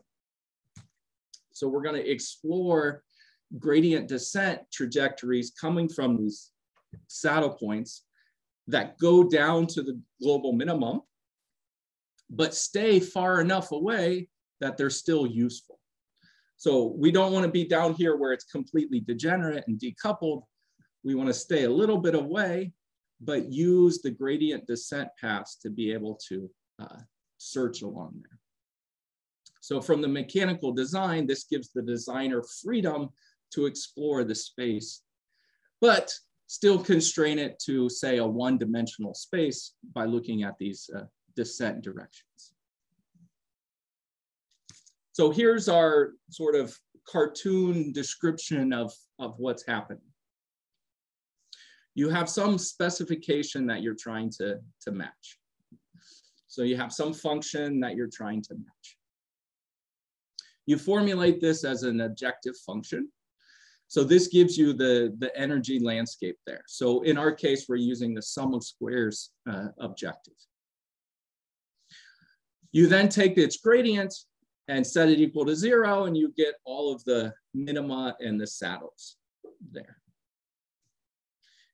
And then finally, what you want to do is you want to look at how can I use gradient descent paths to move from these saddles and create a, a, a one-dimensional network between them. So this gives us a network of how we can move from uh, minima to saddles and saddles to minima.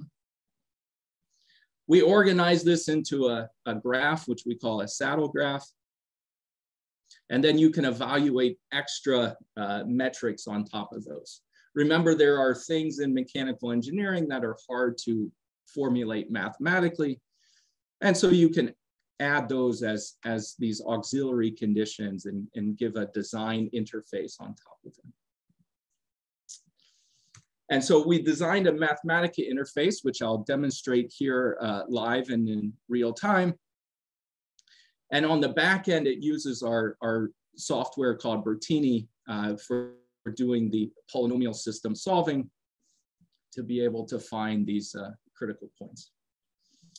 So in our uh, four bar function generation, this is actually, lives in five dimensional space. So this thing lives in five dimensional space. It's too hard to visualize everything. So that's where these saddle graphs come in nicely is that in Mathematica, it can put it in two dimensions, turn it into a graph that you can then uh, visualize. So let me switch over to the Mathematica interface and show you uh, this in, in real time. So what we are able to do is we're able to pick a branch between the critical points. And then you can slide along that branch and see how it deforms into the critical points. So as we go this way, we're going to that degenerate global solution.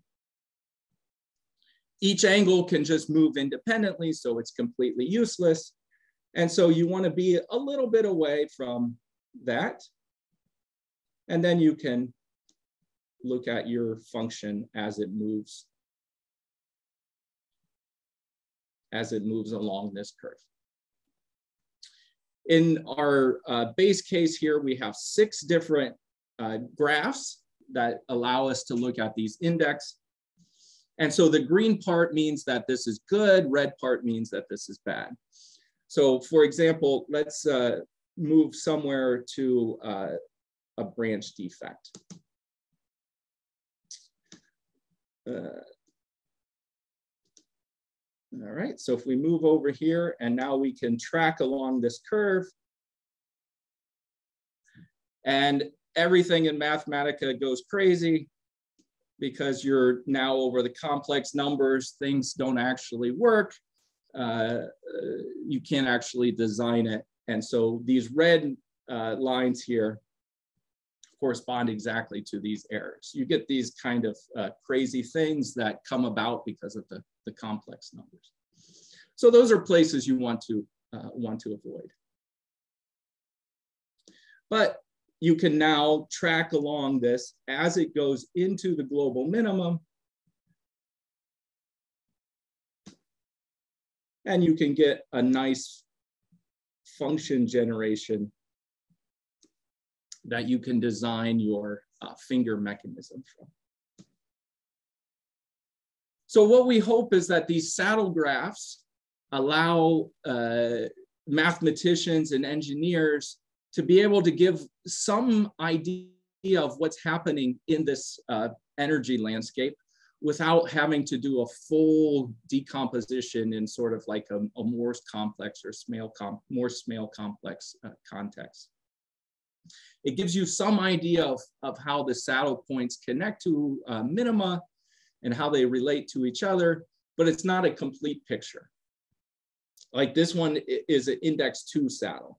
So the index two saddle you would think would connect to index one saddle, but that's too hard to be able to do uh, numerically.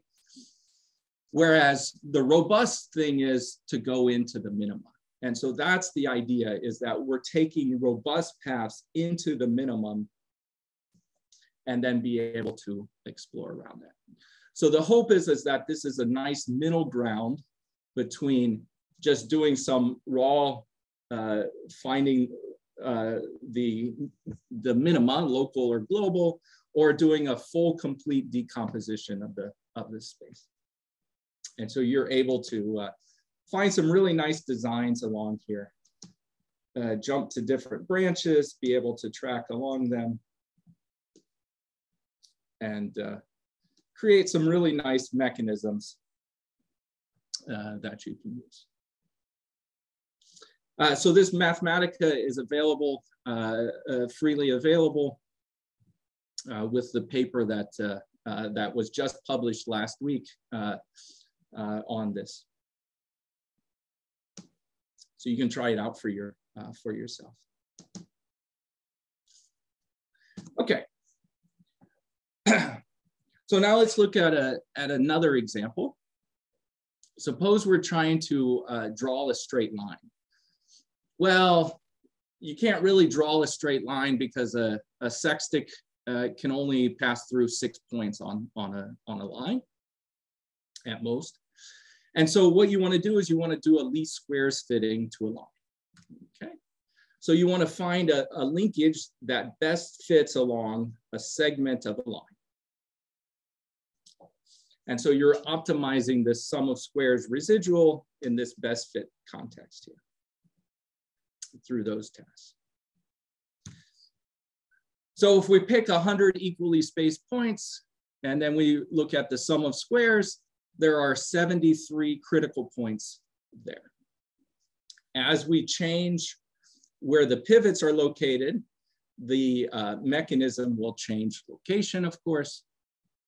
And so we can just track 73 uh, paths in our parameter homotopy to be able to find the best fit uh, function to track along uh, uh, this straight line. Okay, so as I mentioned, we use a parameter homotopy uh, and change the location to be able to do this. And now what we want to do is we want to use clustering. We want to cluster them based on, on their design. And so one way to do this is, is with sort of these dimension reduction tools. Uh, one of them is called t-SNE, uh, which is a, a, dimension reduction to visualize things in, in two dimensions. And so this is a high dimensional space that got projected down to two dimensions using this t-SNE. And then it gives you nice clusters uh, around those.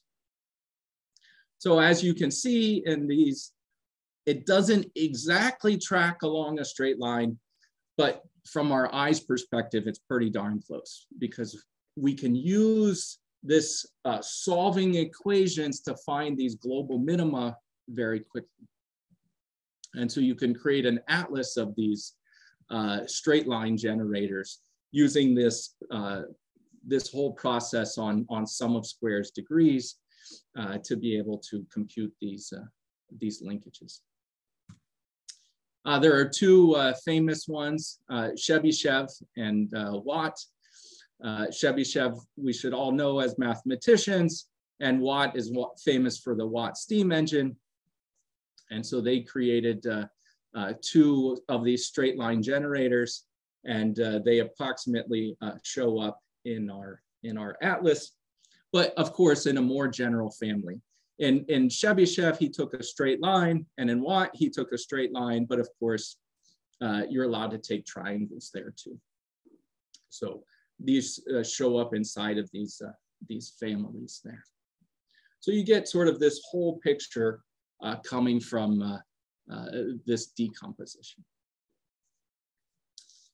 Okay, and now let's get to the, the end of my talk here on, uh, on what happens in the over-parameterized case. So in artificial intelligence and machine learning applications, what they generally do is they generally just throw tons and tons of parameters out there in, in, the, uh, in the response function. And then they use data to be able to try to uh, approximate what those parameters are. The problem is, is that because they put so many parameters on there, there's actually infinitely many uh, best fits. So to illustrate this, suppose I have sort of this two layer linear response function. So then I have two parameters, M1 and M2. And of course I can multiply M1 by any number and then M2 by its inverse, and those cancel each other off. And so that gives you these uh, hyperbolas uh, of these positive dimensional uh, sets of minima. So when you look at the sum of squares fitness, you no longer have just isolated uh, uh, critical points. You have infinitely many critical points from these positive dimensional uh, cases. And this is persistent throughout machine learning functions to be able to, to look at the parameters. In some cases, they like it because then there's a, a, a, big range of things that give you the exact same thing. And in some cases, they don't because now you're getting down into uh, cases where the Hessian is no longer invertible. And so you can run into numerical issues. So it's sort of this double-edged sword on, on these over-parameterized uh, uh, systems. Uh, so in some uh, recent work, uh, we sort of characterize these. So these are called flat minima. Uh, so these positive dimensional families come from flat minima. And these are just artifacts of, of continuous symmetry. So there's a continuous symmetry in the, in the parameters.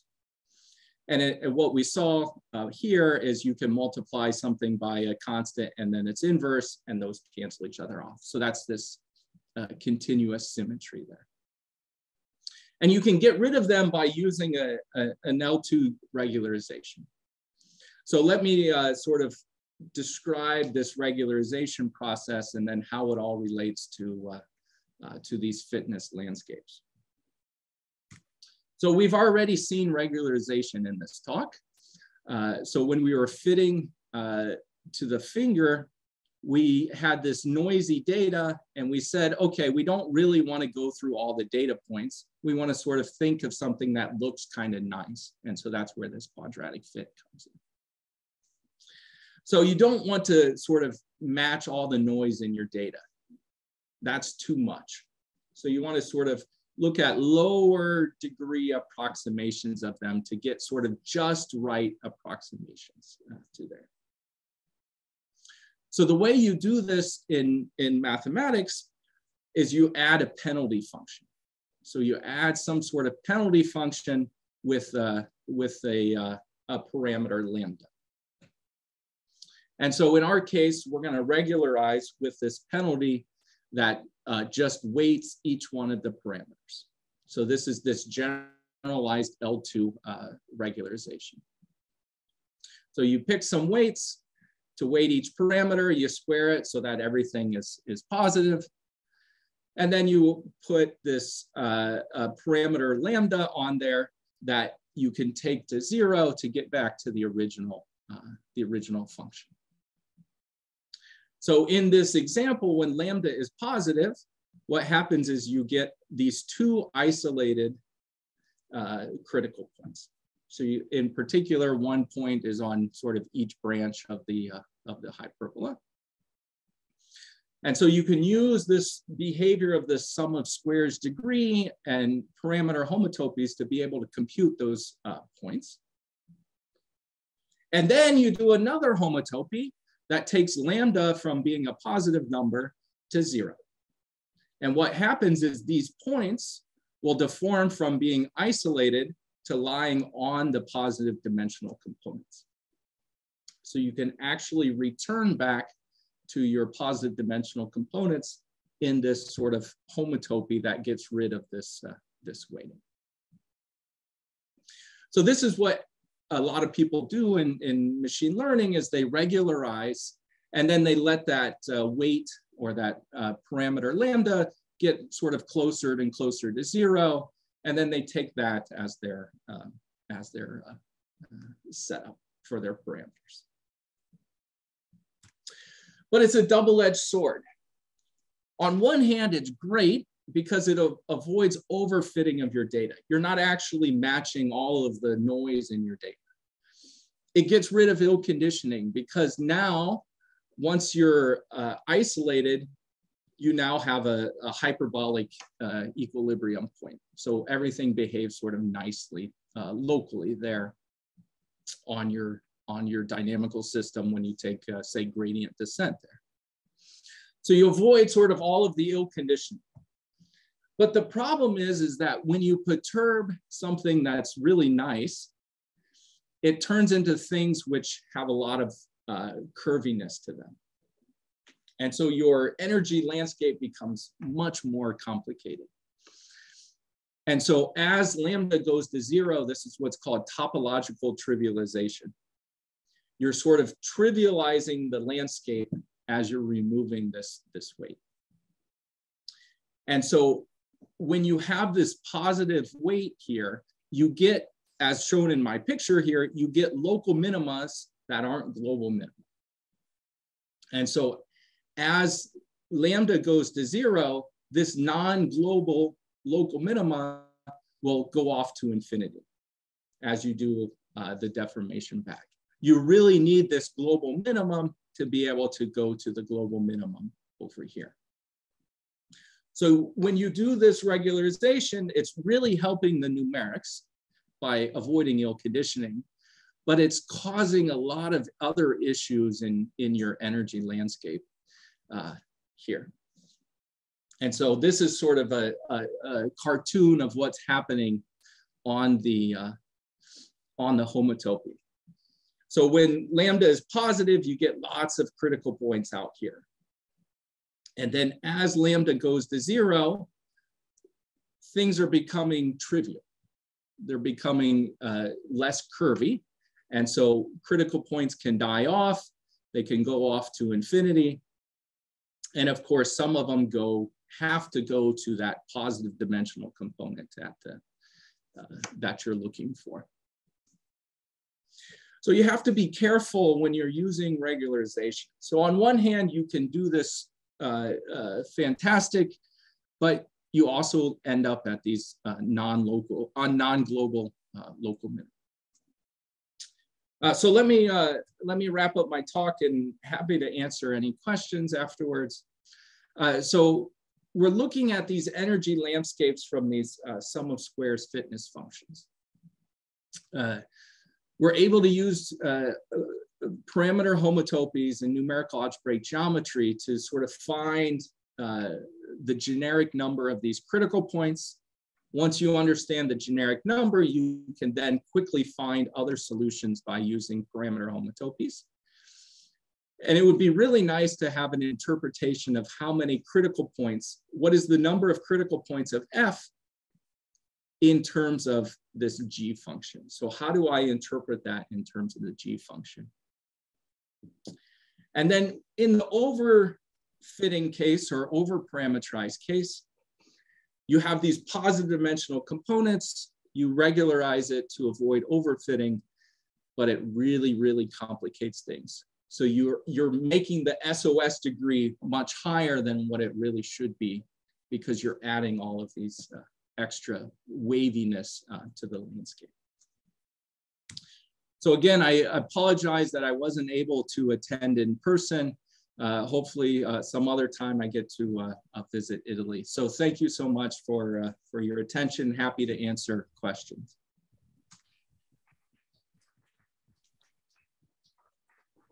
Thank you, Jonathan, for the nice talk. Uh, are there any questions? Remark, curiosity? Okay.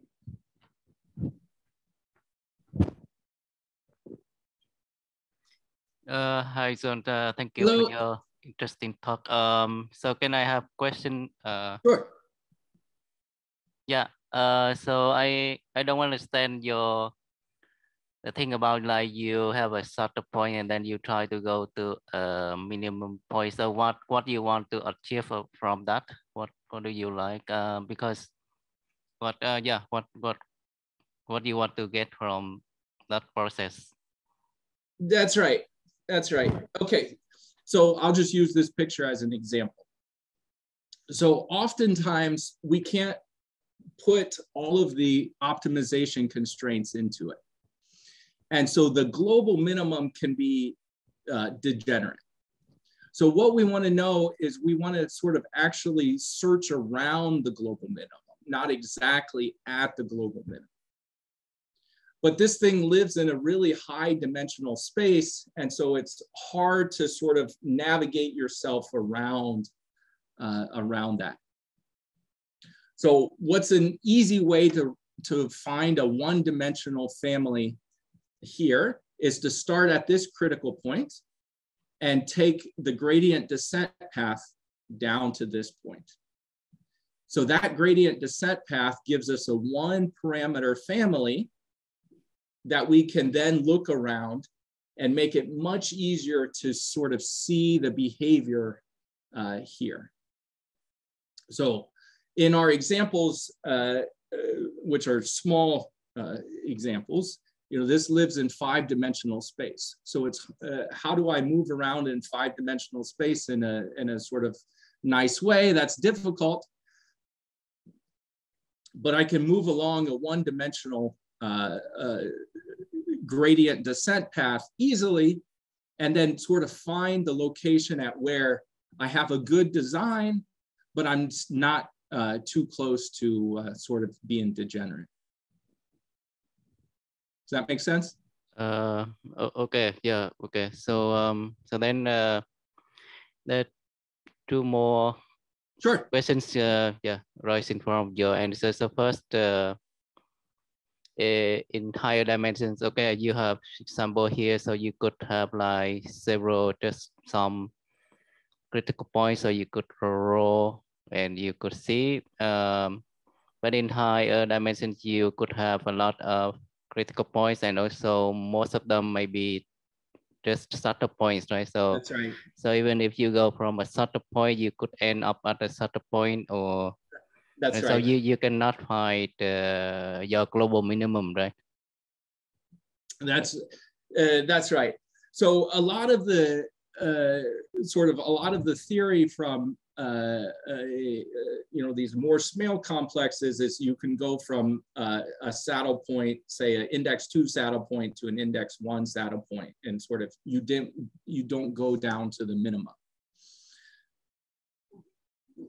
These uh, these trajectories that connect um, sort of higher index saddles are, are numerically unstable. And so if you sort of move off of those and you try to do gradient descent, you're gonna go down into the basin, uh, you know, go down to the minima there.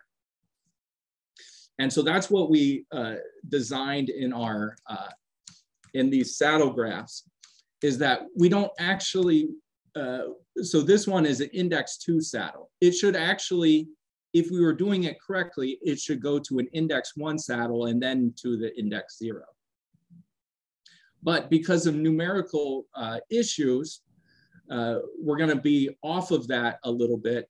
And then we're gonna, uh, when we do gradient descent, we'll go down to the, the corresponding local minimum uh, in its convergence basin there. So we're not getting a complete picture of how the index two go to index one to index zero and, and you know, generalize in higher dimensions. It's the idea is to give a quick picture of sort of how things connect uh, into the minimum.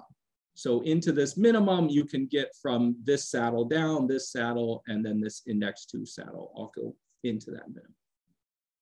Um, oh, yeah, I still, uh, might, maybe I can have one more, more Sure. quick question and then uh, other people, yeah, want Yeah, to yeah. have questions. So, uh, okay, so practically, so say you want to find global minimum and you say you want to use gradient descent. So usually gradient descent will apply certain points, right? So you don't actually that's see right. any certain points. You, That's right. but you may go to local minimum instead of Exactly. Uh, and then so I still it's still not clear. Um, That's right. That's where the numerical algebraic geometry comes in, is that you you solve the critical point equations, the gradient equal to zero, uh, using uh, a homotopy uh, to be able to find the saddle points.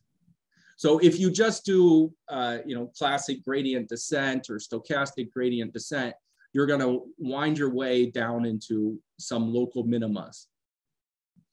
But what we really want is how do I uh, how do I relax from a saddle point down? So I need a method to first find the saddle point. And so that's where this numerical algebraic geometry comes in, is that polynomial system solving allows us to compute those saddle points. And then once we have the saddle points, then we can do the gradient descent starting from there down into the, the minima. okay, thank you. Yeah, thanks for your questions.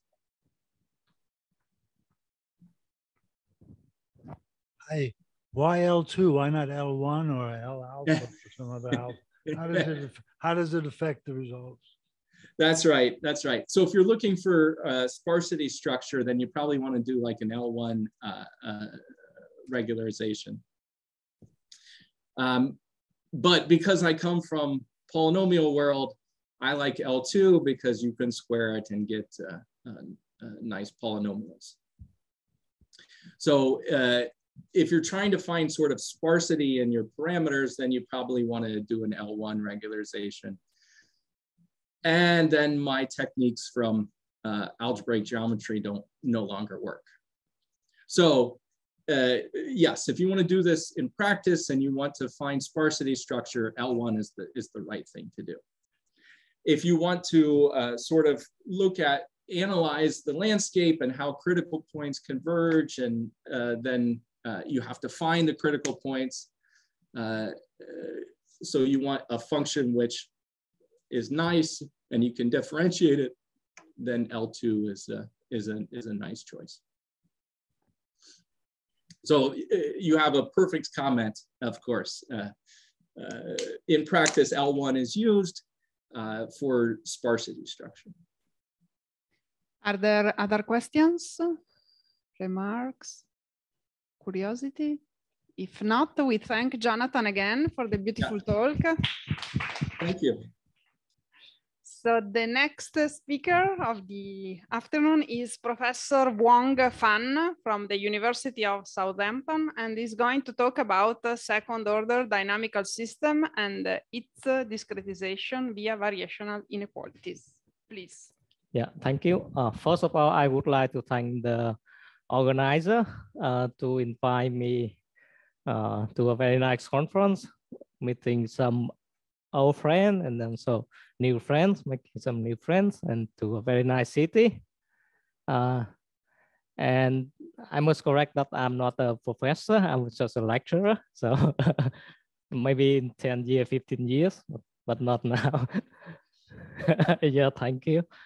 So um, my talking about the second order dynamical system for solving uh, variational inequality. And here's the outline of the talk. I would like to, um, I, am trying to, to give uh, the talk as simple as possible so it can be hopefully understandable for audience without any optimization background.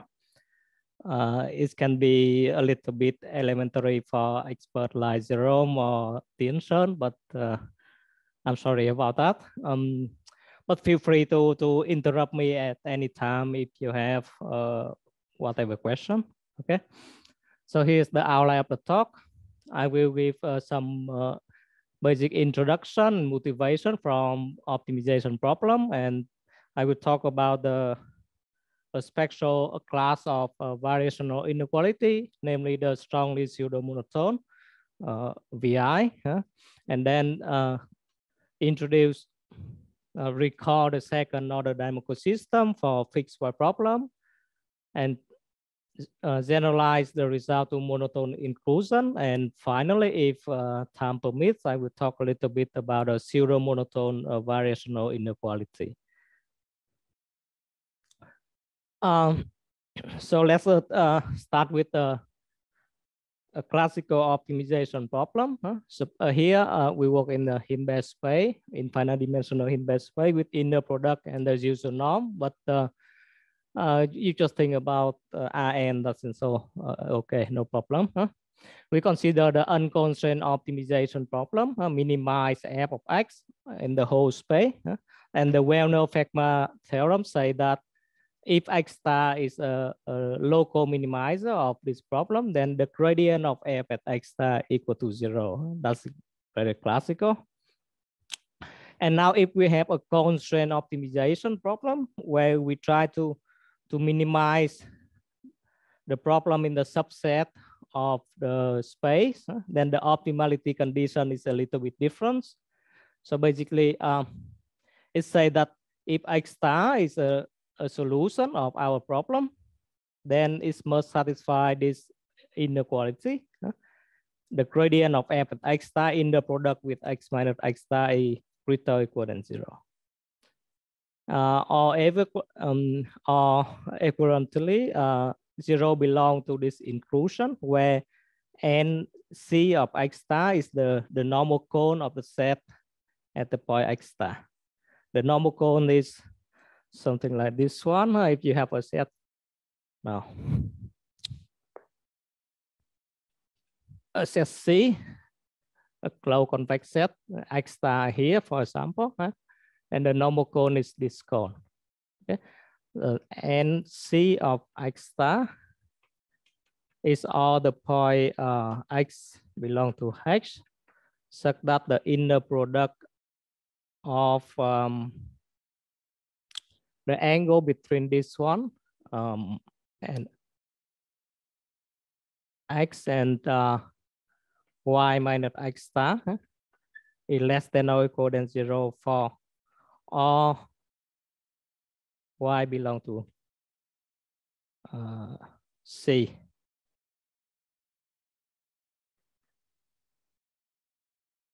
I, I will recall, uh, return to the de definition of uh, normal cone later. Huh? So um, now for solving the, the optimization problem. In the unconstrained case, the, the most popular one is the gradient descent, where you take uh, a step size. Here is this lambda, positive step size, and you move along the opposite direction of the gradient. And this is called the, the gradient descent. Uh, lambda here we call step size. In, in machine learning, they call it uh, the learning rate.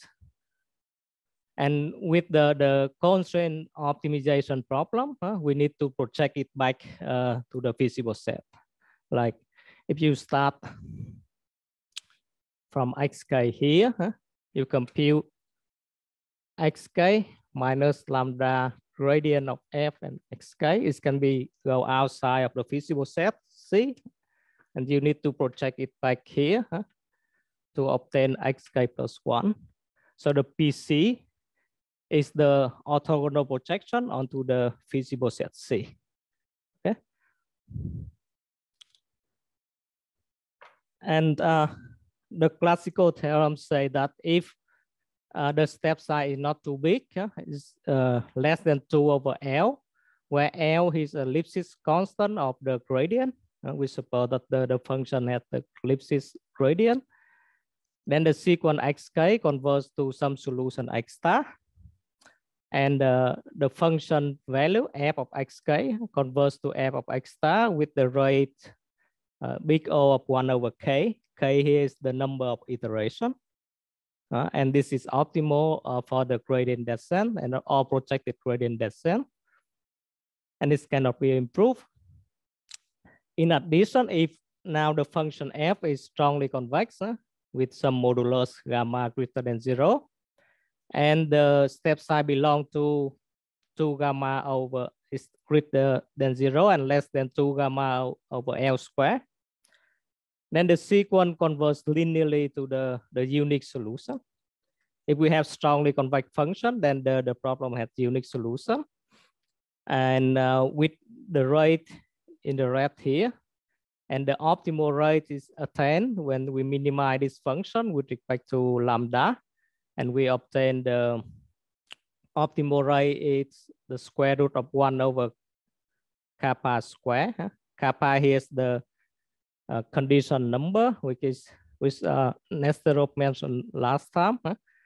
is the fraction of the uh, strong uh, modulus, uh, the modulus of strong monotonicity over the Lipschitz constant. And here's the optimal rate for the gradient descent or the projected gradient descent. So this is the classical uh, result about 50, 60 years ago or, or so, huh? And it's, it turned out that the gradient descent is nothing else but just the discrete version of the uh, gradient flow or the projected gradient flow. So when we uh, discretize this dynamical system with the Euler uh, discretize, uh, we obtain this uh, gradient descent. And similarly for the the projected gradient descent, when you discretize this one, where t is the uh, t is defined by this formula, i is the identity matrix, uh, identity operator.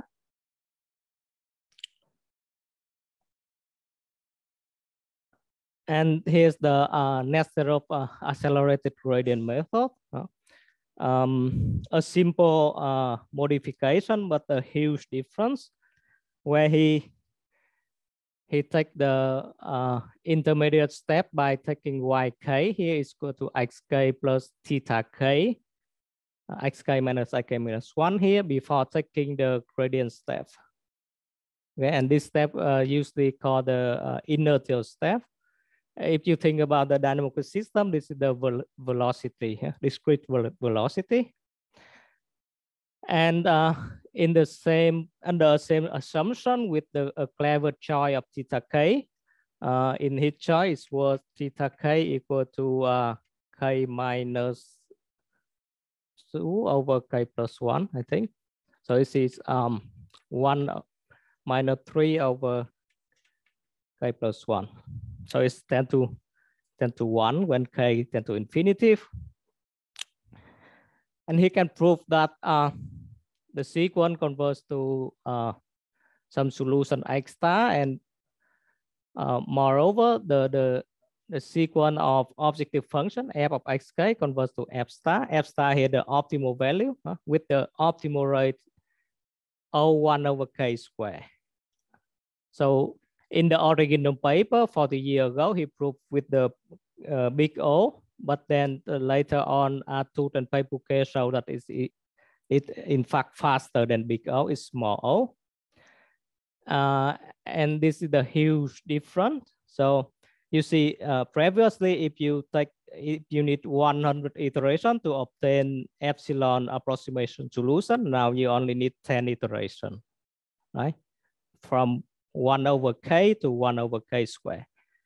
So in my opinion, uh, this is the, the most elegant and the most influence result in first order method in the last four, 40 years.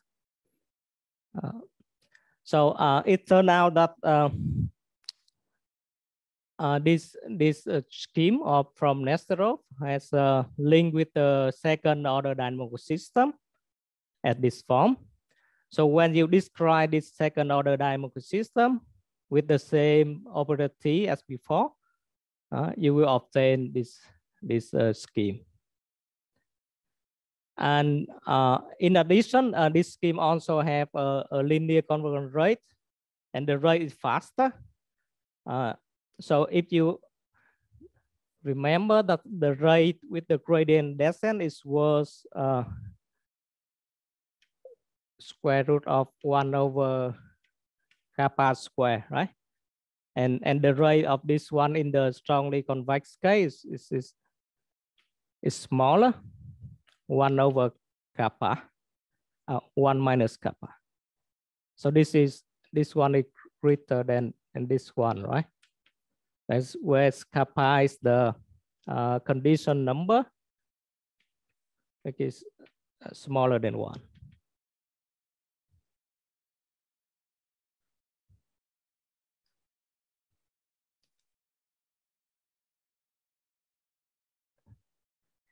And now uh, here's uh, the motivation. So instead of working directly on the original optimization problem, we can work on the optimality condition. And also to the motivation is to go beyond uh, convexity. And the paper of, of Nesterov give birth is, is a short paper. It's only five, four pages, but it give birth to like a thousand paper try to uh, modify his scheme and improve it and so on. Uh, try to extend it to non-convex K. And if you have a, a, look at the Google Scholar, the paper has like more than 5,000 citations. Uh, so people try to go beyond convexity, or for example, pseudo-convexity, quasi-convex, and non-convex, and so on. And one of the basic question is, is it still work if we replace uh, the gradient, uh, gradient of f by a, a, general continuous operator, capital F. It means that we work on the, the variational inequality. So there's two different approaches to solve an optimization problem. Either you solve the original one, this one or this one, or you, you solve the optimality conditions. So if the function f is convex, then they are equivalents. Okay. So uh, I, I will talk about uh, solving the optimality condition, which is this one. And here's the formal uh, definition of the variational inequality. Uh, we try to find an x star belong to C such that this inequality hold for all x belong to, to C. And the spectral kind of uh, the variational inequality is the opti optimization problem, as you have seen, but it's more general than that. For example, if you have a saddle point problem or the min max problem, which we see many times in, in the machine learning community, when you try to uh, when you have a, a bifunction g of uv and you try to minimize in one variable at the same time maximize in, in the other variable And this is a special kind of variational inequality by uh, definite by um, taking the capital F as the gradient with respect to u of the function g and minus gradient with respect to v uh, of the function g. And the feasible set C is the, uh, the product of x and y.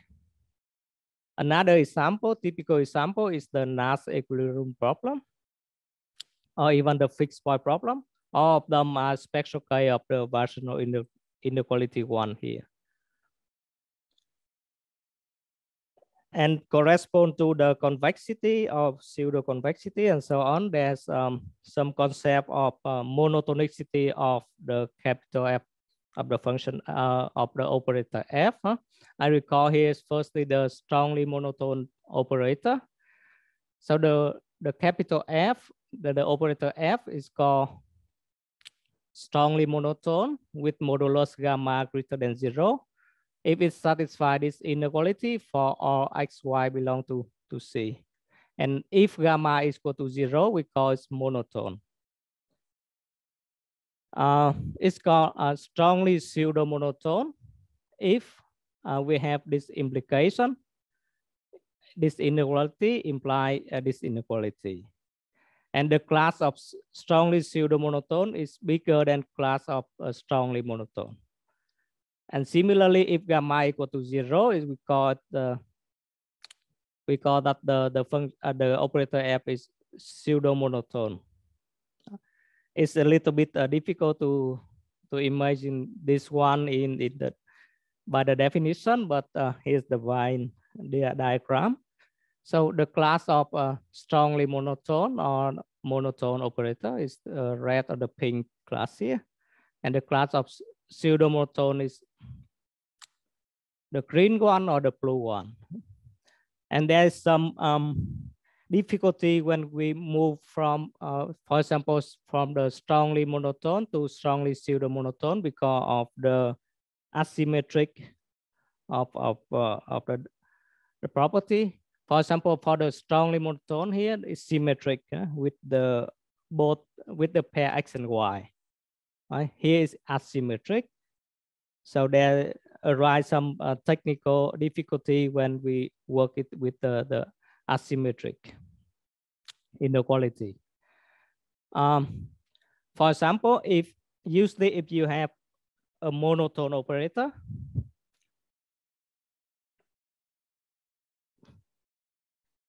if you have a monotone operator F, then if you add a regularization, huh, epsilon identity, this one becomes strongly monotone. But if you have a pseudo monotone map, F, and you add the epsilon identity, it's not even pseudo monotone anymore. It's destroyed totally the structure. So here an example, a simple example. This one f of x defined in two-dimensional space. This one is pseudo-monotone, but uh, f plus epsilon i is not even pseudo-monotone. So uh, you may you may ask a question: Why do we care about this class of function? For example, why why do we care about pseudo-monotone and so on? And there's a link between the the pseudo-monotone function and the pseudo-convex function. So in the 90, uh, Karamardian and Schaible uh, state the theorem saying that if the function f, small f is differentiable, then it's the pseudo-monotone if and only if the gradient is, uh, the function f is pseudo-convex if and only if the gradient is pseudo-monotone and so on and vice versa. Uh, this equivalent condition. And similarly for strongly monotone as well. So here in this figure, you see uh, the red function. Small f is square uh, x squared. This is a strongly uh, monotone function, and its gradient, sorry, a strongly convex function uh, has unique solution zero, and its gradient is just a line. Uh, fx, uh, the gradient is 2x. It's a monotone, strongly monotone operator, right? So monotone in one dimensional space is just an increasing function. But uh, in the right hand side here, we have another function f, which is uh, strongly pseudo monotone, this one. And the green one is the, um, uh, sorry, the, the blue one is, is gradient. It's not monotone. It is curve. Huh? The blue curve is not monotone at all.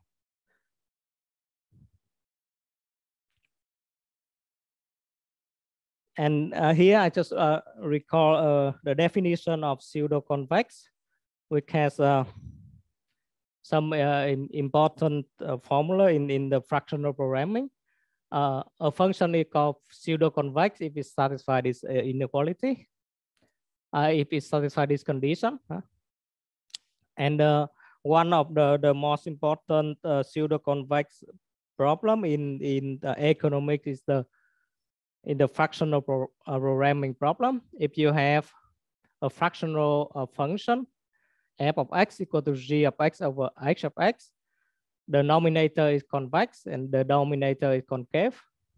Both of them are uh, positive huh? and differentiable. Then this function is pseudo-convex. Uh, you can find this one in many applications in economics where the nominator is a quadratic function and the denominator is a linear function. Here just a, a graph of uh, pseudo convexity and uh, pseudo monotonicity. I plot it again. And now uh, we come to the, the class of the strongly uh, pseudo monotone variational inequality uh, which is the, the green class, where uh, which you have seen in the, the, the, the Venn diagram.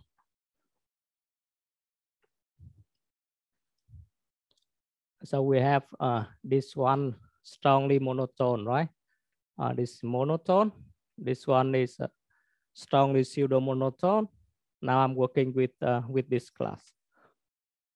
So the first question is whether the basic uh, projected gradient descent still work for, for this uh, class of problem or not. So uh, we assume that the, the um, operator F now is a Lipschitz continuous, uh, satisfy this uh, inequality. And uh, we can prove that the problem, the variational inequality problem had a unique solution. Moreover, it satisfies this global error bound. This is important, huh? saying that the distance from arbitrary vector x to the unique solution x star is bounded above by this quantity. So it say that um, given a, a, vector x, I don't know how, I, I can estimate how far from, uh, from x to the unique solution by computing this quantity. Huh? By just computing the projection of x plus uh, minus f of x to x. And then I know how far I am from the, the unique solution. And here the basic projection method. Uh, I, uh, we take xk plus 1 equal to xk minus lambda k. Lambda k is just a, a step size f of xk. So this is the same with the projected gradient methods. Uh, in terms of using here the gradient, we have the, the general uh, operator F, right? And here we can approve this inequality saying that if we choose uh, lambda case bounded from uh, belong to zero and two gamma over L square, similar to the previous one, then the sequence xk converts linearly to the unique solution with the optimal rate is here, where uh, when we choose lambda k equal to gamma over L square. So it's a, a little bit worse than uh, for the strongly monotone case, but it's understandable because we are working in the bigger class. So if we work uh, with the strongly monotone case, this one, then the, the rate would be 1 over gamma square L square, square root of this one. So, so that's one, this one. here a little bit worse. It's bigger than this one. Is uh, this one. This one is um, 1 over square root of 1 plus gamma square over L square. So it's a little bit bigger than this one.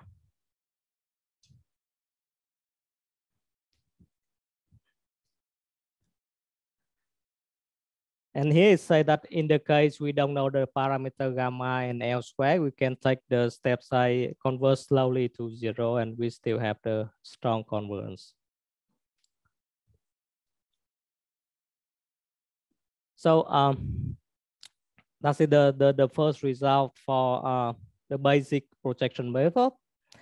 Now the next question is whether the Nesterov accelerated um, gradient can be extended to the variational inequality or not. So of this form, right? As you have seen the Nesterov acceleration method. So practically, um, people use the accelerated gradient a lot and it, it's improved the convergence speed. And the theoretical guarantees improve where uh, f is the, the gradient of uh, a convex function. Uh, as you have seen, it's improved from uh, 1 over k to 1 over k square, where f is the gradient. And uh, a linear convergence with the better rate when the small f is strongly convex. So the natural question is to ask is whether it's still true for the variational inequality or not. And if, if we have strongly monotone or strongly pseudo-monotone, whether we still have a linear rate and if we have linear rate, is it better than, than the previous one or not? And then in the literature, people also try to, to uh, uh, generalize it, the result for the monotone inclusion, where we have here zero belong to AX plus BX. A and B are arbitrary uh, operator instead of uh, f of x and the normal cone. So uh, to to answer the the previous question, uh, we try to mimic the the version inequality via um, via fixed point problem. So we define uh, the operator T as you have seen before. You have seen this one before where uh, capital F is this the gradient, right? So I just replace here the gradient of f, a small f, by, uh, by our operator capital F. And it turned out that x star is a solution of our variational inequality if and only if x star is the is the zero of t. And moreover, um, t of x satisfy this uh, inequality. And uh, for people uh, with optimization background, is it the this can be called the quasi-cocoercive. Co-coercive is mean that it satisfies uh, this inequality um, in, in, the footnote here. It's saying that the T minus one is strongly monotone. So co-coercive is also called the inverse strongly monotone. It satisfies this uh, inequality. So it say that this the, the blue inequality say that the the operator T satisfy the co-coercive on the uh, on the zero set. Where lambda is small enough. And it's give uh, now it's give the both upper global error bound and lower uh, global error bound saying that by computing t of x i know uh, how far from x to the solution. So both upper bound and, and lower bound.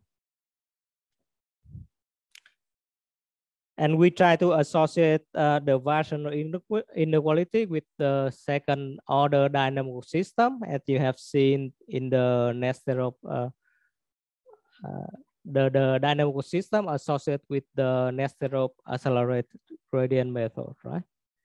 You have seen this one before. It's a link between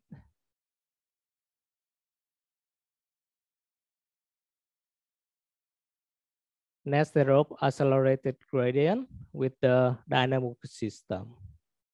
So this dynamic system and the, the one we consider here is the same.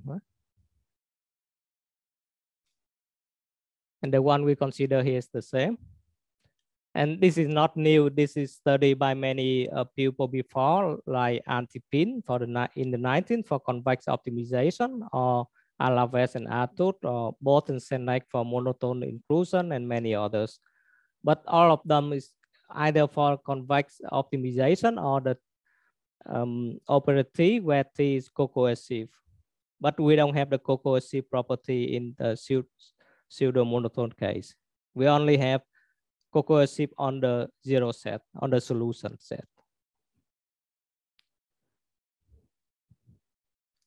So if we discretize the previous dynamo system, if we discretize this one, we obtain exactly the the uh, projection method with the inertial effect here, with the momentum here. Huh? We just use the, the formal uh, Euler discretization, where you replace, this is the x2 dot, this is x dot, this is the, the, the acceleration, the velocity, and this t. And uh, we're changing the variable, and we, we obtain here the uh, projection method, but now with the, the relaxed variable rho. And we are interested in whether this one, this scheme give us the an accelerated in the rate or not.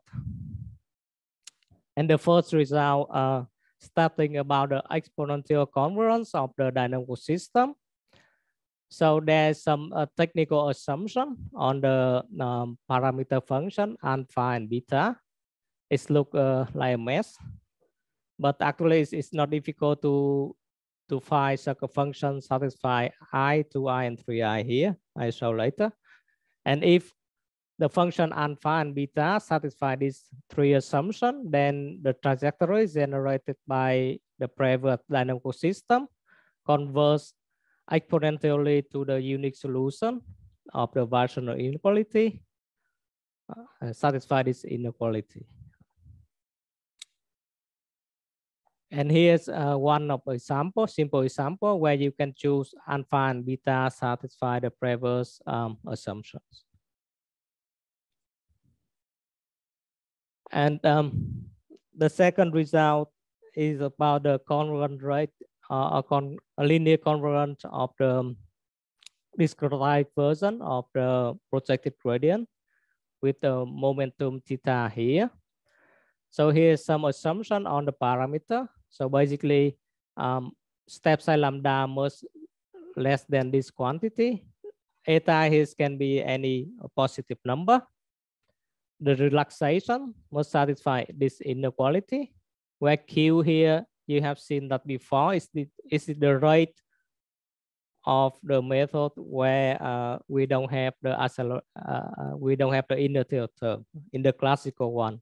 This is the rate in the classical one for the strongly pseudo monotone and the inertial um, parameter theta must satisfy this um, inequality it must be to belong to this interval this is just a technical assumption where I analyze the, the convergence of the result. Just mention here that here we can choose the relaxation parameter rho. It can be greater than one. Uh, so minimum of one over one minus q and one plus something, it can be greater than one. So we can choose the over relaxation. And the main theorem here say that if all the parameters satisfy A1, A2, and A3, then the sequence xk converts linearly to the unique solution of our original uh, variation inequality. Uh, the proof is a little bit uh, technical. I will not present it here, but it depends on the this Lyapunov function, capital AK here. Uh, the most difficulty uh, is that um, choosing the right uh, Lyapunov function and working with the asymmetric property of the pseudo monotone. And here we can prove that AK converts linearly to zero with the rate R here. R here is equal to one minus rho one minus Q. This one belong to zero and one. And just a simple remark here is that uh, R here is less than Q whenever rho is greater or equal than, than one. So in the, the other word, if we choose the relaxation greater or equal than one, then the rate here is better than the classical weight, uh, the classical rate. Q. Q is this one is the, the, the rate for the basic uh, gradient projection. And here we can prove that it's not worse than the basic uh, gradient projection. So if, if we choose rho greater than one, then the rate is better. Uh, here just a simple example showing that um, there a class of uh, strongly pseudo-monotone but not monotone or um, co-coercive and so on. If we take a positive uh, function g multiply with the uh, positive uh, definite matrix. Let's say we work in in in Rn. It satisfies this uh, condition, and the function g is bounded from below by kappa greater than zero. Then the operator f here is uh, strongly pseudo monotone but not monotone. Just to show that the this class is bigger than the strongly monotone class and different with the monotone class. I think I have uh, 20 minutes or so, uh, or 10 minutes. Um, for the idea to generalize to the monotone inclusion, zero belong to A of x plus B of x, where A is a general monotone operator and B is a maximal monotone operator, multi-value maximal monotone operator. So to replace the normal cone by a, a set value operator. So I think I, I should skip this slide, but uh, just to say that it's possible. So um, the problem has been considered by, by many well-known researchers like uh, Bolton Senex, Laurent Poc, and Attouch and Cabot, and so on. Uh, just to say that the previous uh, result uh, is still hold for the monotone inclusion. So both uh, the, the dynamical system, the exponential convergence of the dynamical system had been considered by Boț and Csetnek in these two papers. And the discretization lead to this um, uh, algorithm, uh, and we can start the the result where either A or B or uh, is gamma strongly monotone, then we still have the linear convergence with the better rate uh, compared with the, the classical uh, uh grade, uh, projectant uh, gradient. Uh, in the last maybe 10 minutes, I will I want to talk about the um, the blue blue class, uh, the, the biggest one, the pseudo monotone.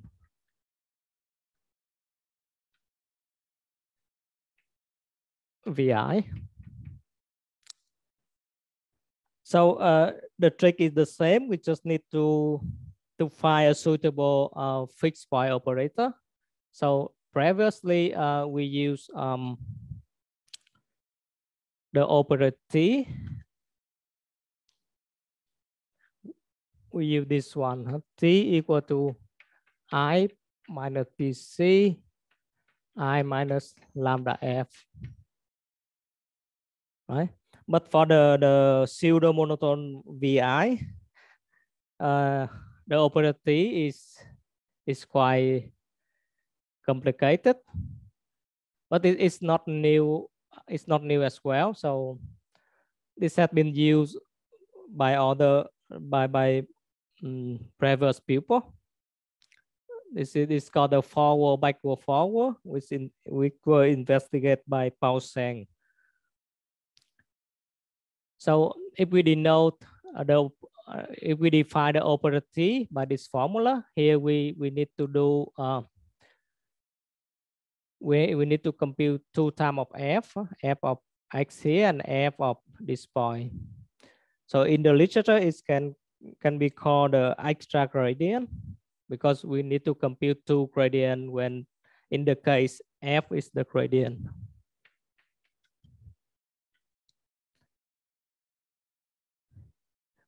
And we can also prove that uh, x star shown the uh, inequality if and only if x star is the zero point. F Lipschitz continuous, then T also Lipschitz continuous. It's easy to see. Uh, and for all x star belong to the solution set. The zero set of T is the, it coincide with the solution set of our VI. And it's also co-coercive in the zero set. And this is important. From here, we can mimic um, the Freiberg's dynamical system and, and we come up with a new algorithm for solving uh, the pseudo monotone VI with uh, acceleration. So this one is by on a recent draft with Boț and Sedlmayer. So here's our the previous dynamical system, huh? nothing different. Uh, if we write in detail, it's look like this. It's, it's look a mess. Huh?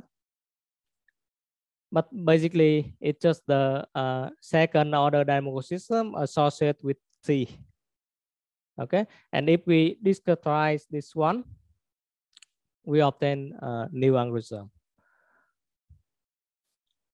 And here this theorem saying uh, about the solution or a system of the, the dynamical system.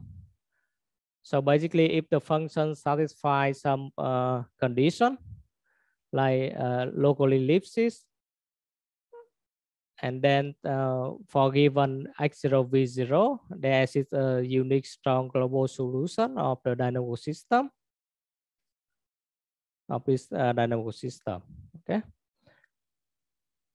Um, and if the the function gamma and tau is shows uh, appropriately, it satisfy so that it satisfy this uh, condition it's not difficult to find such a function, uh, gamma and tau, uh, such that these two conditions is satisfied. Then we can prove that the trajectory is bounded and x dot, x2 dot, and t of x belong to L2. Um, the limit of the velocity, the acceleration, and t of x, and the difference from xt and yt equal to zero when t tend to infinity and xt converts to the element in the zero set of t, which is the solution of the our variational inequality. And now if we discretize the previous dynamic system, we obtain here the new algorithm for solving pseudo monotone VI. Uh, when alpha here equal to zero, it's uh, come back to the classical uh, the name is forward backward forward uh, algorithm for solving version inequality. That's one is classical and it's proved by saying, but for monotone VI, not pseudo monotone VI. Uh, and just a, a, small comment here. Uh, it's maybe interesting for someone who do the numerical implementation, maybe for twin. Um, so in this case, if we don't know the, um, the Lipschitz uh, constant, we can choose the step size lambda k adaptively by this formula. Uh, saying that we start at some lambda zero and each time we suppose that we don't know L. So the condition is for the convergence was that zero less than L less than uh, lambda, lambda greater than zero, but less than one over L. So this one try to, this one, we try to um, approximate one over L by any constant mu belong to zero and one here. And this lambda k, by this formula will converge eventually to some lambda and this lambda bar and this lambda bar is less than 1 over L. We can prove that. This is important in the implementation because sometimes estimating the capital L is impossible. Um, here is the, um, the trade-off between the, here we have the inertial alpha and the relaxation rho. And we can only prove the convergence where that constant belong to the blue area here. So basically, uh, it's just a technical assumption when we do the proof. We need to force this condition that rho greater than zero and less than this quantity. We can draw in the the figure here huh, in, in the, the blue area. Outside of the blue area, we don't know if it will converge or not.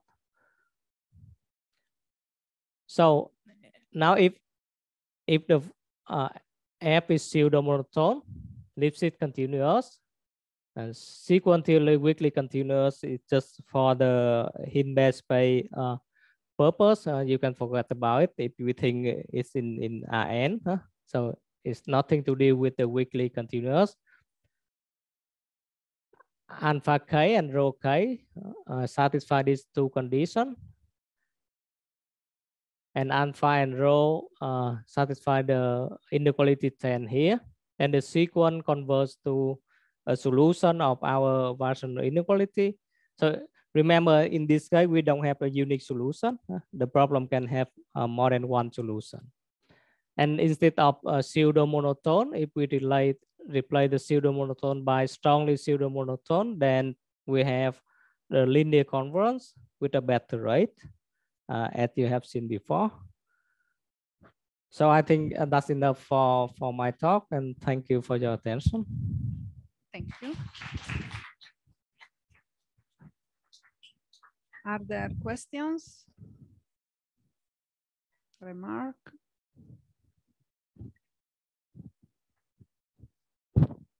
Yeah, uh, maybe I have two questions. So first, uh, for the projection uh, method, for the PC. So, safe.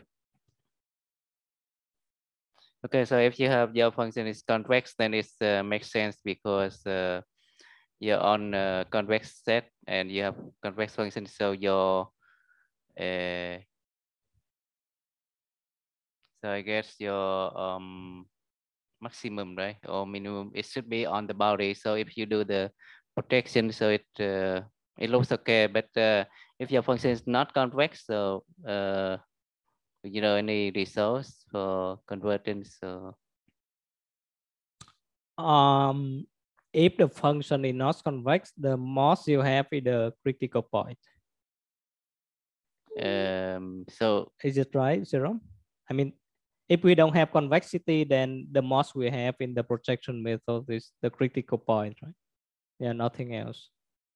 Yeah maybe sometimes you don't have right because uh, maybe your critical points they are not they don't live on the boundary it's not necessary in the boundary because when you do the projection uh, it looks like you if it's outside if if it goes outside and you well if, the, if, if if you start some something inside the feasible set it can it can stay forever in the feasible set yeah, but if you have some, uh, sometimes it go outside, then yeah, yeah, it can be go, it can go outside, then, but it it can stay inside.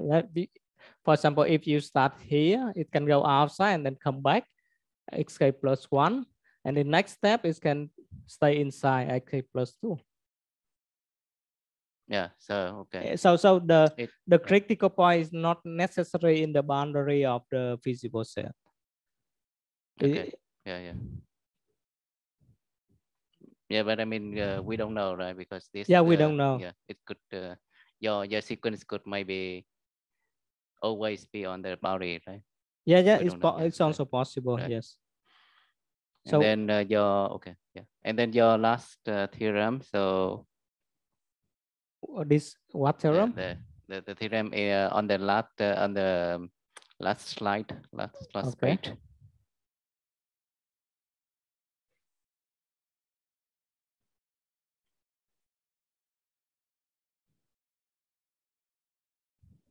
Oh yeah. Okay. So you have uh, eight uh, Hilbert space, and then uh, yeah, you can forget about Hilbert if you work in RN. It's, it's and uh, yeah, so I I wonder about the pseudo motor monotone pseudo um condition um.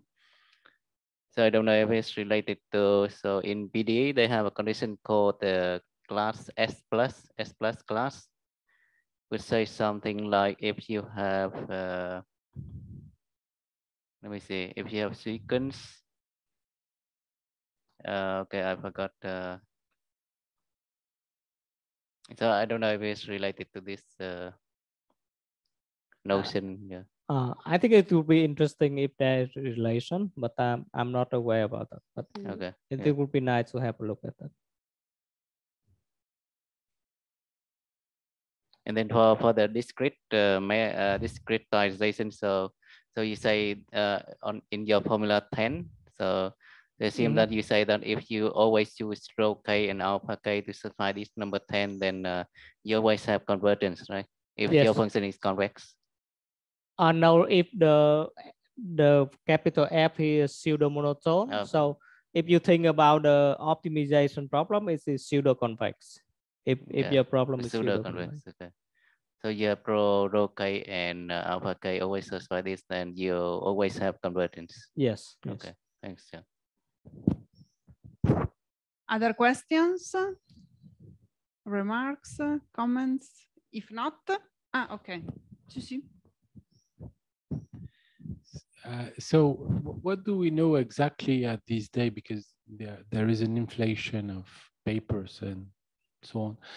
What do we know at this day on the acceleration of uh, uh, for a general uh, monotone operator? Um, for example, you can expect that the accelerated with the inertial effect and for strongly monotone case. Not strongly monotone. In general? A, a general monotone operator. Oh, there are quite a lot they're quite a lot. But uh, the the what is the best rate then? Um, the best rate as I, as far as I know, because in the monotone operator we don't have any objective function, right? Optimization problem usually you try to to see this rate, right? Either small or one over k square. But with the monotone operator, the only thing we have is the iteration. And the, the best thing I know so far is this one, I know xk plus one. The velocity, the rate of the velocity is zero one over k. And this one is just published, I think, yesterday by Radu and his uh, his student. Yesterday, you said? Yesterday or today. Just put it on arXiv. Okay. That's fresh news. Um, yeah, this this can be you at the um, the gap function because if we have this one equal to zero, then xk is the solution. Okay, thanks. Uh, but, but this, this is the best best way as far as I know. There there's some also result um, from the Halpern iteration as well, and they also obtain that one over k. But I'm I, I, I don't, I'm not aware if there's any rate faster than that for the velocity. Other questions? Curiosity, remarks? Okay, if not, we thank Vuong again. So the last speaker of this long afternoon is Professor Giorgio Mantica from Insubria University, who is going to talk about simulating epidemics via the theory of dynamical systems. Well, my title is different from yours. Come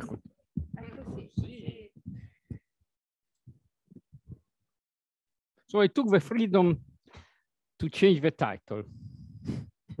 It's not simulating, but it's understanding. And okay. certainly I must uh, thank the organizers for inviting me, even if uh, my topic is not 100% within uh, the scope of the workshop. But nonetheless, I hope that uh, you will find uh, uh, somehow something of interest for you.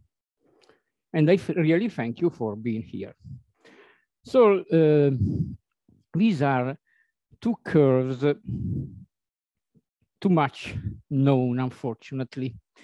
These are the curves related to Italy. Number of uh, contagions by COVID-19 and the red curve, I'm not going to tell you what it is because it is dreadful. But what I'm interested are, is in these spikes. But let me tell you immediately why I change from simulating to understanding. I do, my primary uh, aim is not to reproduce these curves per se, neither to forecast what will come next. For instance, what will come next is the red arrow, and all of us, unfortunately, know with what is coming next. There will be a next burst of, of infections. But I want to understand what, the dynamics behind this phenomena. Not to reproduce, but to understand, which is kind of different, as you will see. So I kind of twisted a bit the meaning of words in the title by saying that I'm not using dynamical system to solve equations, but my, my equations are dynamical evolution equations, which I want to use in order to understand this phenomena. And uh, how many equations? Few in history. I will tell you, since it is late and uh, I don't want to abuse of your patience, I will just give you some historical remarks how these models arise. Probably you already heard of them, but nonetheless, uh, mm, it, they serve me to introduce the topic. Uh, so we will go from few system of ordinary differential equations to more that are used today. Next, I will tell you of probabilistic models that are used nowadays to simulate this phenomena, but my real topic is to uh, introduce networks of coupled dynamical systems. So, and these will be many dynamical systems coupled. Okay, why do I say few of these? Because our father, Daniel Bernoulli, was perhaps the first, and I learned this from uh, books that I will quote in a moment, was first the first man to mathematically attack the problem of infections. And uh, this is a quotation from his 1760 paper, which is of interest even, even now, because you see, he says that in taking decision about this topic so important for humanity, a little of calculus and mathematical knowledge should be employed. And you know better than I how much this is interesting these days. Uh, what was the name of the game? What was the problem Bernoulli was faced was smallpox. Smallpox was a real threat to, to European population in the 1700s.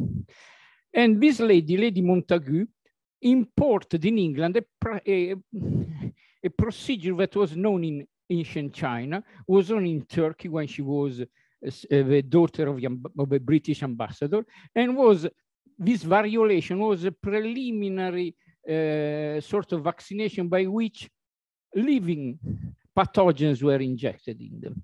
And Lady Montagu had both son and daughter variolated. Now, what is the Bernoulli approach?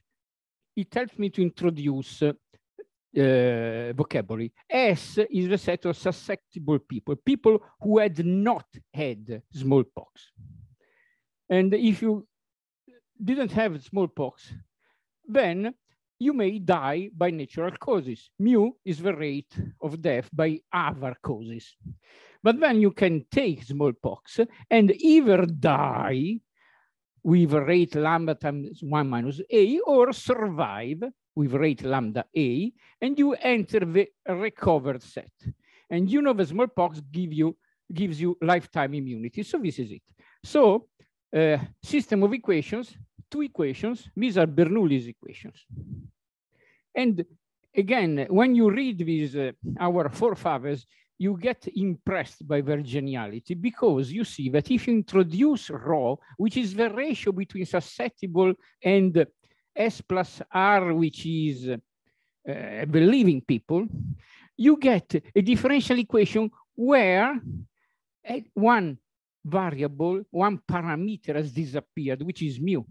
And so by using this in extreme ingenuity and the actuarial tables, that is the table of the surviving fraction of kids at a certain age, suppose that you start at age zero with a fraction one, you see the continuous curve, how it goes down.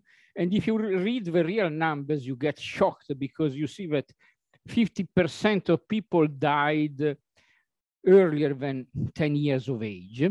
So he was able to estimate from the tables, to estimate the parameters.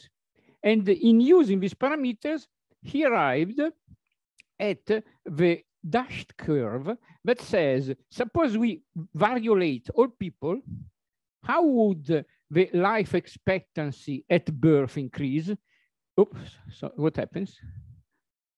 Huh? It increases by more than three years, which over that short scale of life was quite significant. So this is uh, the first mathematical approach. And two equations. Next, few centuries after, these two uh, Scottish gentlemen introduced what is called the SIR method.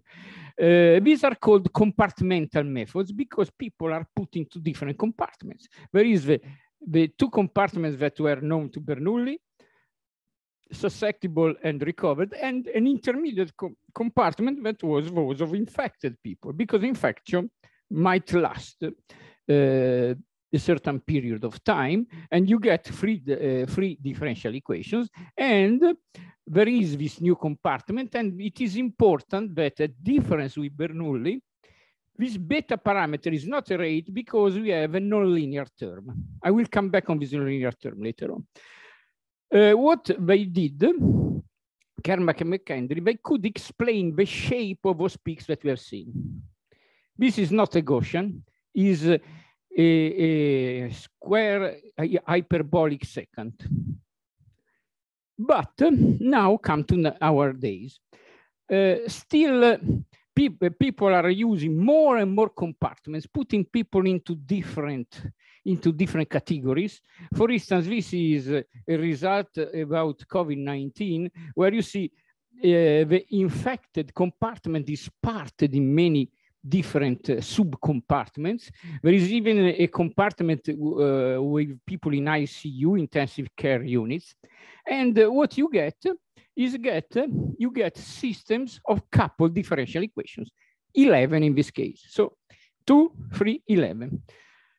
Now, um, what is uh, what are the main assumptions? First of all, that individuals in each compartment have no identity.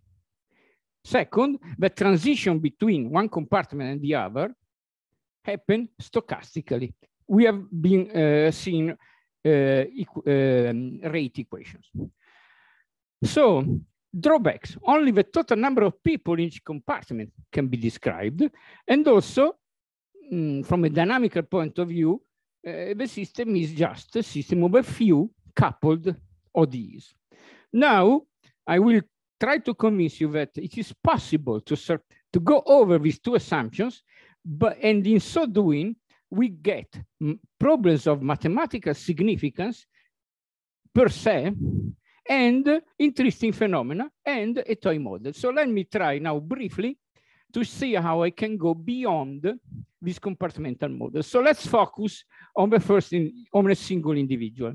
So in the compartment model, the single, you about an individual, you only know where it is. There is no dynamics. Either you are susceptible or not. What is written on that door?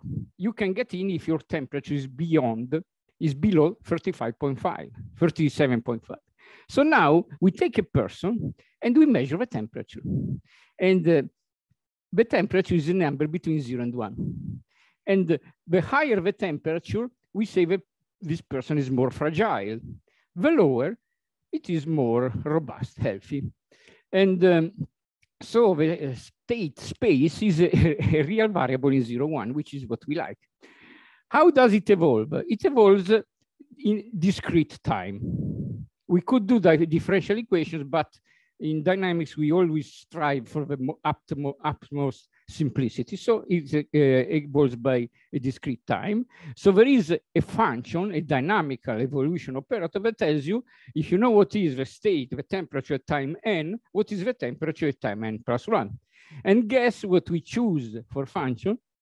We choose the asymmetric tent map, which is uh, so to speak, uh, the easiest example of dynamical system you can think of. And uh, on zero one, there is the Lebesgue measure, and the Lebesgue measure is invariant for this transformation. And what we all know since when we were kids is that this dynamical system is ergodic, mixing, and chaotic. So this, the health state of this single person evolves according to this dynamics. So we have given to each person its own dynamical variable. Now the point is, how does contagion happen? So here is our young lady with her temperature. She's not infected, and the uh, but she's susceptible. And in green, I will denote the zero one interval of susceptible people. But then there is her doctor who is infected and suppose that they come into contact. So, but the doctor himself has a, a, temperature and um, which is in the red set, the infected set. And important for what is going to come is that there is a viral charge that the doctor can transfer. The higher the temperature of the doctor, the worse his physical status, the more viral, viral charge he can transfer to the poor lady.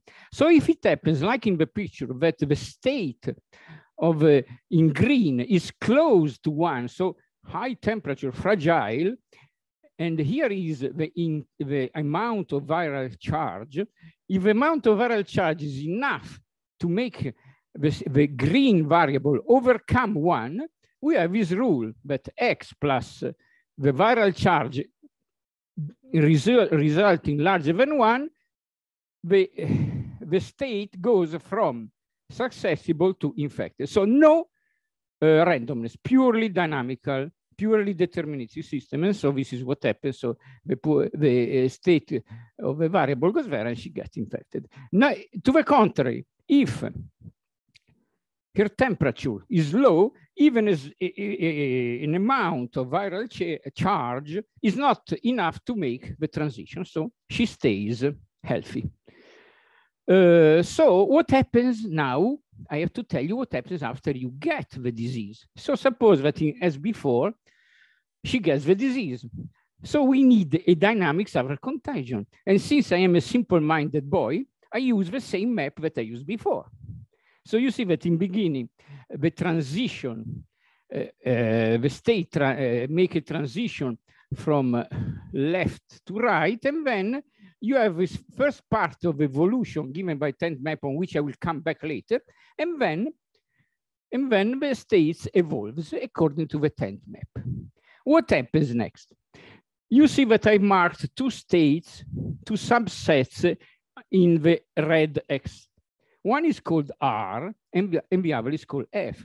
If in this dynamical motion, the state space goes into R states, R means recovers, you see that the trajectory comes back to the previous susceptible state, which unfortunately is, is what is, it is happening to us. This disease does not give us lifelong immunity. So once you get the disease, then if you are if you are lucky, you come back to be susceptible. I don't tell you what happens if you end up in the F. Uh, so if you end up in the R recovery, you come back to be susceptible. If you end up in the F, uh, okay. Next, I'm going to release another characteristic of compartmental methods. Since there is no specific identity, there is no specificity in what kind of people you meet. Every person lose identity. But uh, we know, let's get these people out of their compartments. They live, uh, for instance, mm, I don't want to tell you anything bad, but you might be infected in this moment. but we are all in this room. And we are nodes in a network, and there is and there is a directed network in such a way that this is uh, uh, the in the theory of networks of graphs is called the adjacency matrix, but it is one if the individual i can be infected by the individual j. So you see j, I'm using the physicist way of writing transitions. Mathematicians at times use it in the other way around. What is important, this is a non-symmetric matrix. So this is what happens. And so if there is a, a pathogens, pathogens can travel on this uh, so this is the summary of a dynamical model.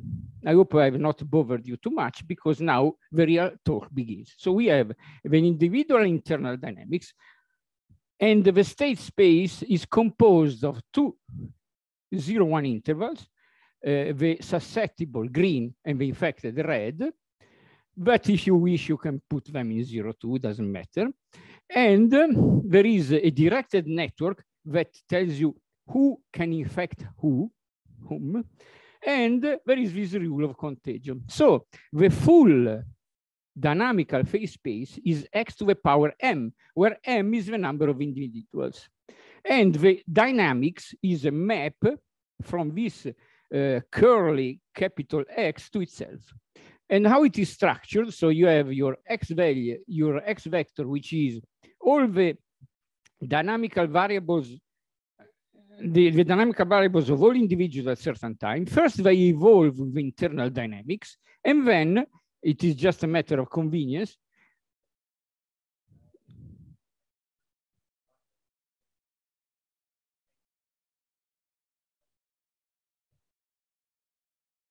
This is the most uh, general assumption. It would be restrictive if I would tell you that um, that the matrix is symmetric. The non-symmetric matrix also contains the symmetric case. This is one answer. The second answer is suppose, suppose you are careless. Suppose you are not, I'm careless and you are not. I can get disease from you, but you cannot get it from me. Typically, uh, the situation is highly asymmetrical. But again, this is the most general case. If you want, you can restrict to symmetric coupling. So what he, from the point of view, dynamical system is a system of a network of coupled dynamical system. Each one of us is a dynamical system and we are coupled via this network of interactions. Uh, let me tell you now I make, how I make the interactions. I, for this, I just uh, using the simplest minded approach. Uh, so each one of us can get infection from a fixed number of people, all the same. Then I will tell you in the end that people in graph theory can do much better, but I'm not so much interested in generality at this point. So there are M, capital M people, and each one can get infection by a finite number. Okay, suppose that you are all equal. And this is an example where uh, uh, the uh, lowercase m is 2. So each of these individuals just get in viral input from two people. Now, if we are all healthy, there is no uh, contagion happening. So how do we put contagion? Again, I don't want to do anything uh, random. I just give a dynamical rule. Suppose that one of us goes outside and then it takes uh, the pathogen inside our network. So how do I simulate that dynamically? So you are uh, the susceptible individual. If you end up in a subset of, of a susceptible is to mimic the fact that you get inf in infection from outside and you bring it inside. Now, when I say M is large, here we take one 100,000 individuals, each one of, them receiving input, so to speak, this bad input from five people. And now I put every individual on the vertical axis. And what do I do? N is time, and here we have a, short uh, um, span of time. And suppose that uh, here, the individual 90,000 get brings contagion into the network. I mark the time where he gets the contagion by uh, this uh, blue square, and I call it an exogenous infection because it comes from outside. Now, after he gets the disease, he stays sick for a certain amount of time. And you see that I simulate this by a black, uh, a black segment. The segment terminates either on a green circle, which means recovery, or unfortunately on a red triangle, which means fatality. Also, during the period where when this individual is uh, infected, infected is also, also means infected. So he can transfer the disease to other people. And these red lines tells you that the disease has been moving. Okay? So this is my rules of the game. And I want to play with this. First, important question from a mathematical point of view. Does the system possess an invariant measure? Okay, this uh, here I will put it as a conjecture. There are on system with simpler geometry, important works by Liverani, um, Keller, uh, Bunimovich, to the point that this system sometimes can be proven to possess what we call a physical invariant measure. And just is a probability measure that is invariant under this many dimensional transformation. How I'm going to use this in a very naive way, suppose that I have a function from the phase space to R and uh, invariance just means this. And if I take a very special kind of functions, these phi i's of y, which are the character, in, in simple words, you forget, you take the individual i, i is the is the index of a, a single individual, and you say, what is, uh, forget what is, suppose I look at myself. I forget about all of you and say, what is the measure of uh, the interval between zero and y. So what is the probability if you want, and later we will talk about probability, the probability that my temperature is below y. And if you do that, you get what uh, these mu i's, these integrals with respect to invariant measure capital lambda, which are nothing else than the, margin, the marginal distributions of the full of the full probability measure on, on the full uh, big. And uh, if we assume that the thing is a, is a physical measure, we can get them by a, a sort of Birkhoff summation. You, uh, you evolve time and you count, you use the sort of compute uh, the average temperature. So here is what you get. Um, the uh, blue curve uh, so the, the, the, blue, uh, the, green interval to the left is susceptible, the, the red is the infected. The, for the parameters chosen for this simulation, the blue curve tells you what is what are these marginal distributions from only exogenous infection. So it means this is a, is a one-dimensional system, no coupling. If you put coupling, of course, you see that more people get um, it is easier to get infected and you get this other. What is to be remarked is that to a good approximations, these distribution functions are linear, which means that um, Lebesgue, to a good approximation, is still an invariant measure on the projected subspace. Or oh, we can play with compartmental ODEs even here. You get uh, uh, these, uh, this is just to see that you can recover even, even for these uh, for these systems a, a probabilistic description as as Bernoulli, um, and Con, and uh, the other guy I forgot the name, and um, they well describe they well describe the system behavior, but by this equation we do not understand what is behind the system behavior. So we need to do some more analysis. Here is again our picture of emotion. And now let's say that I want to see how the infection of, of one individual transfer goes from one to the other individual. So here with the black arrows, you see that the first exogenous infection affects this other individual at this time, which in turn infects this other, and again and again. And so what you get is a tree. And now I want to apply the mathematical quantities describing free trees to these pictures. So what are the, the quantities? The number of generations in the tree and the number of nodes. And, uh, and I ask myself, what are the statistical distribution of these trees? So how many trees will I have of a certain number of generations? How many trees I will have as a fraction when uh, uh, I count the number of nodes. The number of nodes is number of people infected, is what we have seen in the first uh, in the first picture. So if now you forget about dynamics and you make very simple statistical assumptions, there is a nice paper by my colleague Ed Ott and co-workers in Maryland that says, look at this assumption. You have individual J by which all the tree started. The tree is what, uh, I, I, forgot how it is called in epidemics, is uh, a cluster, a cluster. Somebody brings in the, I bring here the pathogen and, the, and we get a tree.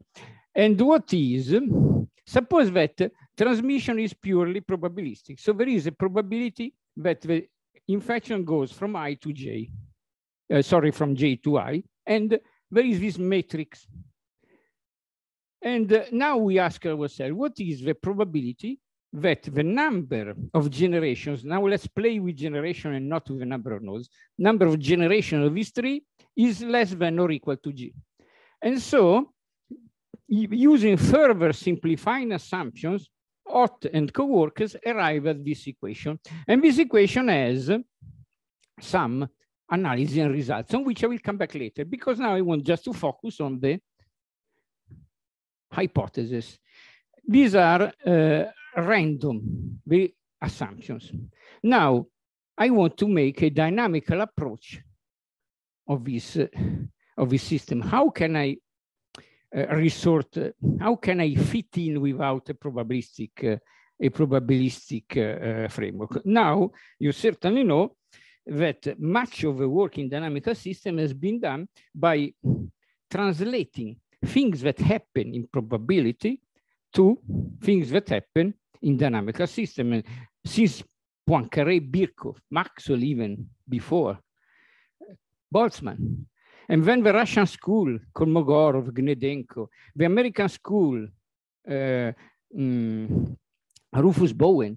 So we try, and this keeps going, this team, we try to see how in a purely deterministic dynamical system, you can have something that you can describe probabilistic. So the first thing I want to talk about is the infection duration. Uh, you see, in, in a single unit of time, what is time here? Here we have, uh, it is true we have a discrete time, but our, our dynamical systems are moving. It's not a single, uh, like in, in a hot uh, system where at a certain time we sit here and we say, okay, transmit or not transmit, probability, prang. Then you see, is a more dynamically structured. So first of all, we have to ask ourselves how to describe infection duration. So you see, um, the uh, magenta arrow tells you that once you are infected, you arrive to the red interval, and in the in uh, in kappa, lowercase kappa, is the maximum amount of viral charge that you can get. So you enter to the left of the red interval, and then in the beginning iterations, you have to develop you have to develop illness, which is what actually happens. Once you get uh, the disease, the disease is not immediately manifested, but it takes a certain amount of time to, to invade your body before it.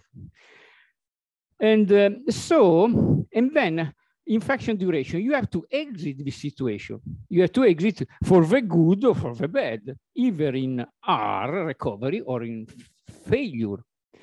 And so this, in dynamical system terms, is what we call a transit time from a set K to the other set. Now, again, here, let me see, let me sketch what happens. You are green, then you turn red, but you are in the beginning of the illness. In the initial times, you grow like lambda. Lambda is the slope of a red uh, left branch of dynamics, which is larger than one. So your disease in, increases exponentially. And then at a certain time, you are uh, on the full interval zero, red zero, one, and you evolve until you end up.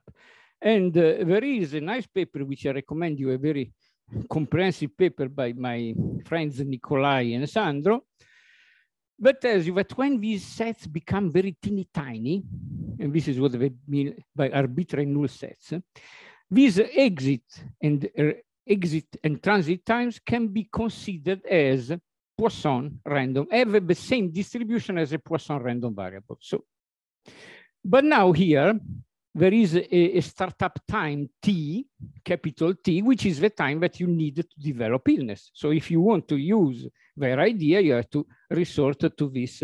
And you get that your dynamical uh, transit time is distributed as T, which is a constant. Now I tell you what is the constant, plus the same distribution as a Poisson variable of mean what is inside. Now, what is inside is the conditional measure of the exit set with respect to the measure of the infected, which approximately is the Lebesgue measure of, of the union of recovery, those two small uh, intervals to the right, and T, capital T, is this, uh, the time that it tells you, that it takes you to go, uh, so to speak, equidistributed on the unit interval. So this infection duration is perfectly uh, describable by the existing theory on dynamical system, modulo of the fact that the theorems become rigorous in the limit of uh, very small sets, but nonetheless.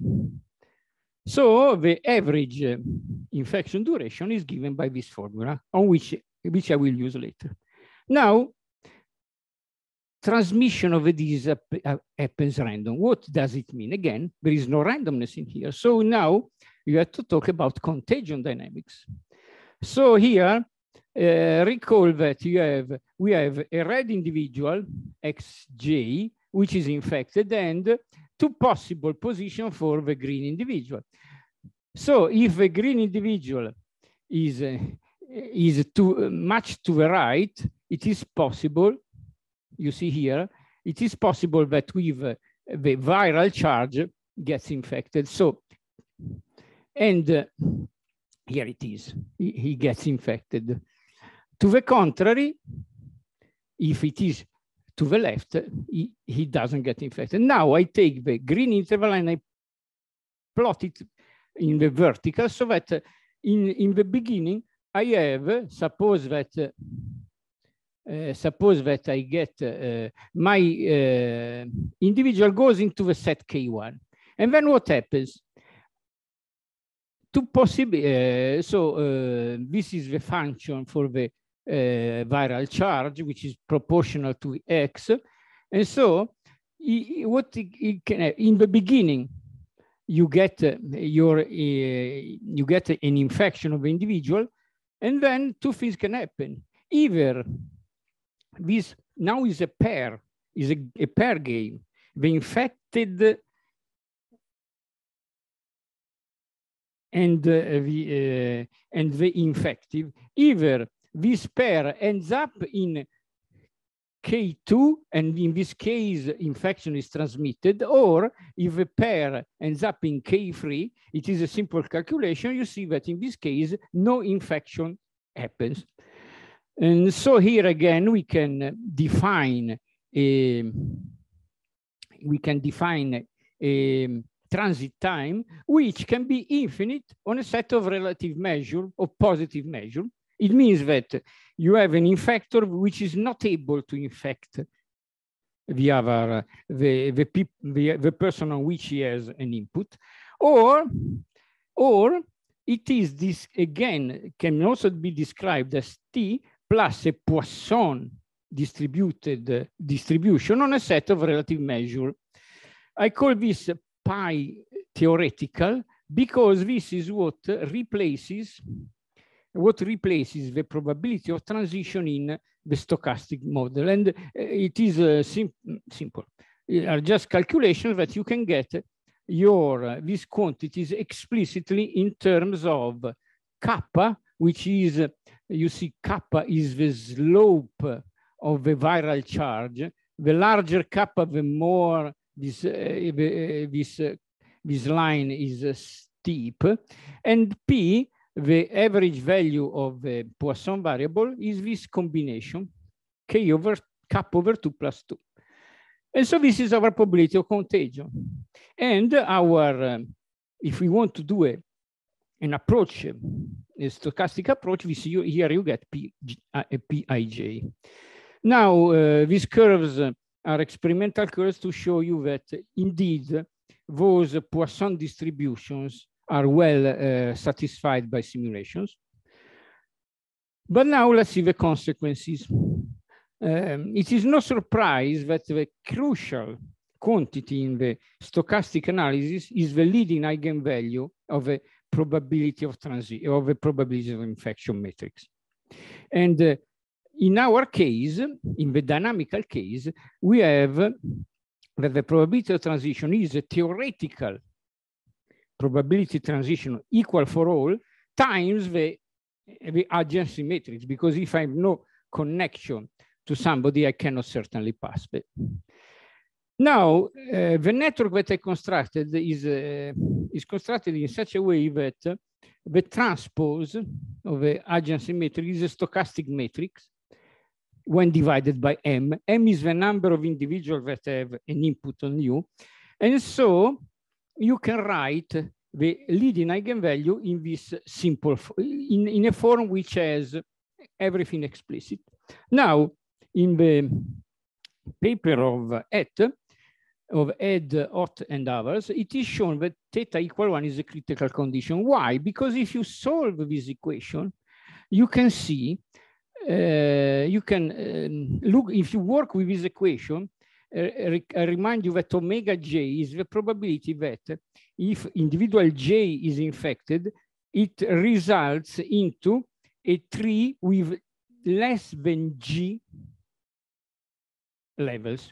Now, if you let g tends to infinity, this quantity theta j is the probability that an infection never stops. So he, the guy brings in a disease and the disease will burn all of us. Now, this is a theorem, but I rather call it a drama, that if his theta is larger than one, there is a non-zero probability that our infection will never stop. It is not a certainty, contrary to what people uh, also in the in, uh, in uh, TV shows think. It's not sure, it's not um, certain that you will certainly have everybody infected, but there is a probability. And also, now we can compute our theta, and you see that now I take, I keep all parameter fixed, and I just leave k, kappa, which is the infection uh, virulence free as a free parameter. And I see that I have a theoretical value of kappa above which this probability is larger than zero. Oh, by the way, uh, this theta j can be computed at a fixed point of that equation. And here are the results. So if I, if I keep, if I take my theoretical estimates for uh, the eigenvalue, the probability, I get this blue curve. This blue curve shows a, a first order phase transition. So up to this value of k theoretical, of kappa theoretical, the probability that any, an infection will spread forever is null. But if you pass, there is a, this uh, first order phase transition by which you have a non-null probability that, uh, non-null but not unity, that your infection will spread forever. And now this is done, the magenta, is done with experimenting. Just run the system put a threshold. You say that, for instance, you, you now you will ask me, how can you tell that an infection will last forever? You put a very large time limit and you say, if an infection lasts longer than this, this is a, an estimate of an up, of, a, of the fact that the infection will last forever. And you get that our curve. Uh, again, I tell you, uh, I'm not striving at reproducing exactly the param the reality because also I'm not fitting I'm not fitting parameters. This is purely is purely uh, playing with a dynamical system. You are much better at me than me at uh, fixing these parameters, optimizing. There's lots of work to be done here, but you see that we do have in a purely deterministic system, the magenta, the same thing that happens with a stochastic system. And moreover, if we use dynamical system theory to estimate the parameters in this, in this uh, coupled uh, network of, uh, of uh, maps, we get a pretty good um, agreement. Oh, another important uh, consequence of this uh, analysis of what is that uh, we have statistical distributions of number. Suppose now that we count how many infection we'll have with a certain number of um, generations and how many infections we'll have with a certain number, with a fraction of people infected. And we get these, we, they get, Ott and co-workers, these exponent minus two, minus three over two, which are universal in a large class of stochastic dynamical system. Stochastics, I, under, I underline it. And um, there is an exponential cutoff, but when you are at the critical point, and this is also true in the theory of branching processes, of which this uh, rightly belong, uh, and this at the branching point, this uh, um, this exponential cutoff does not appear. And again, here is here are the results of a numerical experiment. And you see that when kappa is equal to this uh, pale blue line, which is the experimental value that we found in the other, sorry, I'm standing in the middle, in the other, in the previous analysis, we do have a, what seems over many orders of magnitude a pure point, a pure power point law. To the contrary, when you move, for instance, uh, you move to the theoretical, which is slightly, slightly higher because you see the numerical uh, is 4.5 and the theoretical is 5, uh, you get the uh, power the power law with a cutoff. So, and if you now plot the experimental value of k, uh, sorry, you, you plot the sigma, this uh, uh, exponential cutoff versus kappa, you find again that the exponential, the exponential cutoff fades at the critical point. So a dynamical system reproduces exactly, reproduces exactly all the uh, all the um, phenomena that you, we have found in the purely probabilistic. But it gives us more because if it were just that we reproduce it, we would be um, greatly unimpressed.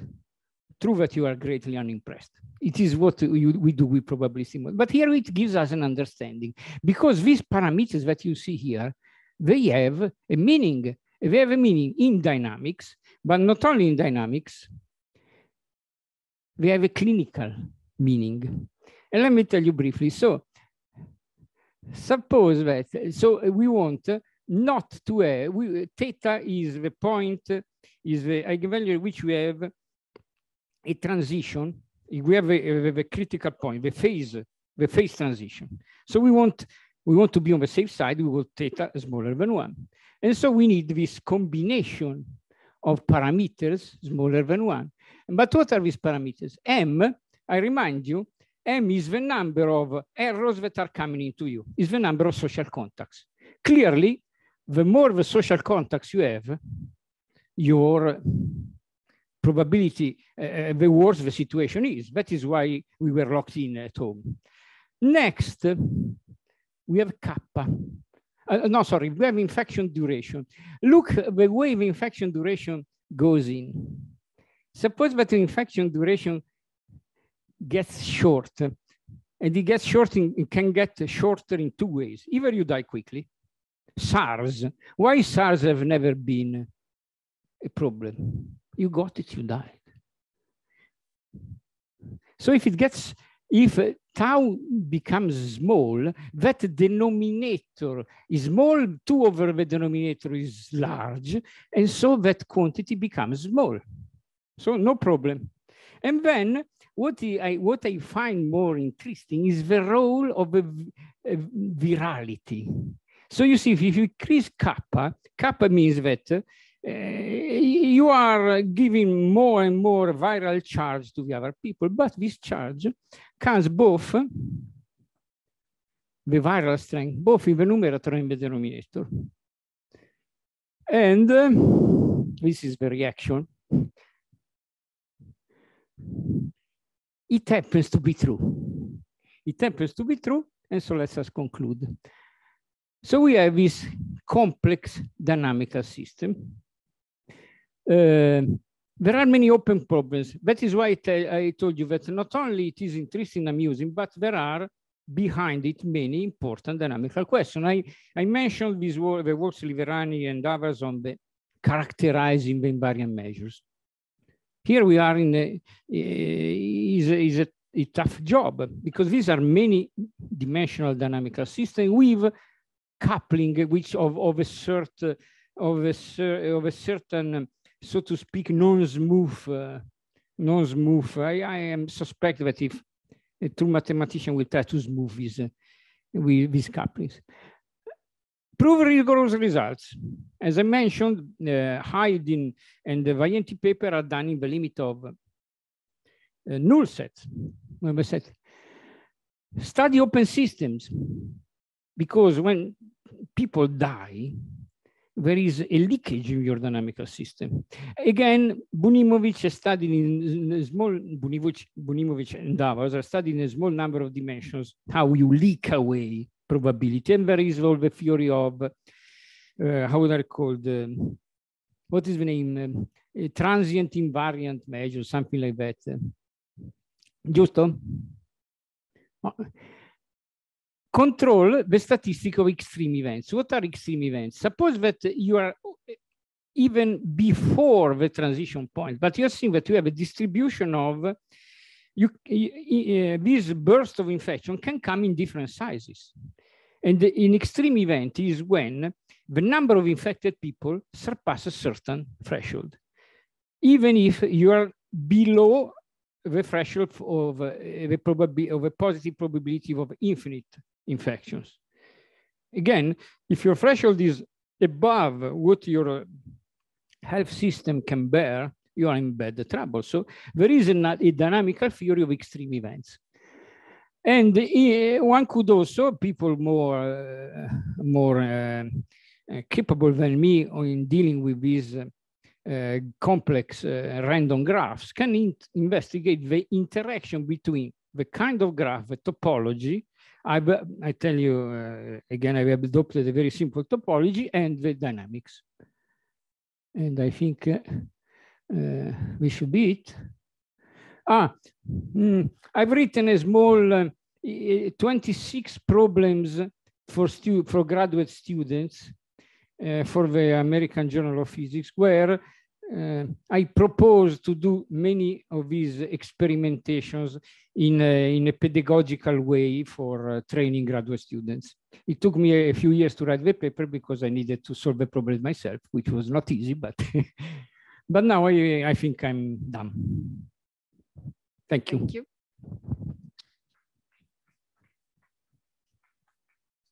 Thank you for the nice talk. Are there questions? Ian in the bathroom, but as soon as he gets out, he will ask a question. Okay. Meanwhile. to Ian? Do you have questions? Curiosity? Let me thank you again. Let's do it the opposite. Is It is a me who thanks. Oh, a question. Sorry. The failure interval very, very small? Because I'm kind of surprised if you have an expanding mapping, you throw out a small interval. Normally, you don't have an absolutely continuous measure. Maybe, maybe if you, interval is very small, You see, you like see, uh, you end up on one of those tough questions that uh, one would like to, to, no idea. But that is one of the questions one should ask.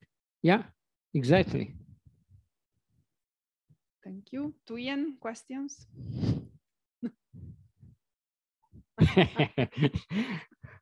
we didn't have any doubt. Actually, we were kind of worried that you were not asking anything. I thought. Uh, yeah, so my question is that, uh, so, so you say that it could happen that uh, everyone will get infected, right? Uh, but then the, the long run, then maybe the this is uh, it will be less and less serious, right? Because if Oh, this is a nice point.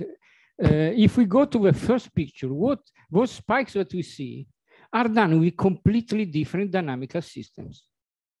So we are in the presence now of another dynamical system completely different from what we had last year, two years ago. But, uh, and so this is a, a game for people in uh, like you in uh, optimization, in, uh, in fitting. I, I, don't want to uh, seem to sound uh, reductive, but it is very it is very tough to find the right parameters to fit what is happening in the forecast. Now, what I can tell you is that from my point of view of somebody in dynamical systems, what I see is a dynamical system which is completely changing over time.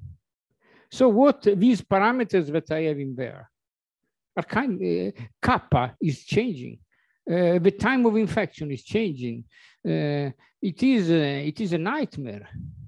But what we understand from this simple-minded, simple-minded toy model is how them the infection propagates. There is the network, there is the dynamical system which is in each of us, which is neglected in all analysis.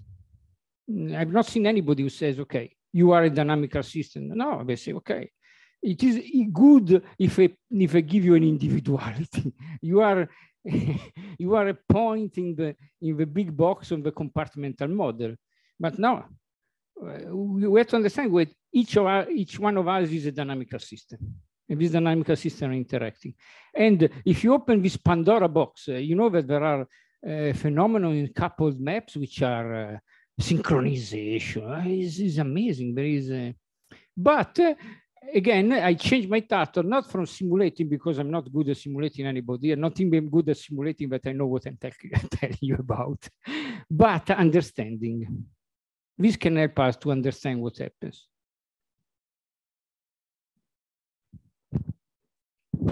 So uh, you have a continuous map acting on a compact set. And so sure. what, what are the obstructions to the existence of an invariant measure? Because one, one thing, uh, you know that contagion is discontinuous. Ah, that is one of, thing. Oh, that, that's a discontinuity. Eh, ah, okay. Probably if you smooth it. Uh, yeah. So. Okay, but, but you yeah, see. Eh. So, but but can't you be arbitrarily uh, close to uh, something smooth then? Mm, um, you're um, probably you can. Thank you. Thank you. Other questions? First is about your paper. So you submitted on 19 December. Ah, you see, oh, this is my this is my claim. Eh? One day to get accepted. Same day accepted. I brag with my co-workers and colleagues that it is because when they read Mantica, they publish. It is not true. Because on this section of American Journal of Physics, how does it work? Please erase the registration. You propose a paper. The editor says, the editor say, send me a proposal, I, I consider it. Then they say, okay, fine. Then you send the first draft and say, no, no, no, change this, change this. this is, and we, it was interesting because this is tailored for graduate students. It's not a research paper. Even if I pretend that there is much to be investigated inside. So we worked together, me and the two editors, for over a year in order to make it as simple and as pedagogical as possible. So in the end, when the last version arrived, it was accepted.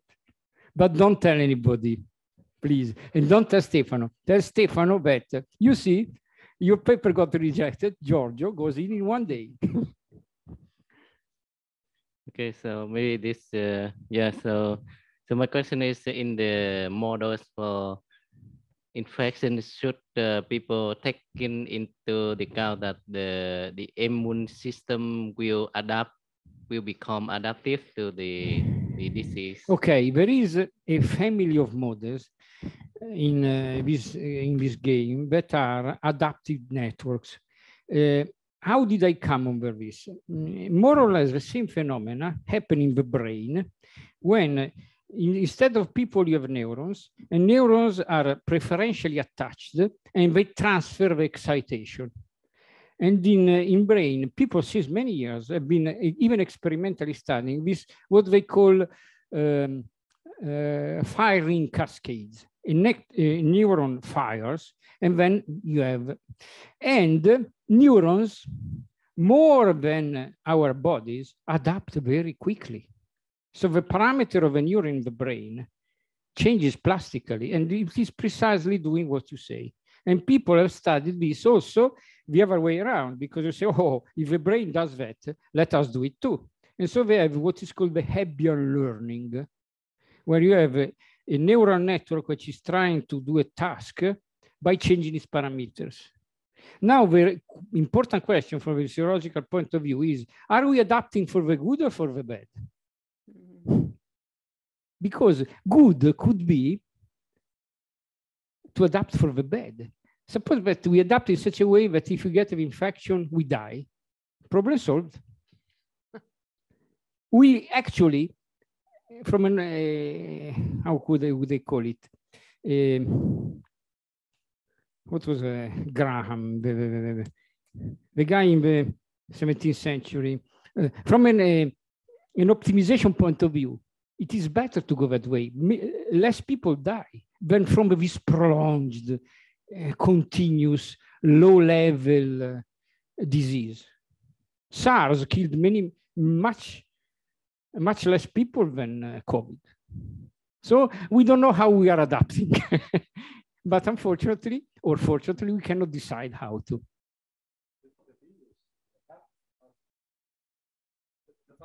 Mm -hmm. uh, also, also, bravo, bravo. This is a nice, uh, not only we are adapting, the virus is adapting also it is a complex uh, interaction.